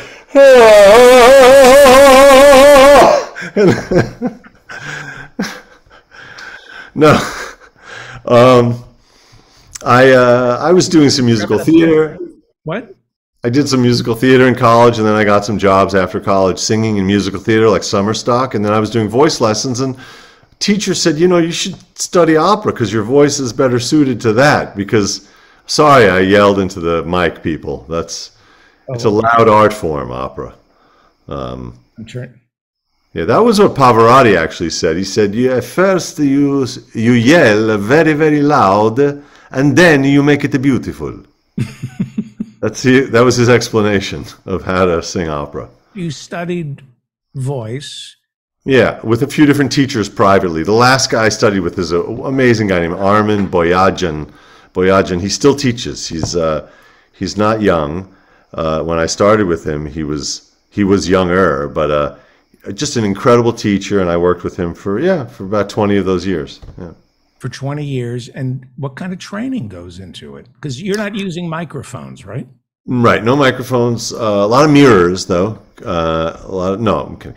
Um, the the push a lot of push-ups and squats and the clean and jerk. And no, the exercises are um, vocalizing, like you would, uh, you know, work on the different vowels and uh, then work on agility and work on. Give me an example of working on the vowels, and then give me an example of agility. I can't do agility. That was never my thing. That was something I had to work to. I'd like to sing Handel's Messiah, for example. That takes a bunch of. It's called coloratura. It's where you're moving very fast between the notes on a on a single vowel, and so that I was able to do that with a lot of training with the help of this teacher. But some people have that naturally. But so for the vowels, like my first teacher was this great guy. He was an Italian tenor, an amazing guy named Franco Corelli. If you want to hear some great operatic singing, go on YouTube uh, get his CDs, Corelli, C O R E L L I, Franco. I studied with him in, in the around 94, 95. And he had me doing an exercise that just sounded like this for the very for the first few weeks. I would see him once a week. And the exercise was like this. It goes like this. Ma ma ma. Ma ma ma. Mama. You get it. It's very boring. It's the word mama, and it's just a descending triad and then moving up through the scale. Very Oedipal. It's very Oedipal, and I was very impatient. And I said to him, probably week four, I said, How long are we going to do this? You know, I was eager. How long until I get to say da da? yeah, or in any case, he's I said, you know, I'm enough with the mama. He said, I did the mama for six months in the conservatory. So shut up.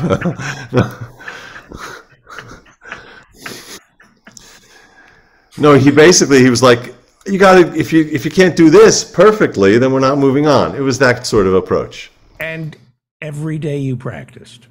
Yeah, but I was very undisciplined. I did not. I could have probably gotten what was better the results. first opera you landed? The first thing I sang in solo was uh, a production of La Boheme at an incre- incredible place called the Amato Opera, which was down on the Bowery. It's no longer there, they knocked it down. But this guy, Tony Amato from the Bronx, he actually dug the orchestra pit, like with a shovel, dug out the dirt. He had this little. Put, put some people in it, covered it, and said, "All right, now let's do an opera." Sing loud so they can't hear, hear the screams. Huh? Sing loud so they can't hear the screams.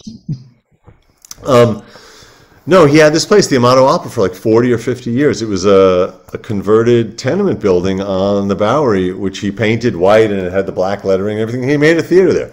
So I got to sing a few things there.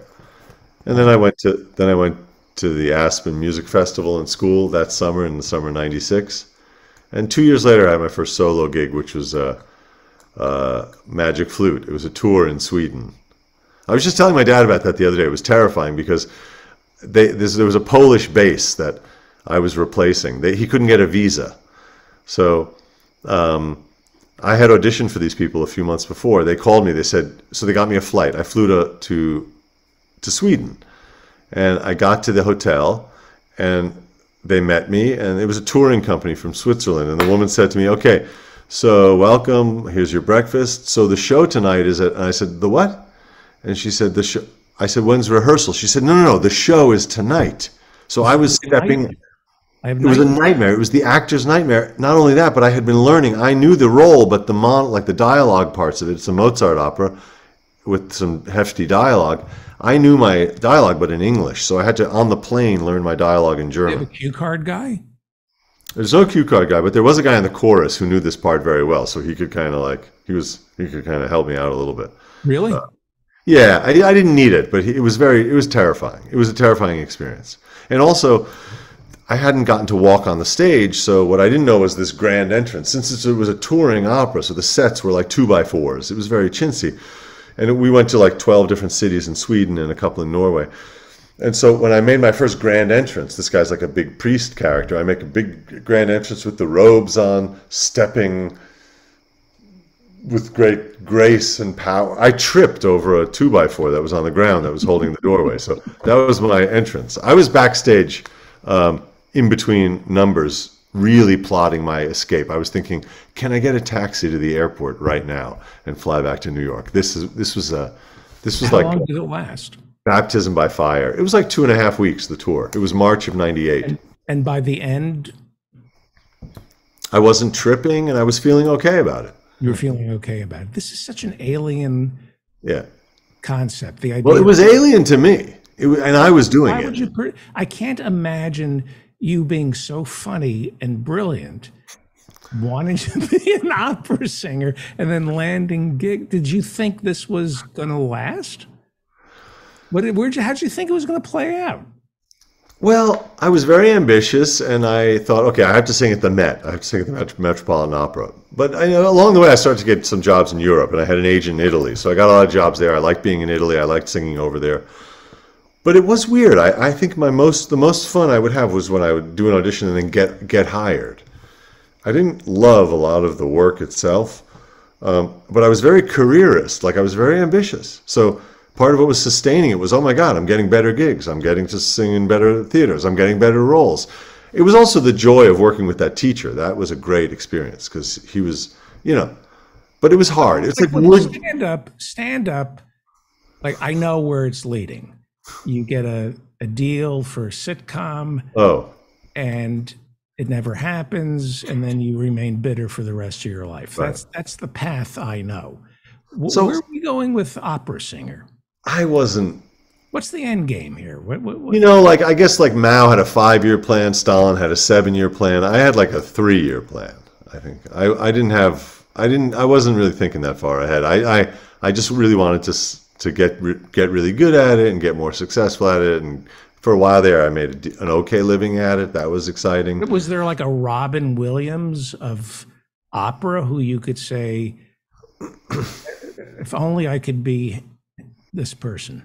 Well, there was a guy who studied actually with my teacher, a guy named Samuel Ramey, who was the great bass of the second half of the 20th century. Studied with my teacher, an American guy, incredible singer. But I never really had a realistic expectation of being able to sing like the guy. He had a God given, just swore so huge. I got could to. walk into it like Robin. He could walk into an opera and bump you and saying, "We're doing the magic flute tonight." They didn't. Luckily, they did not have that. You don't get bumped in, a, in an opera house. No, but you can get bumped by your throat. Like I got a very good gig singing that same role in Stuttgart in Germany. Very good opera house. It was very exciting for me. It was 2005. I thought this is a big moment. They're they're inviting me over as a guest for a week to sing three performances in this lead role in this opera. That was a big deal. I got freaking bronchitis. So I was then there seeing a doctor in Stuttgart trying to quickly knock this thing out. I only had like three rehearsals. Didn't knock it out. Tried one performance. My thro- I was a mess. Had to cancel the second two performances. Nightmare. So it was. There's a lot of pressure in that business. Your voice has to be right on. So, yeah. But I wanted to say, I did get to sing with that guy Samuel Ramey once in Genoa in a production of Billy Budd. He played the villain. This guy Claggart. Did you play?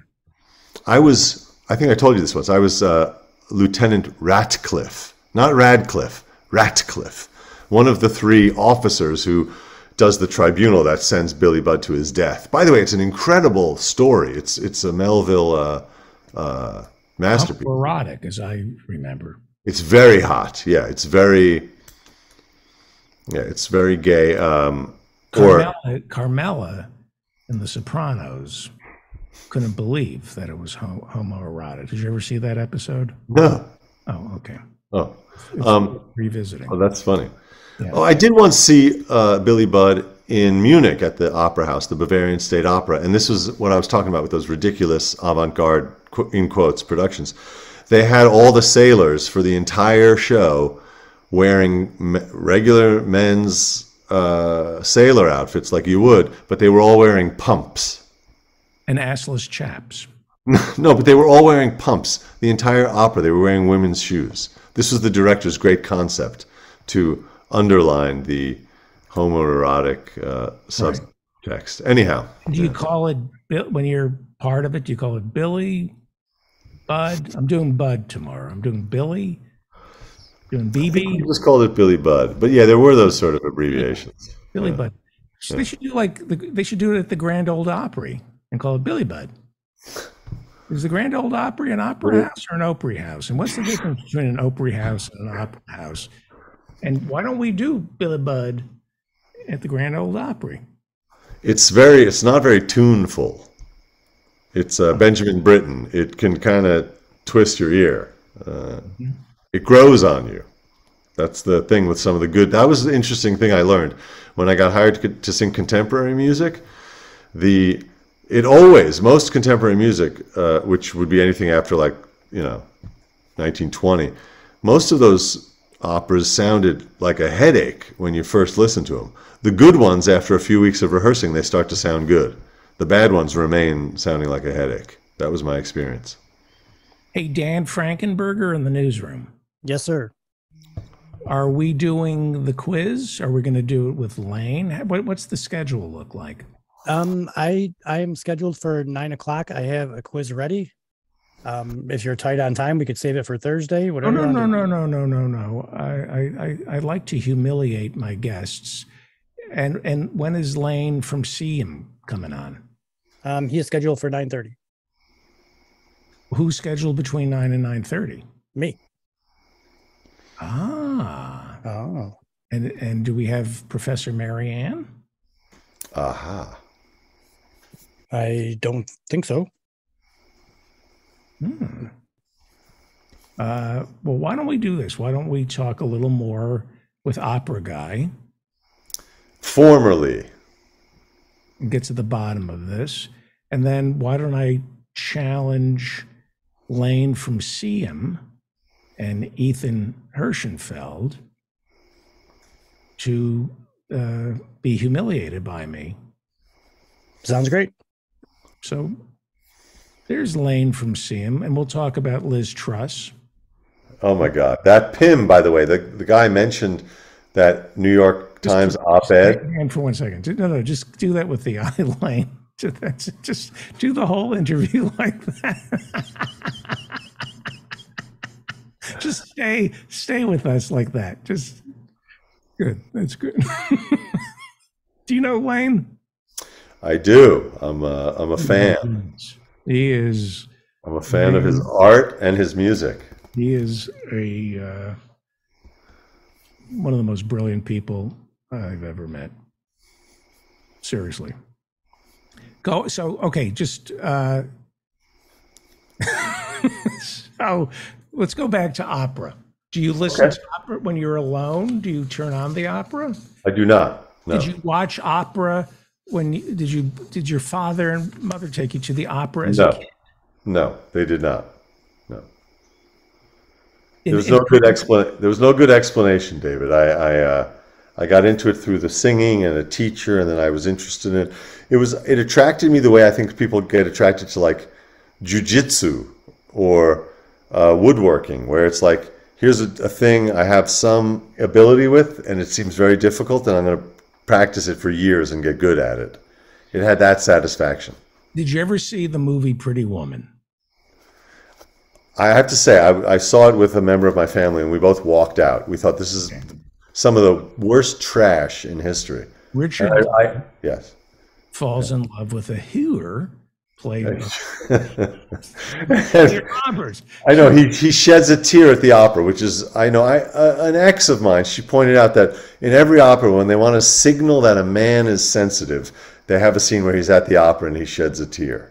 So he says to this hooer, that's what Julia Roberts. Am I gonna get? It's Labor Day. Give No, me. she's a, that's correct. That is a correct job description. she he fell in love with a prostitute who had no pimp, right? Pimpless? Huh? He was pimpless. She was No, pimpless. she was pimpless. It was like a you know, it was an adorable life for her. Right. which very uh, good good idea to portray that lifestyle. Yeah, freelance. Yeah, she's a, a gig worker, and uh, he says you. He says the opera. You either get it or you don't. and he takes her to the opera for the first time, And she really gets it. and I didn't get it, and I walked out of the movie. like, what? What the? I don't get this. You know, one of the most beloved operas of all time is La Traviata by, by Verdi, and that's about a hua, a guy who falls So, in love with her. Let's. Let, I, I. You know what? I. I shouldn't be doing that. Tears of a clown. He falls in love with a hooker. She's called a courtesan. It's a very nice word in French. Yes. She's a courtesan. And he falls in love with her, but she falls ill with tuberculosis. She And falls in love with tuberculosis. he it's a love triangle between the tenor, the soprano, and tuberculosis. Ah. Yeah. So y- hold it. Isn't who's the clown? That's Pagliacci. That's a whole other thing. That's another opera. Yeah. But-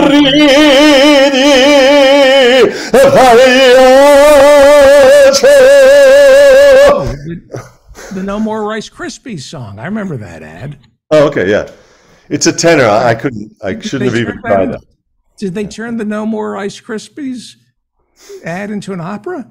Well, that's funny. That's where that comes from. I actually have never seen that opera, and I know nothing about it because there's really no bass in it. I, if there was no role in an opera for me, I, I just ignored it because I was just in it for the jobs.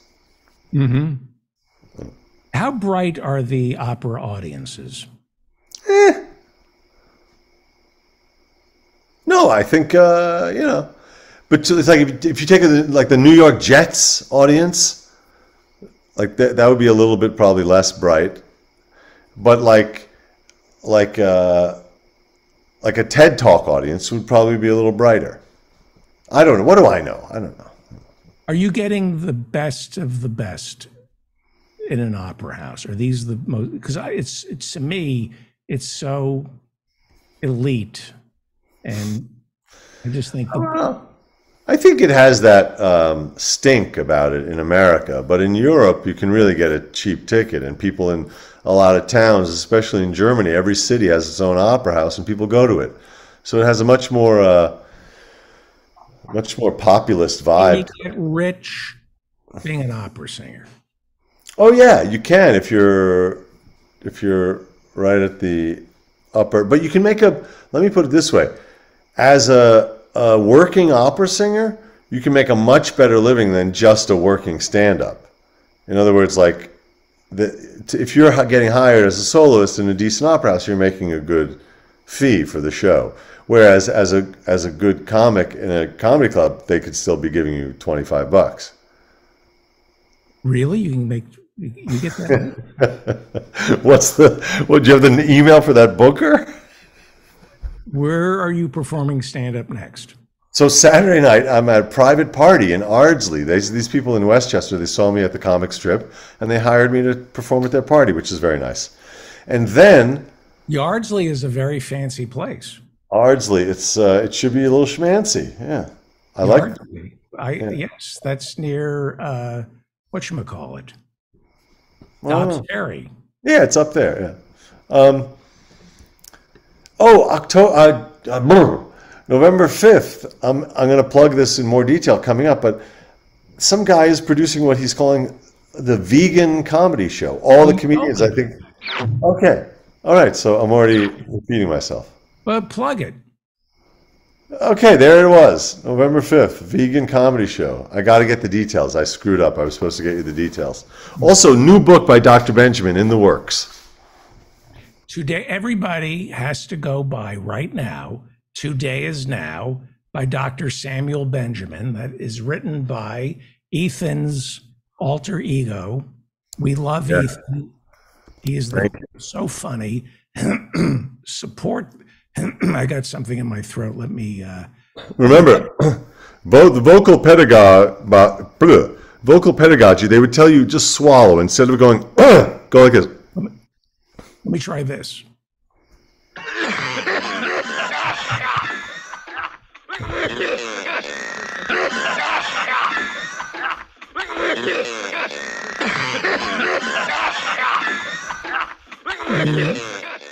no, didn't didn't do it.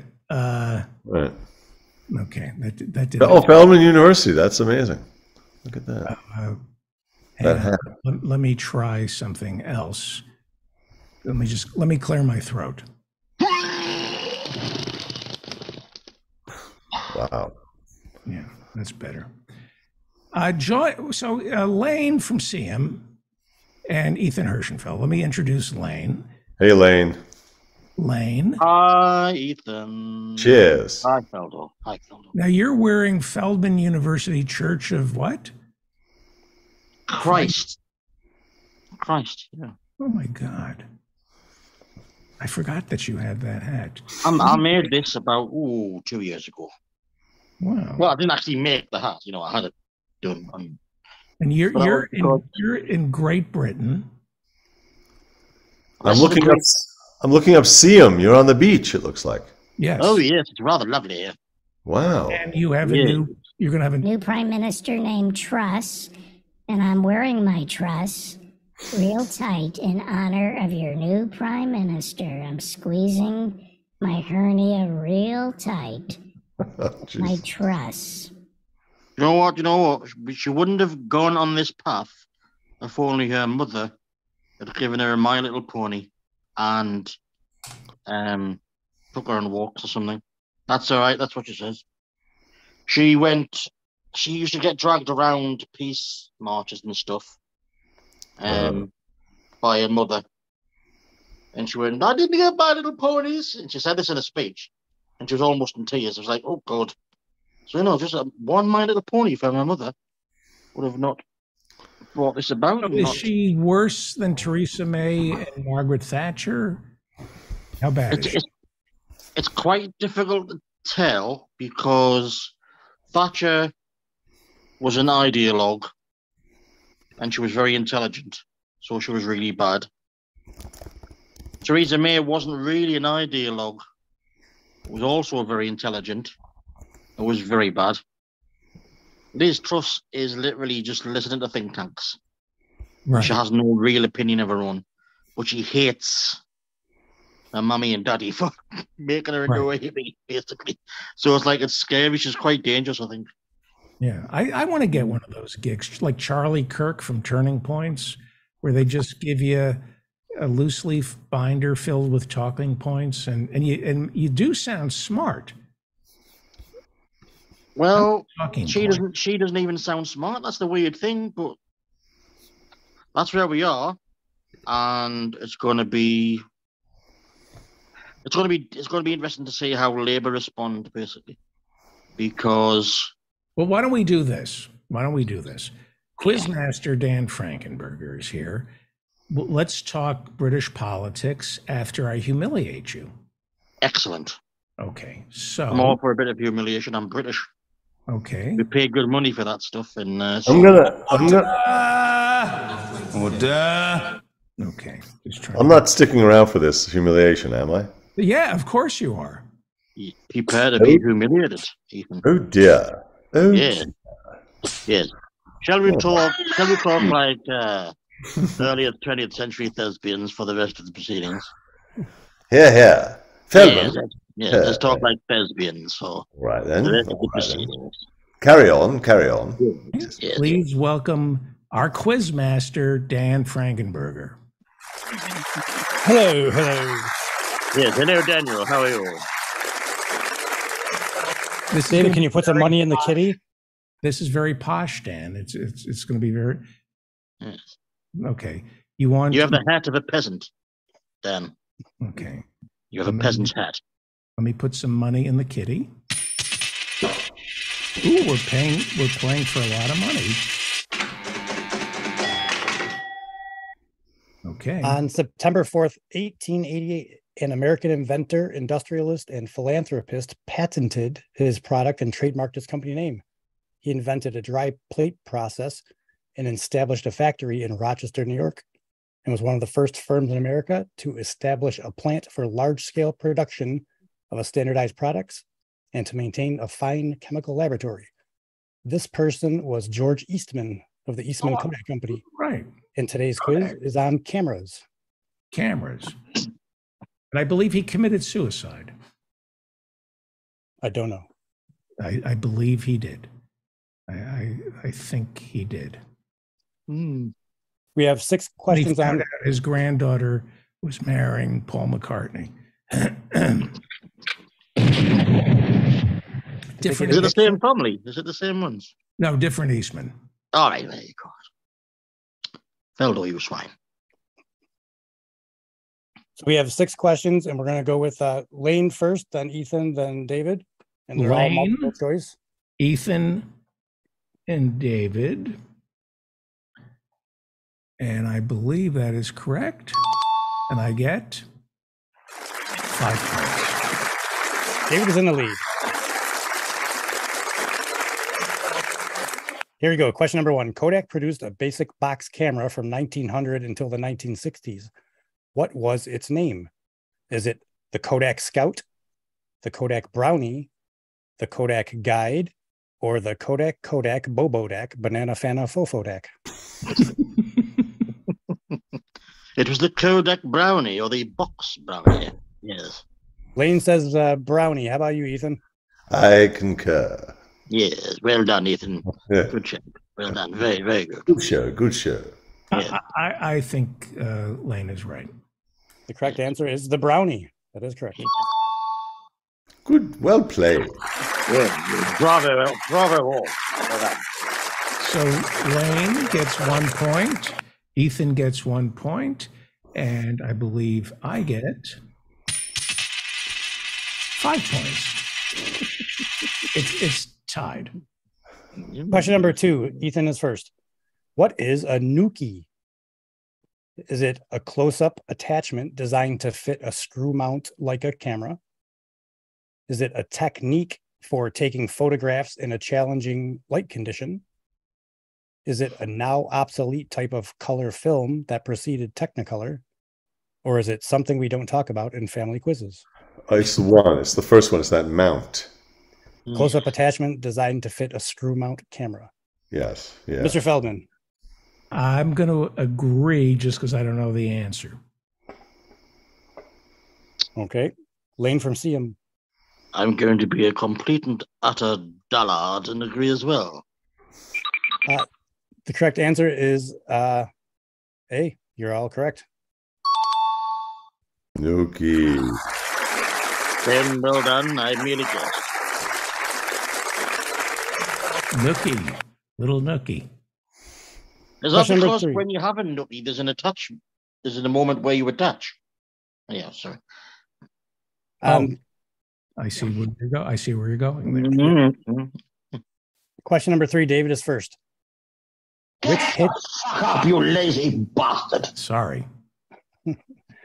Which Hitchcock film masterpiece featured a photographer who used his camera to look into the lives of his neighbors, then began to suspect a woman had been murdered?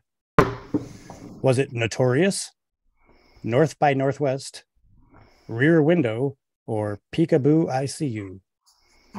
Peekaboo ICU. That's where you go after a hide and go seek accident, and you go to the Peekaboo ICU. Peekaboo ICU is when you've been. That's a tough one. Let me think. Let me. Th- I'm going to take a wild guess. What are they again? What what what, what are the choices here?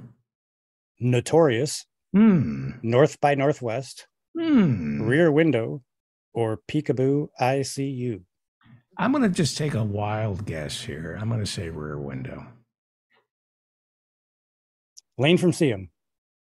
Oh, well, I, I, you see, I'm I'm going to see well, Rear Window too. So, uh, yeah, well, Rear Window. Yeah.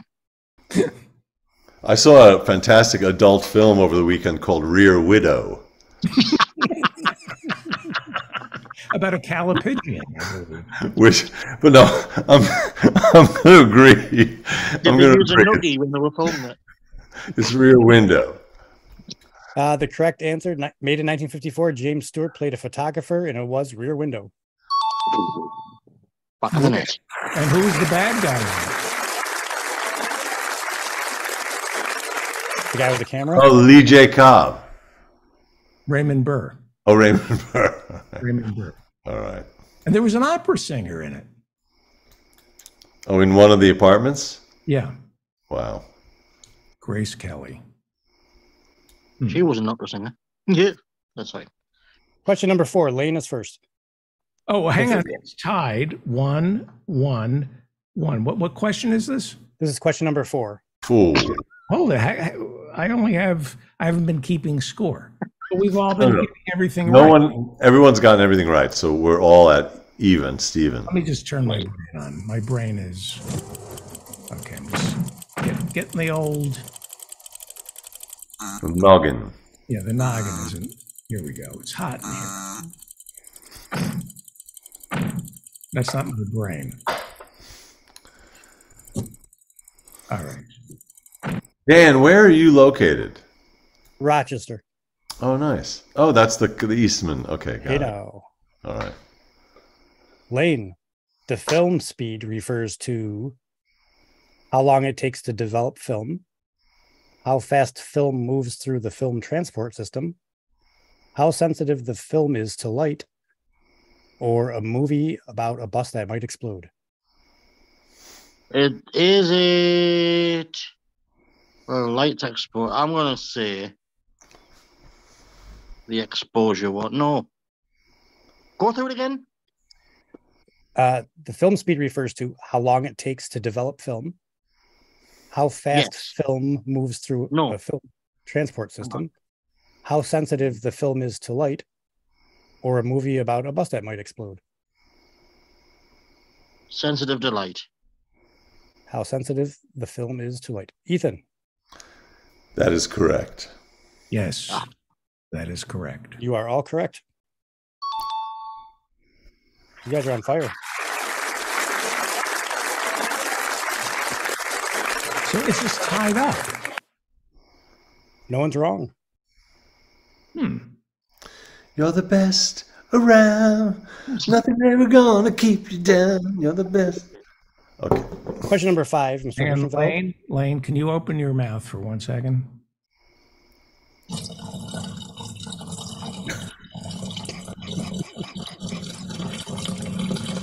That's the only way I could humiliate. I, it's, ti- I thought I was going to destroy these people, Dan. This is humiliating. You got two questions left, but Ethan is first. By the way, I think Ethan. it's very rude to come on my show. and Sorry. Try to beat me. okay. Ethan, in photography, what controls the exposure? Is it the tripod and lens cap, the shutter speed and aperture, the carrying case and strap, or the flash and the trench coat? It's the uh, shutter speed and aperture, according to someone in the chat. So I'm gonna go. with. Oh, oh my God. No wonder everyone's getting everything right. This is, this is, Corruption on the order of. No, no, no. I'm kidding. I knew that. I knew that. I, that's not. I was just as, It's John As- Hayes. He's ruining everything. As an addendum to my answer. I said as I see in the chat. Typical bloody American.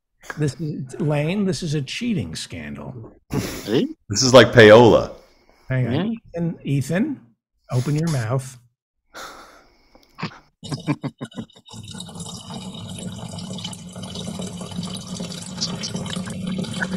Oh boy. Now I you're thought it was a flushing sound, but now I hear what it is. That's horrific. this is So, David, what is your what is your answer? What controls the exposure? Uh, Tripod and lens cap, shutter speed and aperture, carrying case and strap, or the flash and the trench coat? the same thing that controls my morning constitutional, the aperture. Mr. Lane, It's the aperture. same? Yes. Yes. you're all correct again. What's the answer? You're all correct. Shutter speed and aperture. Mm-hmm. I know. all right. Final, final question. Yeah, hang on. I have to the chat room. I apologize, but this I, I have to go to the chat room and straighten these people out because they are feeding answers. They're trying to disrupt the show. I'll be right back. I'm gonna let me hold my breath. We're gonna castigate them. I'm going into the chat room. My god, you people are disgusting. Knock it off. What's that smell? Knock the bloody dog up. Stop interrupting my show. Stop with this cheating. You people are. Let me go into. Dan, I'm going into the kitchenette. These people are grotesque. I'm leaving.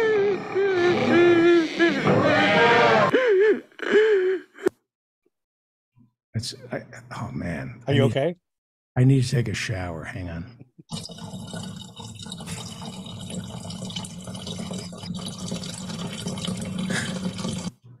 Ethan, uh, you know, they call radio the theater of the mind. this is theater of the ass. The Peterman. Le Pétomane. I had him on the show. No, hang on. I had Mr. Methane on my show. Oh, wow. Yes. Seven years ago. Yes, I remember that. You do remember I had Mr. Yes. Methane on the show. Yeah, man. Is he still around? Not got a clue. Okay. Not got a clue. Mr. Methane. All right, come on. Last question. Let's do oh, this. Oh, so, uh, what, what do you have to hear in Cape Cod? I have stuff I have to eat. I mean, do. I have stuff I have to do. Last question. David is first. Almost from the time they first came about, cameras have been used for military purposes. In 1905, the U.S. Army experimented with aerial photographs. What kind of aircraft was used? Was it What year? hot- What year is this? 1905. 1905. Was it a hot air balloon, a kite, a hydrogen blimp, or a mouse-ridden air shaft?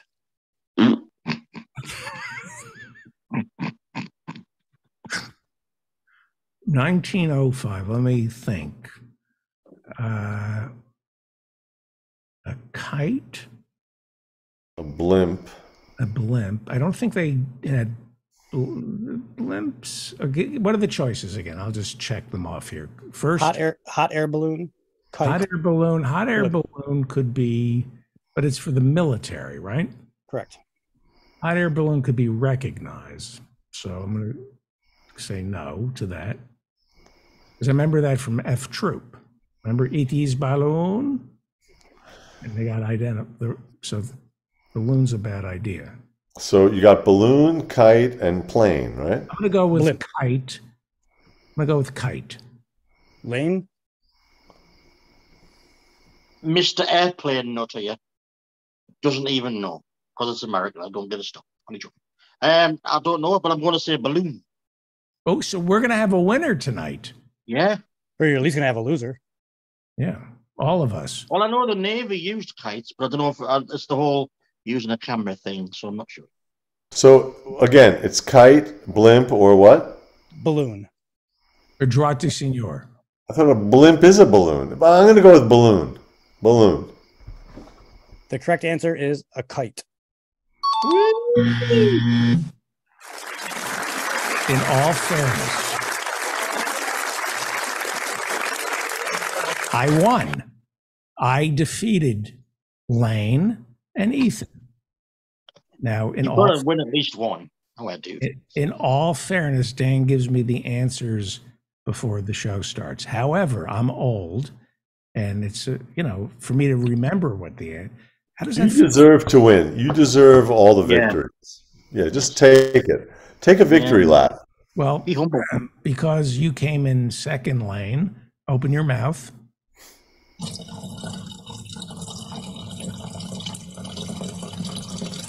I'm not opening my mouth. Ah. I refuse to take part in this ridiculous charade. And Ethan, uh, bend over to tie your shoelaces.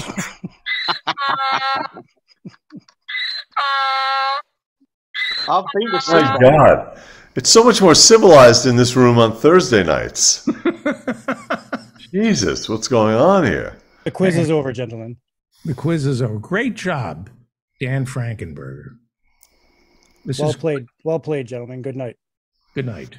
Thank you and God bless. And uh, nice to see you over there, Lane. Bye bye, Ethan. Peace. You're a scholar and a gent. That's You're a scholar and a gentleman. Thank you. Dan has something on the barbecue that he has to get to. Peace. Thank you. Thank you. Lane from Seaham, thank you for joining us. Let's let's talk about British politics. So the the Queen of England, when does she sprinkle the, the fairy dust on Liz Truss and say, give me a government? I'm not altogether sure. It should be tomorrow, but that, it's going to involve uh, trips and all the way to Scotland. By ooh, hypocrite. Usually, um, hmm? Is she at Balmorals? Does she make yeah, she's about to pop her clogs. Well, she, I, I don't, I don't know if she's that ill, but she just can't be asked. So she's up there. Um, what's the word I'm looking for? Not recuperating, something like that. But anyhow, so Liz has got to go up to Balmoral, which is just near Aberdeen, right to the northeast of Scotland, and do what you whatever you do with all that. Probably get a left nipple out and pull her right leg up or something. I don't know. Yeah. And she is filling out Boris Johnson's term. Or how do you know Yeah. when to call an election in Great Britain? We've got uh, every five years we have an election, unless there's something like it's up to the the government itself. Like the Tories could call an election. I never have- understand why do if you're in charge and you got a nice thing going, you're you know, you're you're the Tories, you're ruining Great Britain, you got your friends getting rich, you're gonna destroy the NIH. Why do you agree to a like a no confidence vote or why do you hold a new election and with the threat of losing power? Well, sometimes it's used as a means of suppressing power. They did they did that with Corbyn in 2017 and uh, 2019. Um, partly because of Brexit as well, though, because Brexit was stagnating and there was no real vision. Mm-hmm. Um, but it was also a means of we've got to we've got to nip this lad in the bud. That's why in the 2017 election, because he came so close, their asses fell out. So like as much as he was demonized before 2017, between 2017 and 2019, the next election, which the Tories called, um, the entire British establishment jumped on his head, tried to stomp him down. But he's- Before that, he was sort of seen as a not to be taken that seriously and he would never win type thing. But he sneaked up. Is there uh, buyer's remorse with Brexit? Yes. Is it well deserved? In other words, did everything fall apart as we as we're beginning? Because it is now you are in a state of Brexit. Is that correct? Yes, but they've sort they've got a get out clause. The both the Brexit lot and the Remain lot actually, because of COVID. Uh, the the the Brexit lot are saying, well, you can't blame everything on Brexit because COVID screwed everything up. Right. and the remain the fundamentalist remain lot the what you'd call if you want if you wanted if you went on twitter and typed in hashtag fbpe foxtrot bravo papa echo um they're the like fundamentalist remainers who just like gen generally generally centrists who don't give a shit about the poor and think ev- think every single person who voted brexit was racist and they weren't but all the racists did. I Anyhow, see. But um, so they they use they say, oh, it's not COVID, it was Brexit. And so every every failure that we've had in the last couple of years, the Brexit a lot of blamed on COVID, and every failure we've had in the last couple of years, the fundamentalist remainers have blamed on Brexit. So it sort of balances itself out. Eh, ultimately, both sides, the lot that are totally entrenched in it, are just arseholes. Now, before the show started, you were telling me that you believe Boris Johnson invented COVID, so he would have something to blame Brexit. Yeah. you still? yeah, believe- you did. Yeah, you did. No, I didn't say that, fellow. I know. I'm just teasing. But it wouldn't surprise us. when do we find out? do we have to wait uh, until COVID is over, hundred years from now, to, to learn whether or not it's a bad idea, or is it just generally a bad idea to want to keep immigrants out and not? Well, certain things have came into place that they're they are visible response to Brexit. Things like um, at the moment our exports and as a result our imports, but our exports are taken. Now let me get this straight, because it's always confusing in Great Britain. Your imports are our exports, and our exports are your imports. It's, it's like it's, it's so backwards, but like you si- drive on the wrong side of the road, and I like you call uh, American bananas imports, but they're actually we call them exports. I don't know what you have. A, You remember W. Bush, or you, or you playing with that? Huh? W did that, didn't he? He said Yeah. most of our exports go abroad. Did he say that? Not all of them. You know, you they export things internally apparently in America. I don't get that anyway. Um, but um, so most of our exports are failing to leave because now instead of under free movement through the Channel Tunnel, things just went and on on the ferries and stuff. Yeah, they just went because it was free movement. But now it's taken like a long time for things to leave. So products getting onto the continent from Britain are like if the time critical, like food and stuff, it's wasted. And equally because they're they're pissed off, they've refusing to sell and it's, apparently it's quicker for us to have things imported marginally, but but at the same time because it's everything's a trade. Uh, where you're getting less things like fruit and stuff, but also you've got the COVID, the the regulations around, around that sort of hampered everything, and now of course with all the floods and the fires and shit. So you can't. It's it's difficult to. Can it's you difficult blame- to tear apart Right. Are are. are people blaming Brexit for inflation? Again, Right. people, people. Some people are. It's the same. It's the same argument. Um, most people don't care anymore. It's it's a bit like the owning the libs thing. Um, most of the hard Brexiters, I mean, they just they wanted to just they'll they'll stick with Brexit no matter what. They could literally be stood on fire, Right. and it's by a guy saying this is because of Brexit. They're going keep piling on the flames. It's like it's it's gone demented, but that's what's happened How across the West, I think. How similar is Truss to uh, the Republicans here in the United States? Is she as vile? As, Yeah. Really?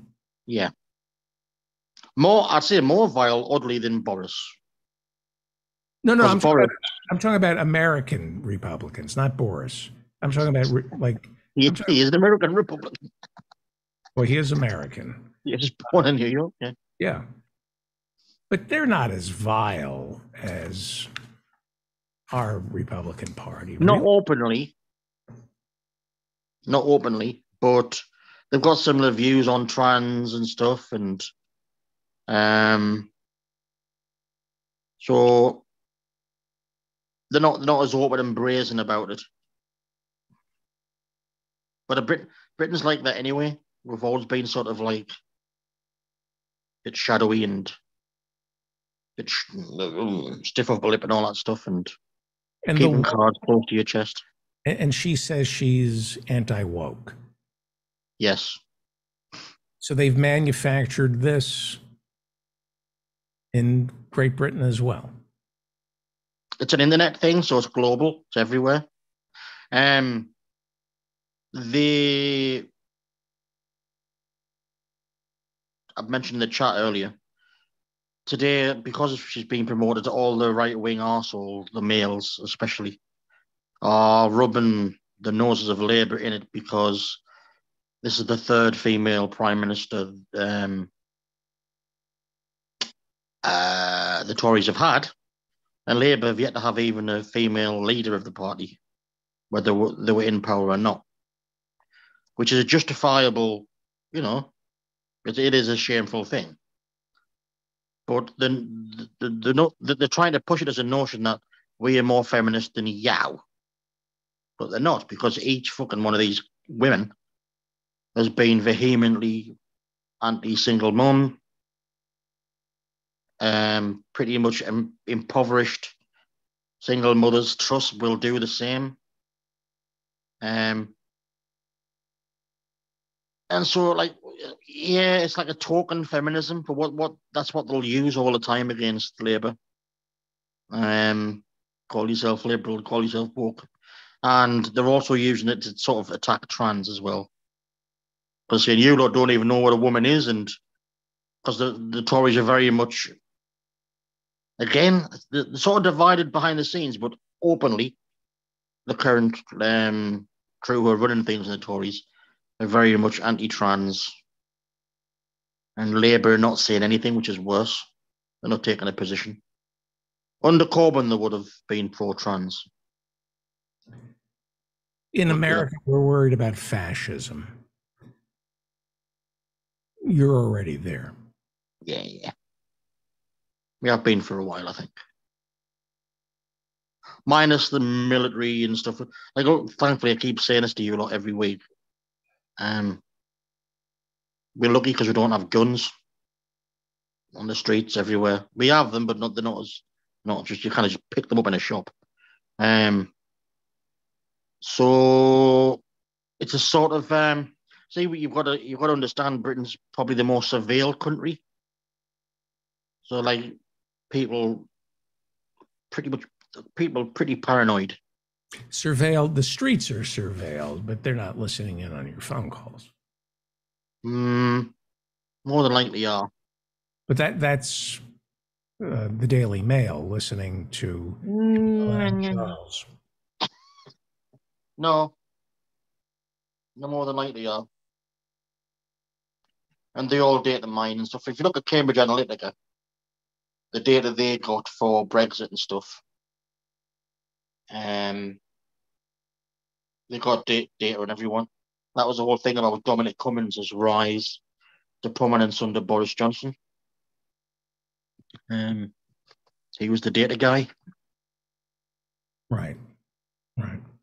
the data analyst. And they want to destroy NIH, the conservatives. They hate they hate NIH, right? NIH Your healthcare system. or NHS,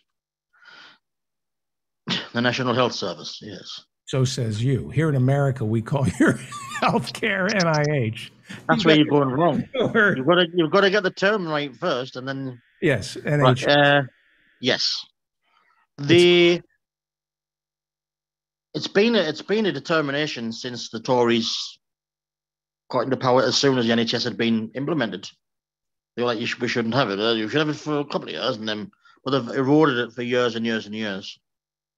Thatcher was started the she didn't introduce privatization as much as started to underfund it a lot. So it started people started to moan about the NHS and the the waiting times got like astronomically long and stuff. But the good old Tony Blair from New Labour, he opened the door to privatization. He was he it's the Chomsky thing of, you know, um you defund a public service so that it runs badly. People get angry at it enough to the, the point where they accept private companies taking it over. Mm-hmm. And that's what happened. And Blair opened the door for that. With um so and the current incumbents, Keir Starmer's not, they are all very much in the Blair mold. They they haven't gone as far as renaming the party, then because Blair literally rebranded the entire party. It was no longer the Labour Party, it was called New Labour for a reason. He wanted to break free from the unions. He let the past, that's old school. He really said it, he really said he wanted to break From the grip of the unions, yeah, they had too much power in the party. Um, than we're finding right now because just about everybody's on strike in Britain. now. It's like this far from being a general strike. Um, And have the have the unions been as decimated? I can't imagine unions. they're not. They're not. They're still not huge. They're not like they should be. I don't know what the, the current figures are, but when I was a union rep, um, it's about thirty percent of the people in my company, at least, were. There wasn't enough. 30 percent were, were. See, with a lot of people, because you get advantages from the union anyway across the board, they didn't feel the need to join. Like, oh, we're going to get the benefits anyway. It's like, well, yeah, but you're still. Right. Anyway. It's like But, France. um, France has low union membership because the country provides protections for labor Yeah. in the government. Well, that's one thing the EU was, did. That was good. Brought in mandatory sick pay and um, mandatory maternity leave and stuff like that. But now, that's just up. It's on, it's on the fire. That stuff. You throw it on the bonfire. Yeah. All right. We should do this more often. Why I? Yeah. Yeah, man. Yeah.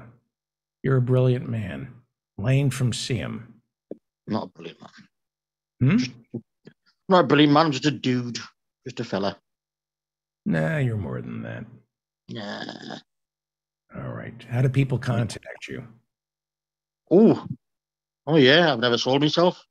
I'm on Twitter at Lane L A N E Thoma without the s because it didn't fit on Thoma Hewitt. So L A N E T H O M A A H E W I T T. A being A. Um, and I'm on Facebook. If you're on Facebook, just my name. Okay. Lane Hewitt. That's it. Fantastic. I'll see you at office hours for the fast lane. Life in the fast lane. Oh no, it's the Eagles. I hate the Eagles. Oh, hate the Eagles, man. Hello, Mike. All right. Thank you, Lane. Happy bye. I'm gonna go to bed now. It's like maybe three. I'll like listen to I like listen to Stein when I'm in bed. Okay. Nothing naughty. Say hello to Coco. Uh, joining us is Professor Mike Steinel, who I believe is in Kansas. Yes, not- indeed, David. Can you hear me? You're not in Texas anymore, are you? No, no, I came north. I came north. How's it's the- beautiful right now. It's like uh, 70 degrees. It's beautiful. Got some bugs. Not as bad. Was I up here a month ago about? We Yeah, you were wearing goggles and using different types of Oh. yeah, I, still, I got a new one tonight. What is that? Oh God, what is this called? It has a name. Um, it's me- a, it's a, um, some sort of tool. I'm gonna, I'm gonna trim Looks like some. Liz Uh, Truss's marital aid. rare- can you hear it? Yeah. All right, I'm revving it up. Um, now I have to trim some. Uh, we're getting, we got bed, new beds today in one of the rooms. And we By the way, carpet- we, Ethan was talking about col- cholera. Color. Your wife is a. my wife at one time was the one of the preeminent coloraturas in the world. I can say that. And if you don't believe me, all you got to do is go to YouTube, Beverly Hoch, H O C H, and watch the Proch. I'm sorry, not P R A U C K, maybe Proch theme and variations, a concert she did in Sweden. She th- she she sang uh, Queen of the Night uh, all over the world, and because it's got a really high part, and she recorded it with e- on EMI, uh, one of the definitive recordings of of uh, Queen of the Night is from what? Um, shoot, um, Queen of the Night is the aria. It'll come to me in a second. These I'm old old brain. Things have to bubble up. Hang on, hang on. Let me just. Uh, You're gonna give me a bubble up sound. yeah, hang on. This is. Uh, we're going to go inside Professor Mike's brain.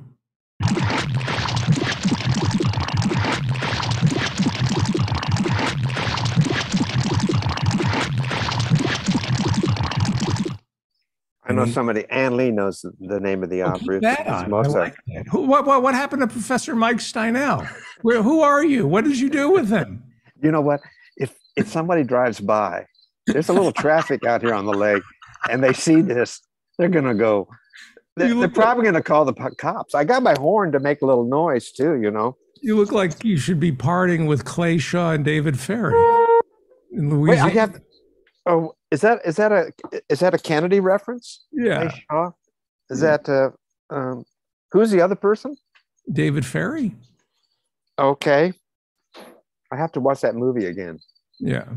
I can't. I don't have my glasses on. Everything is just blurry. You look, you just yeah, that you look great. I've been exploring. You know what?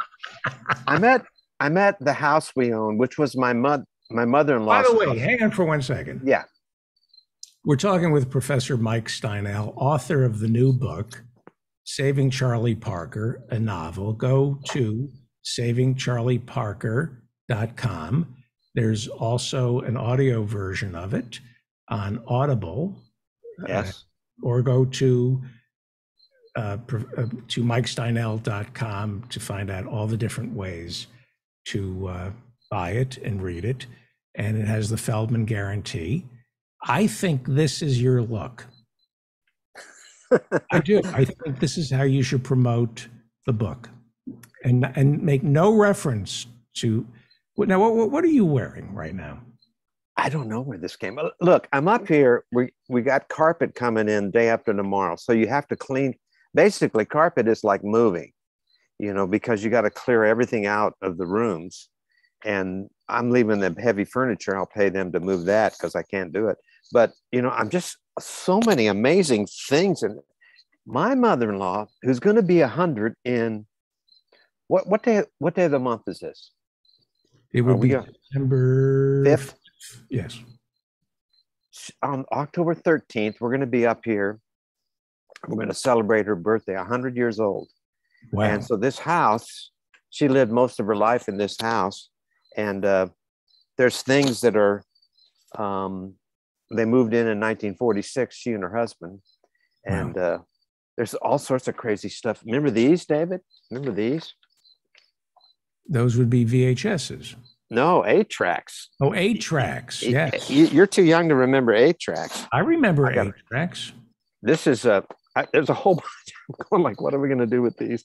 Let me see. Uh, here's Liberace Hmm. and uh, Ferrante. Ferrante and Teicher. Teicher. Teicher lived in Englewood, New Jersey. Gay. Who was gay?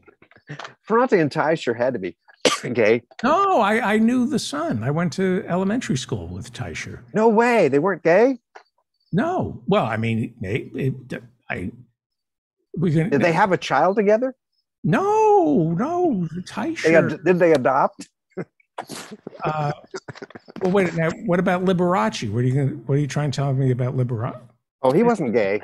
Okay, good. Don't worry. He was a man's man. yes, he was. What a what a uh, an amazing amazing thing. Um, I was gonna- Nobody. the- Liberace was a genius, and also he. Yeah, of course he was. Brilliant pianist, Mm-hmm. and everybody. He he was goofing on all those old ladies who had no idea. Yeah, he he he found his niche. That's for sure. And I thought Beyond the Candelabra, I never Mm. saw it. a, little. A little wasn't over the top. I, I I I didn't think. They didn't. They didn't. They were. They didn't treat him nice. I don't think so. Well, you know, he had I a remember hearing Michael Douglas is going to play Liberace, and I started laughing really hard because I thought, "Oh, that's That's right. He did play Matt him. Damon played Boo." That's ex- that's why exactly why I didn't watch it. You know, that Um, just that seemed like that didn't seem right. it was funny, but in a cruel way. It was almost homophobic. I found it a little homophobic. Yeah. Well, it's a thin line, I think. Yeah. It's a thin line between, um, you know, celebrating the freedom to do that and and and being open to it, and then, but also, you know, making Yeah. fun of it. So it's our thing. David, there's serious things going on in the world, and I need to talk about them. Okay. I, I think the world is great. Why? seriously. Well, I know you're. I know you're worried about uh, mixed martial arts and UFC. I know you got that as as a kind of con- that the depravity of that society is getting lower and lower and lower. But the the, the latest thing that really disturbs me, and it's actually they have their ads on your uh, when you when you watch your your uh, YouTube uh, when you watch the David Feldman show on YouTube. There's an ad that comes on for this company called Lume. You know about Lume? No. Well, Lume, David, is a full body deodorant. You can put it anywhere on your body.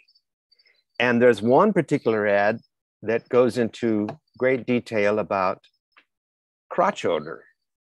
And I just Sorry? think that I'm sorry. crotch odor, crotch odor. Did you not get it? Yeah, I crotch odor. crotch odor yeah and you know i think it's enough that i have to watch tv and i'm watching jeopardy and they do a Peyronie's disease commercial with my Oh. mother-in-law sitting right there with the bent carrot you know Mhm. now we got to talk about crotch odor in the middle of all this stuff you know and the thing is there's a there's a stati- they they get scientific david they the lady says if you just shower your crotch odor score might be between five and six.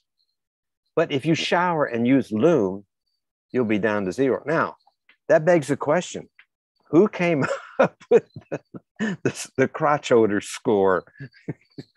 you know, and how scientific is it? You know, what was the sample? How many crotches had to be, you know, sampled before they mm-hmm. could come up with that? I could find a picture. There is a job at Procter and Gamble Oh, God. where they sniff people's armpits. Well, see, th- it's probably this, they probably using the same workers. Yeah. So, Uh, you know, the question is how no, many how many crotches to get a good sample, and the second is how many sniffers to Mhm. get, you know, like, and then what's the rubric? How do they come up with the? This is, I I dealt with helping people through PhD uh, programs in music ed, and there's a research component, and it has to be strict, you know. So, you know, how many crotches and how many crotch sniffers, How many what- Yeah. and what was the rubric? You got to have a rubric, you know, like what is a one? Because people have to agree, you know, what is one? Tuna salad? Is that one? Right. Hey, bo- boss, I can't come in today. I got a head cold. I'm going to be useless. You are.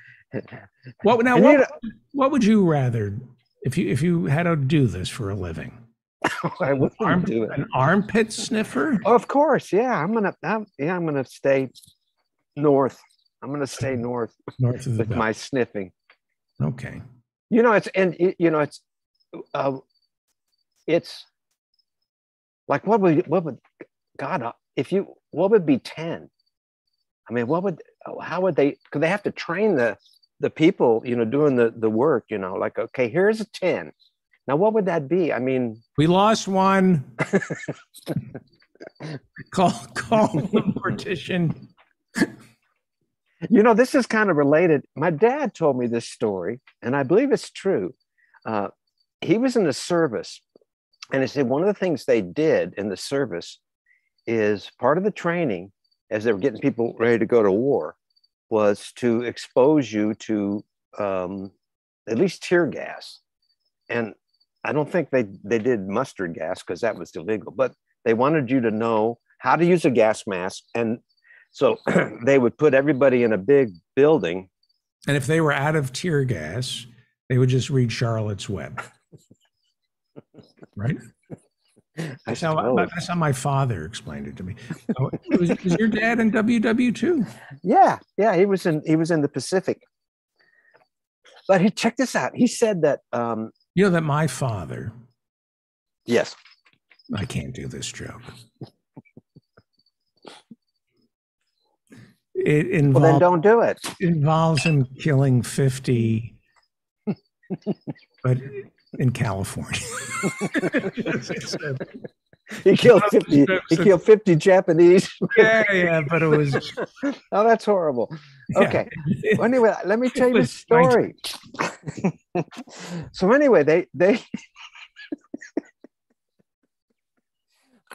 did you is that an old joke? Is that an old joke? It was a joke that you can't say Germans because it it's not because they're not in california they weren't living in Cal. Yeah, there isn't a specific. It's it's a horrible joke. it is a horrible joke Horrible joke. But you know in in saving charlie parker there's a little a little you know like one the character goes to Br- what they call bronzeville in la which became bronzeville after they took all the uh, the japanese out it was little tokyo on um, oh, um, what's the street um, i can't remember this central off of central avenue. There's a song on the website called party on central. And but uh, there was something like uh, I, I don't know um, 40,000 um, Japanese and they cleared them out. And then the they opened up the um, you know um, African Americans started coming in to work work the factories. And and then it became a big hotbed for uh, jazz clubs anyway. But my dad told me that that he had heard what's that? Tear gas. yeah tear gas. So they put you in the thing and then you, you they want you to sh- put on the gas mask correctly. And then they said just to give you like a little taste you know. I was thinking about this when i was thinking about crotch sniffers you know like what is natanya and they got to give you a little taste of this you know like so you know what it is.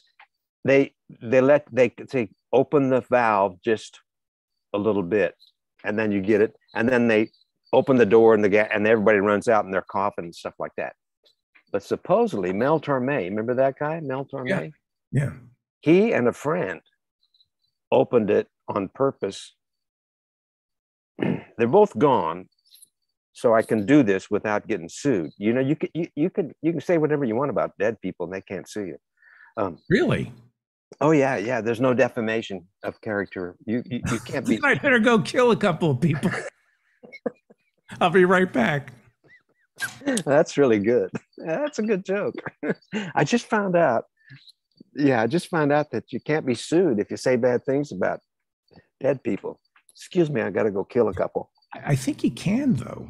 I, I think the estates or their family. Nope, they cannot. I looked it up because I I have I have I have people that lived, you know, in the book. I got Charlie Parker, and I was worried about that because I'm making stuff up about Charlie Parker, and a lot of it's factual. But but you know, I put him in the situation where I knew he was. But anyway, Mel Torme and his friend opened it up, and they had a terrible reaction, and they were uh, got a medical discharge. So that's how they. Oh, you so he did it on purpose.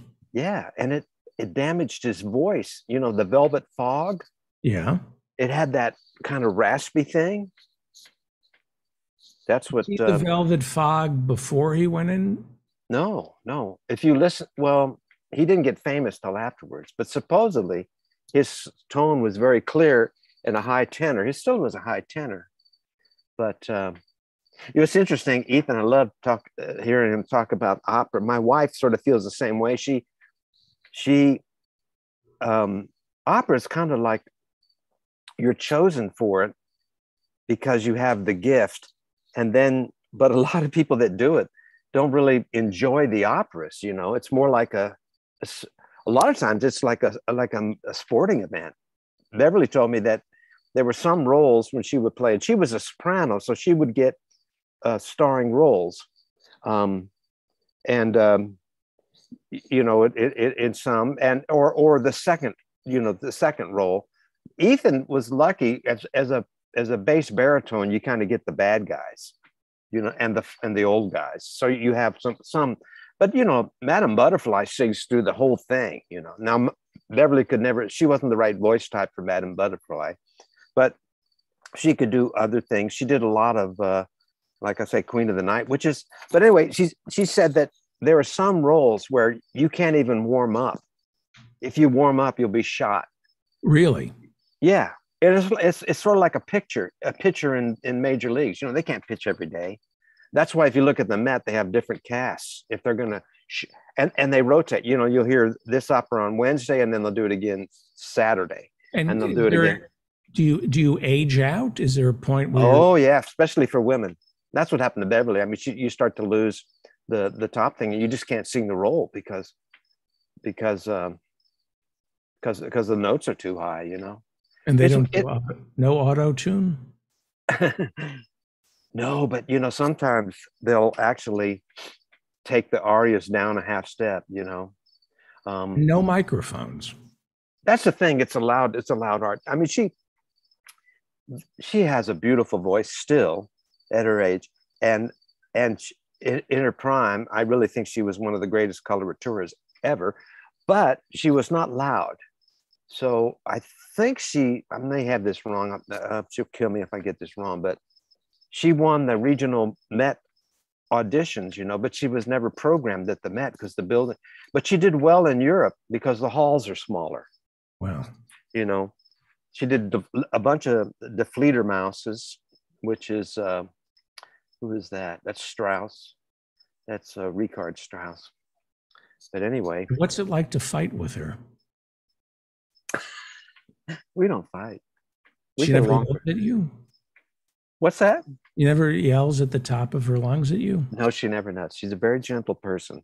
We we seldom have words. And if it is it's kidding. We're it's a lot of you know. Teasing. yeah. It's very important for couples to to tease one another. yeah we laugh a lot Yeah. you know.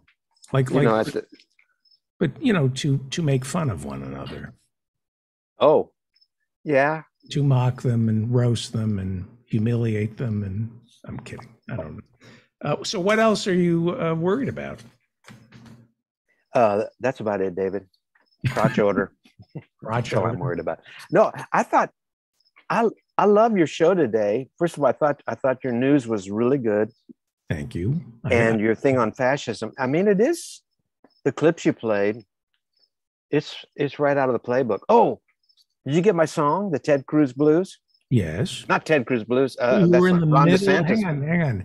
You're in the middle of praising me, and your mind wandered. I was hanging on your every word. Okay. All right. Okay. Let me back up.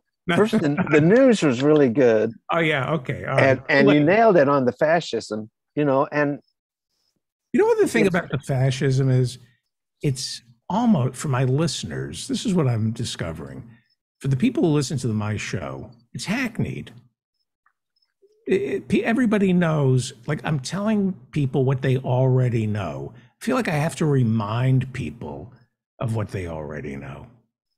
I'm amazed Well- at what people have forgotten. yeah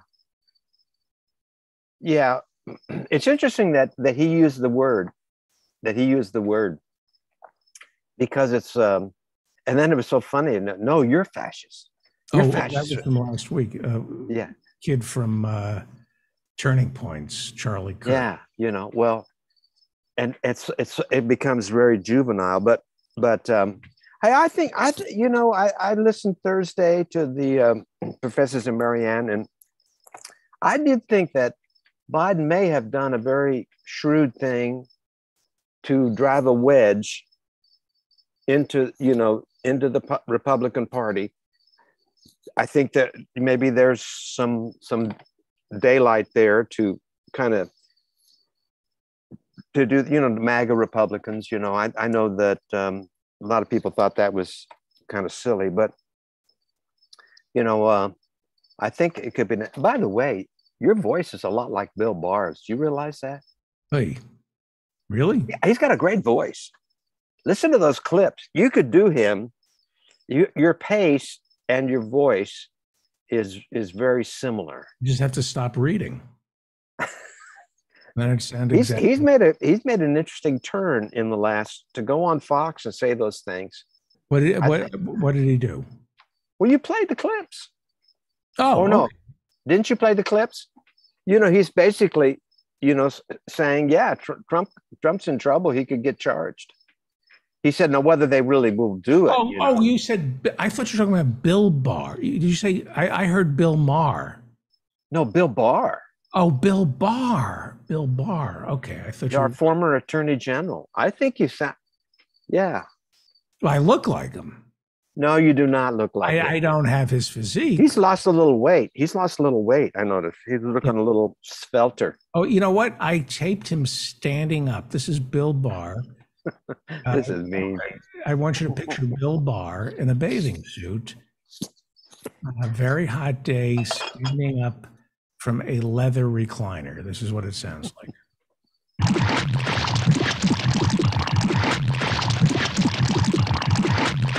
That would be Bill Barr standing up. So you think it's dangerous for uh, him to go on Fox and, and say that Trump? Not dangerous. It's good. It's good. It's interesting. The host, you know, the host, like the majority reports is a big thing on Fox and Friends. How those, like that trio, is uh, the guy on the left, um, Doocy, is basically, uh, you know, kind of like he's there's a crack in the armor there, you know, but um, these things, I think these things happen slowly and then they, boom, then they explode. So I'm hoping some. I think they uh, Trump got a little bit of a victory with the special master. Yeah, I, I just uh, You didn't go with that story today, did you? no, it, it came on too late, and uh, I just don't see him ever going to prison or or being. Well, Lawrence O'Donnell brought up a really interesting point. Says, you know, if Trump goes to prison, his his Secret Service has to go to prison. He's got Secret Service for life. There's no prison that he could, you know. So he was saying house arrest. Somebody, somebody very smart said that they saw him maybe at some point in exile. By the way, I was driving around today and we are talking. Didn't you think we'd we'd be done with this guy by now? Like didn't, in, in December of 1920, uh, 2020, 2020, didn't you think we'd be we'd be done talking about him? He No, is I- I- he doesn't kept go- himself front and center. That's amazing. Yeah, he doesn't go away. He is gifted. You know, that Absolutely. that last speech. I mean, it was. I mean, it's full of lies and everything, but he he is. He's crafty. He's gifted. You know, you talked about self awareness, making fun of himself. China. Yeah, let you me know? play those clips. To me, I mean, I I I hate him, but there's a little part of part of me that just thinks he's I mean, the delivery here is where is it? It, it was just so so brilliant. Hang on. Um I can't find it. Where is it? Damn it. All right, I guess I can't find it. No, but you're right. He he is. He's like as stand up, like doing crowd work, or what would you call that crowd work? No, he doesn't really take responses from people. He but had he has this timing that is here it is. I mean, to me, this is as good as it gets in terms of being entertaining. How'd you like the red lighting behind him like the devil? Back to you. It's just so like the the delivery. It's just so good. It's just so like the devil. The way he says it, he's just so Yeah. gifted. yeah, like the devil. I don't think that. Uh, did you get the DeSantis song? Yes, you want to? Should we play it? Well, let's talk about DeSantis. I had a little trouble writing this song. I did a little bit of it last week for you, you know, because Mhm. um, when you run long, sometimes I just sit there and make notes about what you're talking about. But he's done horrible things. He's got, see, see, the thing about Trump, he has only one idea, and that's how to get reelected, how to maintain power. He doesn't have any ideas on really on how to make any moves in, in terms of policy, but Ron DeSantis has ideas. You know, his and and they're and they're the one that I tr- was going to try to work into the song was the anti-riot bill. You know about that? No. Well, see, a lot of what he's done is just he's just banging. You know, like he he there's a bill, and I'm I'm going to kind of butcher what it is, but it's basically one of the things is makes it illegal to reduce your police budget. Any city in the state cannot reduce your. It's like what? It's like Well, how how authoritarian is that? You cannot reduce your budget. You know, It's like NATO saying you have to spend 2% of your GDP on defense. at least, yeah. And then there's there's immunity. Like if someone, um, you know, does something to a rioter, it's it's written. I didn't read the whole thing, but there's a lot of provisions. But as they're so convoluted, it's really hard to put it into a song. You know, it's better like um, he made that. qu- This is the state where woke comes to die. That's another thing. How how rhetorically to take a word that has a positive thing and just flip it. You know, flip it right away. You know, that is that is so amazing. You know, that is who is that uh, Breitbart? Is that uh, what's his face? You think figuring out how to do that? Oh, Steve Bannon. Steve Bannon. I think somebody's sitting him down and coaching him. I think there's a fascination, a secret fascination with Hitler. I agree. Mussolini. I agree. They're kind of like they're kind of if we do this, suppose we try this and Yeah. do this and do that. I mean, this clip, and then I'll I'll stop. But this clip was unbelievable. Um, where is it? This one was here. This. Despite great outside dangers, our biggest threat remains the sick, sinister, and evil people from within our own country. Wow. Is that amazing? David, I think at times you look sick and sinister and evil. I well, I No, am, you don't. You never do. You never. I, I take I that am all sick back. and sinister. Sick and Sick sinister. by and sinister. I mean, that's that is that is a that's alliterative, isn't it? Sick Mhm. and sinister. I mean, that just he didn't write that. He did not write that. I tell you. Oh, he- I do you think he? I think he writes his own tweets. No, but that that phrase, he did not come up with that. He's not smart enough to come up with that. He's gifted. It's, but that's that's been fed to him. You know, probably uh, Stephen Miller. You know, Oh, that's true. That, that that's true. that could there more, more of this could be coming from Stephen Miller than anybody else, probably. Yeah. Bannon and Stephen Miller. Boy, there's a trio. They don't know. They don't know they're evil. They don't know that they're that they get people hurt. That's that's the amazing thing. It is. Yeah. DeSantis has ideas and seems to be able to work with his legislature to get them done. You know, he only won by 3,200 votes. Is that true? Yeah, but I, that they had to do a recount. Don't you remember that? I completely forgot. Yeah, I read that in uh, the New York Times in an editorial. You know, um, won by a slim margin and rules as if he had, or, or governs as if he had a, mar- a, a, mandate. You know, Just like Hitler. That's exactly. yeah, exactly. exactly. Let's Yeah. play the Ron DeSantis blues. Okay. New music from Professor Mike Steinel, the Ron DeSantis Blues.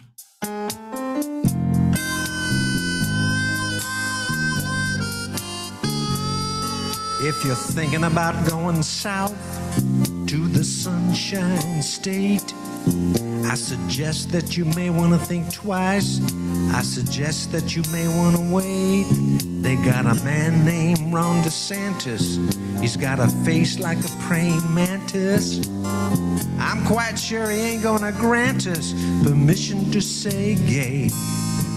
So if you are a teacher, you better mind your P's and Q's. A lot of people down there got the Ron DeSantis blues. They say if Trump pulls out or if he goes to jail, DeSantis is the next man up. They say he might prevail. The man is on a mission to do everything he can to improve his position so he can be the man that moves into the White House up in Washington, D.C. If that gives you the willies, you better sing along with me. I got the Ron DeSantis blues. Ron DeSantis blues. I got the Ron DeSantis blues. I got the Ron DeSantis blues. I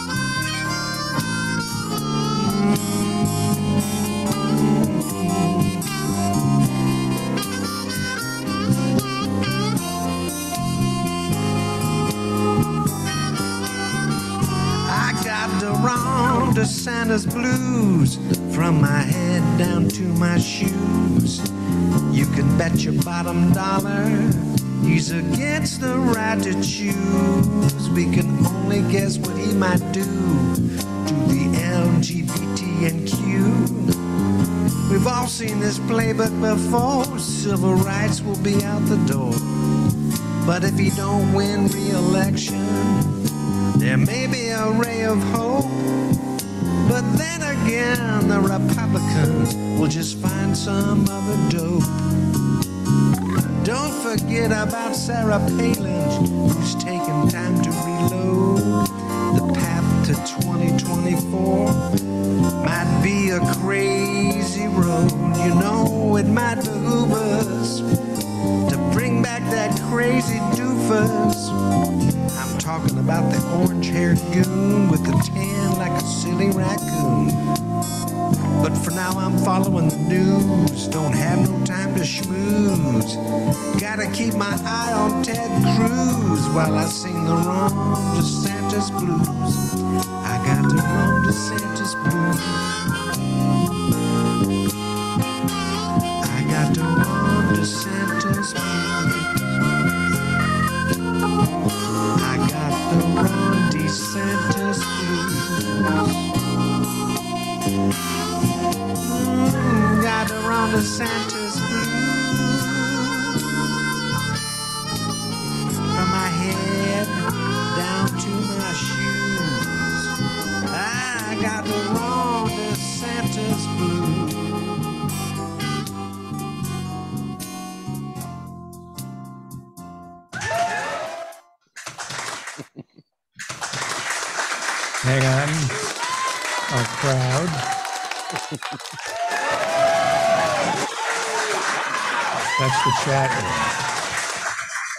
Loved it. They loved it. That's amazing. Ron DeSantis Blues, Professor Mike Steinel, Praying Mantis, Grantis. You like that? That's a pretty yeah, good that's one. a, those are that's a real challenge. Great Oh, challenge. yeah. I well, you know, you you you take one word and then you turn it turn it into two. So that's like a like a smell man, David Feldman. What's that smell Mhm. man? That's classic. I'm still going to work on that one. Now, I want you to play before I go. I want you to play because I think it's my best track yet. The Gentlewoman. Okay, I have to I- download it. Is it, unless I have it already. Did you read well, it? I read, I read, I re emailed it to you. But I, is it okay? But I have it already. Yeah, I think so. Yeah, you got it. Oh, okay. I, you didn't redo. Okay, so hang on for one second. I didn't redo it. This but I'll tell you why it's my best thing. You want to know why? Why? Well, the trumpet, I think I really like my trumpet playing on this, but it's got a place where it kind of grooves. Groove is an interesting thing. You know, there's two kinds of music, pretty much um, music that grooves and music that doesn't groove. Classical music is not meant to groove. And it's interesting, most of the music that has a conductor is not meant to groove. It's okay because everybody follows the conductor. But groove music like rock and jazz and African music and Brazilian music and uh, you know music that doesn't have necessarily uh, that needs a conductor um, has to have in it some like a little bit of grind in terms of uh, what what what there's a fancy name for it. It's called participatory discrepancies. Wow. And I think it's one of the things that makes shows like yours interesting when people don't quite agree. They're kind of on the same like if if you were arguing with uh, Ted Cruz for six six hours, that would not be a good show. Mhm. You know, and those debates like Trump and you know and Hillary, that was not that was not. But when you get a little bit of a little bit of discrepancy, and with the ti- with I'm talking with the timing mainly. It's with the timing where things somebody's ahead and somebody's behind. They give the music a buoyancy. Like the way Keith Moon played the drums, where he, he well, more like more like the way um, the guy with the Rolling Stones, Watts, Mm. uh, played the drums. I mean, he he he laid back on that, so that that that the thing about the Rolling Stones is just such it's such a great groove. You know, that guy was a jazz drummer. He did not like playing with the Rolling Stones. right, right. You know, I mean, he I mean he liked doing it, but that was not his main thing. But if everybody's on top of the beat, it rushes, and if everybody's on the back of the beat, it drags. But if you get a little bit of thing, now somehow, for I think in this track, and I'll point to it, there's a place where the shaker starts, and it just kind of it kind of locks in, and locks in time wise, and it's got a really good groove. Okay. The gentlewoman. The Gentlewoman from Casper.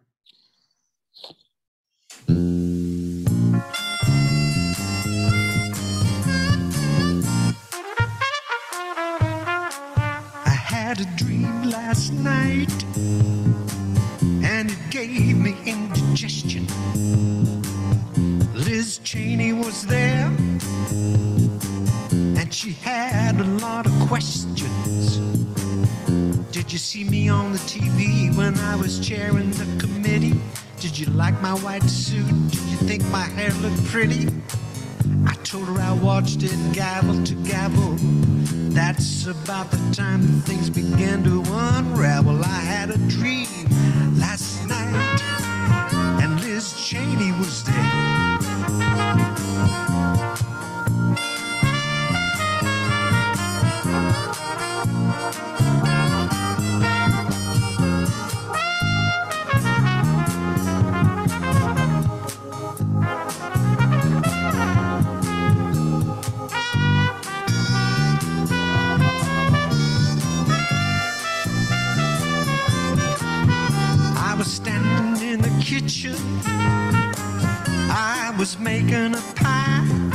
Right here, it starts to get better. looking at me kind of crazy.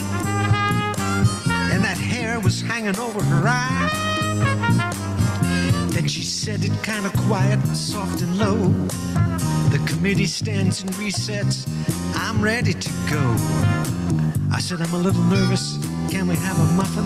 She said, Don't be scared, little man. They don't call me gentlewoman for nothing. I had a dream last night, Liz Cheney was there.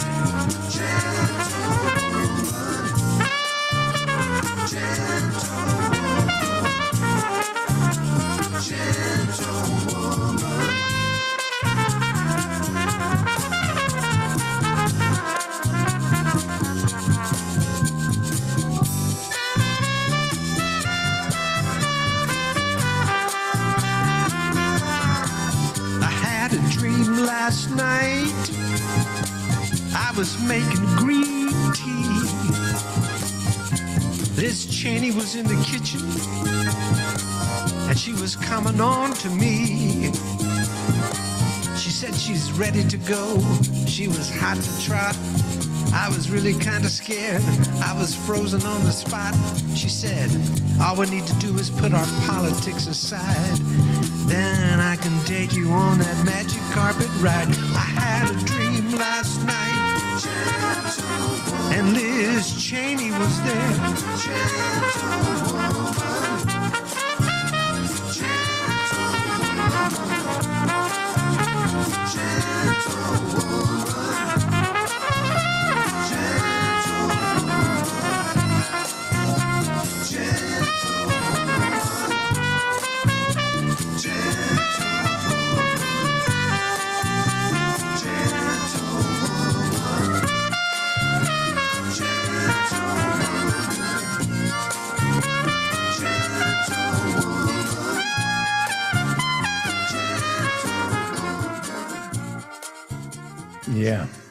Mike Steinel is a jazz trumpeter, composer, educator, member of the University of North Texas Jazz Studies faculty from 1987 to 2019, author of the highly acclaimed Essential Elements for Jazz Ensemble, volumes one and two, building a jazz vocabulary, and his latest is Running the Changes.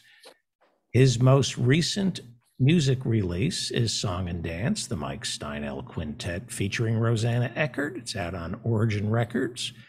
And just uh, all that going on in his life, he writes fiction. And his latest novel, Saving Charlie Parker, a novel published by Dorrance Books, is available by going to savingcharlieparker.com. He is a you're unbelievable. You are I don't know I don't know where you find the time. I really don't. Hey, uh, my band with Rosana Eckert's going to be playing at the Denton Arts and Jazz, which is the first weekend in October. We're playing on the Saturday sh- on the jazz stage, Saturday show, two thirty Wow. in, the, in the afternoon. It's a great event. Um, we get about we really get about they say 250,000 people visiting Dent visiting that event because there's like there's there's like 12 stages. They got stages where the kids are dancing, the stages where the the um, high school bands are playing. They got the the UNT stage, and they got the jazz stage, and they got the pop stage, and it's really really a terrific thing. Um, so come on out, and uh, I think you can listen to it on KNTU on, on their stream. If you if you can't if you can't get to Denton, Texas, you can listen. I'll, I'll plug it again before we get there. Yeah. Yeah. I was stream uh, stream music sounds pretty good. You know. Yeah. Yeah. We're going to be playing music from Saving Charlie Parker and Song and Dance at that. Wow. Wow. I wish I were there. Well, come on down. Come on down I- to Texas. Wish I was allowed to leave New York State. We probably wouldn't let you across the border. I know. I know. you know, Well, papers, please. We must see your papers. Feldman, interesting name. that whole thing about the Fetterman name that was hilarious. Well, that but that they'll, they'll do they'll do anything. Unbelievable. really is Yeah, scary. yeah. Yep. Yep. Okay, man. I love you. Thank you. I love you too. I'll Oh, see you in a week. did the bit. You didn't do the bit. I know, man. But Should we try it again? I love you. Okay. Okay. Thank you. All right. Let us go. Why don't we go to Benji first because we haven't heard from him in a while. And then we'll f- wrap it all up with Rodrigo. We're going to move south. First, we'll go to Florida and then we'll go to Mexico. We were just in Kansas. Hello, Benji. Florida man. David, man, what's up, Kimasabi? Hanging in there. Happy Labor Day. Yeah, man. Happy Labor Day. I just had another birthday last week, man. It's oh. man, it sucks getting old, man. I, I was at the drugstore yesterday and young girl behind the counter, I said, I need some, and I kind of paused and she said, Preparation H? I was like, no. I was like, she goes, stool softeners? No. she said, little blue pills? I was like, no, will you stop fucking guessing? I was like, shit. It just sucks being old, man. David, you ever stood in front of a mirror and uh thought to yourself, man, I can't wear this out. It's too wrinkled. Didn't realize you're naked. it sucks, man. And the day I find my first pubic hair, My first gray pubic hair. Yeah. What made it worse is I found it in my muffin. Or what most Republicans recognize as a chicken sandwich. Uh-huh. Now, man, some of these Trumplicans, man, they've lost their mind, dude. They they think if you're born in the back of a Jeep, you're part Cherokee. It's crazy, man. I'm surrounded by some of these whack jobs, man. They keep you on your toes, though, kind of like Lane at a urinal. no, gotta love Lane, man. He's never rude to anybody, but he's short with everybody. Oh no, I'm just messing with you, Lane. You know I love you, brother. I'm just jealous, man. It's Lane's a great artist. He's a great pilot. I just wish I had Lane's accent, man. My wife's a sucker for a British accent. She'd be on Lane like Chris Christie on a picnic camp. hey, speaking of Chris Christie, man, I saw him on uh, Meet the Press Sunday, man. He's got the profile of an ailing manatee, man. He he, he needs some help, dude. We're gonna get into trouble. No, Making Chris Christie jokes. We're not allowed anymore. Okay, I'm sorry. I'm on two's my limit. Uh, David, my neighbor told me he was uh, he makes love to his wife three times a week. Really? I said only do that once a week. He said only once. He said only once. I thought your wife loves sex all the time. I was like, yeah, I thought we were still talking about your wife. That's crazy, man. My wife said sex with me reminds her of Wally's gas station on the Andy Griffith show. How's that? Only two pumps. no, I made bad decisions, you know, half of my life and the other half, the same thing. But but hey man, if you're not trying to enjoy life, bro, you're not doing it right. But, yeah. Hey Dave, before I go, man, hey, do you know the difference between confident and confidential? No. I know I'm curious, father. I'm very confident, but I may be the father of the little girl next door too. That's confidential. no, hey, that's all I got, man. Y'all take her easy, brother. I'll see you Friday night. Great job. Thank you so much. That's Florida man. That would be Benji in Florida. Great job. And now uh, let's go to Rodrigo in Mexico. How are you today, sir? Hi, Davis. Uh, sick, but I'll try to go fast. Um, Is I wanted to, is it is it your ulcer? yeah, um, I'm not sure what it is, but it's acting up today. I'm sorry to hear that. So I wanted to go a bit deep into planned obsolescence, but Noam Chomsky and Vijay Prashad wrote a new book, and I wanted to disagree with them in a way I think is important. I might not have said anything, but I mentioned this before, and now that their book is coming out, it's probably a good time to rephrase it considering their thesis. What do we mean when we say the United States is weak politically? Do we mean they're actually afraid of a populist, if not leftist, uprising that would strip the richest people of their political advantages? I submit that historically it's not fear but economy that is involved. Sometime a few decades ago, probably after World War II, the powers that be decided that the illusion of freedom, liberty, and democracy were good for business, and treating everyone like the poorest people were treated in dictatorships was bad for business. This thinking can be seen in one of the basic tenets of geopolitics, the soft power that Trump scoffed at because he didn't understand it, is the illusion sold, sold to the entire world by Hollywood that the United States is the good cop, the maverick that shows up to save you when the world has given up on you. Any serious study of history will show you that the United States is in fact the corrupt cop that sells the key to the women's side of the prison. The bad guy behind every bad guy in the world that props people up based on how friendly they are to US business interests above all else. Am I saying anything fundamentally different than what Vijay Prashad and Noam Chomsky are saying? Due to time constraints, all I will say is this. We must not confuse the withdrawal from Afghanistan with people in power not having the stomach to order a genocide with bombs. It's dangerous to let ourselves believe we can topple the system when we don't have the numbers for a real general strike. This is something else that Trump and his fans don't understand. The illusion that everyone can become the next Zuckerberg or Musk or Bezos is so powerful that millions of people every day go to work to try to screw more people than the other guy because they have bought into the lie of upward mobility. We must remember that the fascist and the fascist right Democrats are always perfectly willing to put tanks on the streets, and the reason we don't see tanks on the streets more often is this theory of soft power, or in other words, preserving the illusion of democracy is good for business, even if several powerful interests now believe they can make more money by saying the quiet part out loud, as their mouthpieces are constantly showing us in the last few years. The task of the left is partly infighting because we need to unmask the Jimmy Dores of the world, yes, but the bulk of it is to prepare the masses for a political awakening, to help them realize that a single rich black man or rich Asian woman or trans person with the right politics, like Caitlyn Jenner, is worth tens of thousands of poor whites to the rich whites who give tax deductible donations to the people in charge of keeping us divided. This is the disagreement I have with the new book by Chomsky and Prashad.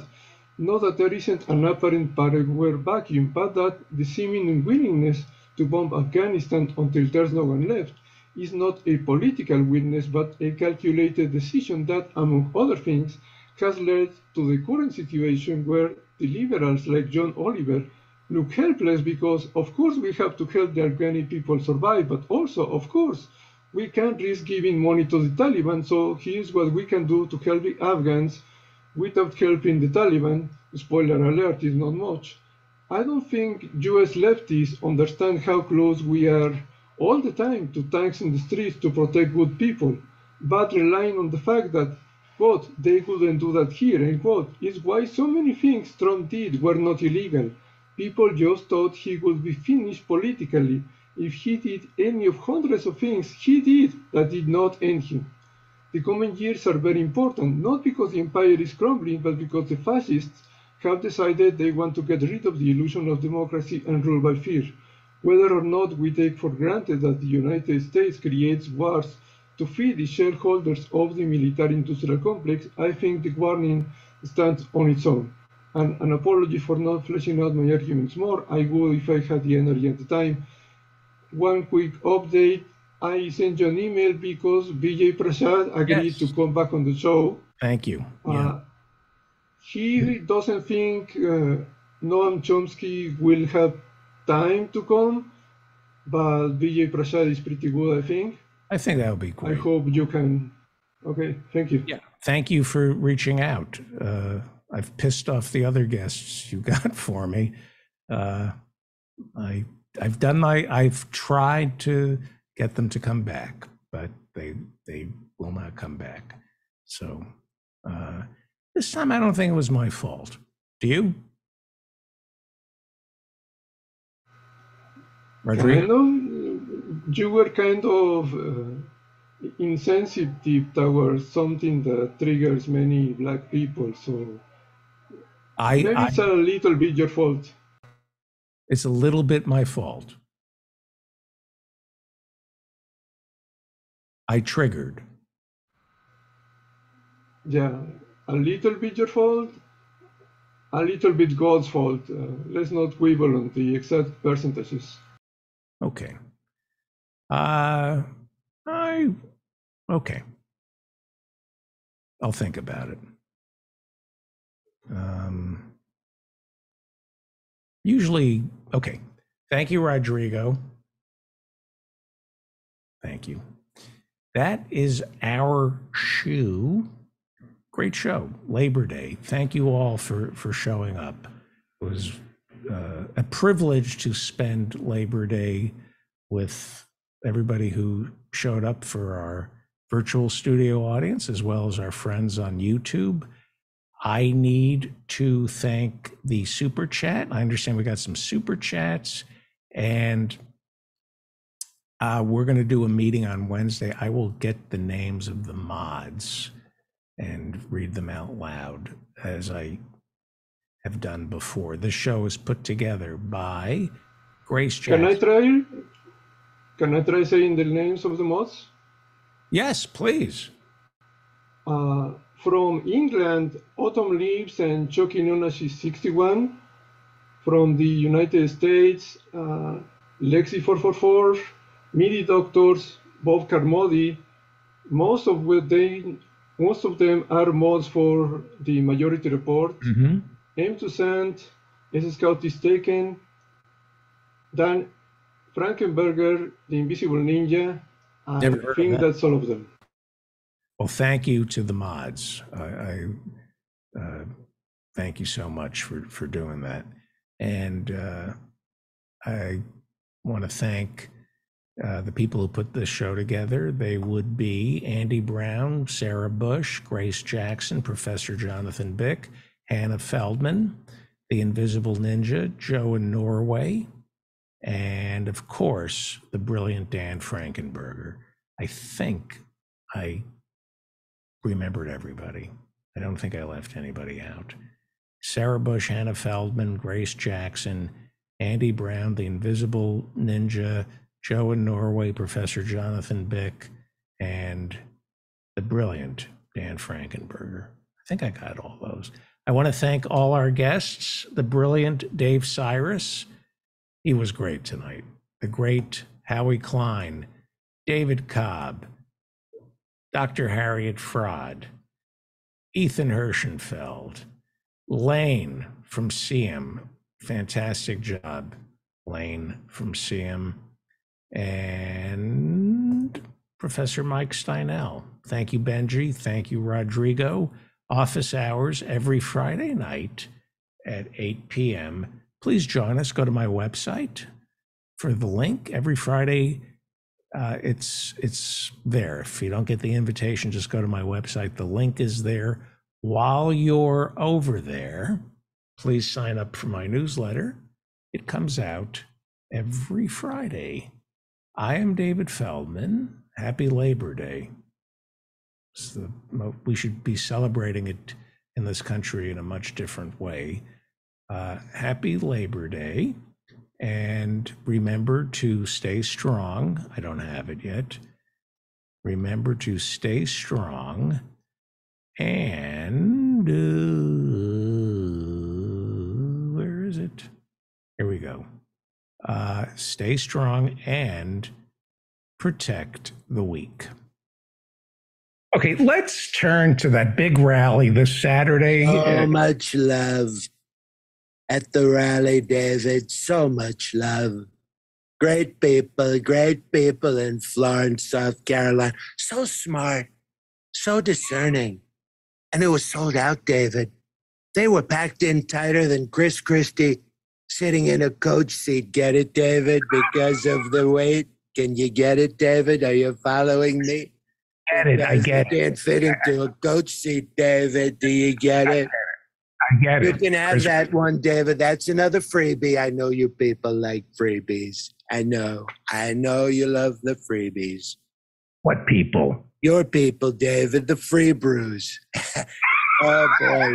I can't help it, David. You know, they say that Zelensky is a comedian, but I'm so much I'm so much funnier than that Zelensky guy. I just don't get him, David. I don't get him. I don't get that Nanette Fabray. I don't get them. Anyway, the people of South Carolina love me, David. I do great there because their elections aren't rigged.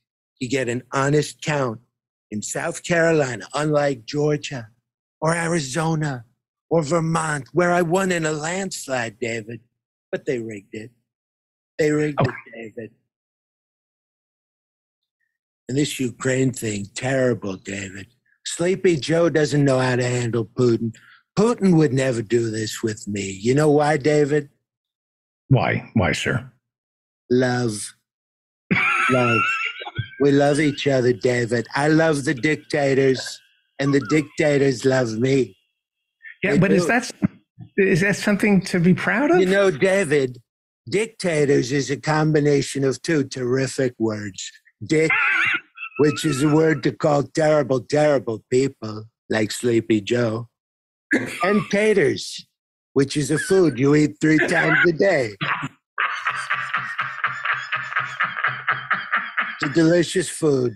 Dictators makes you angry and hungry. It's all at once.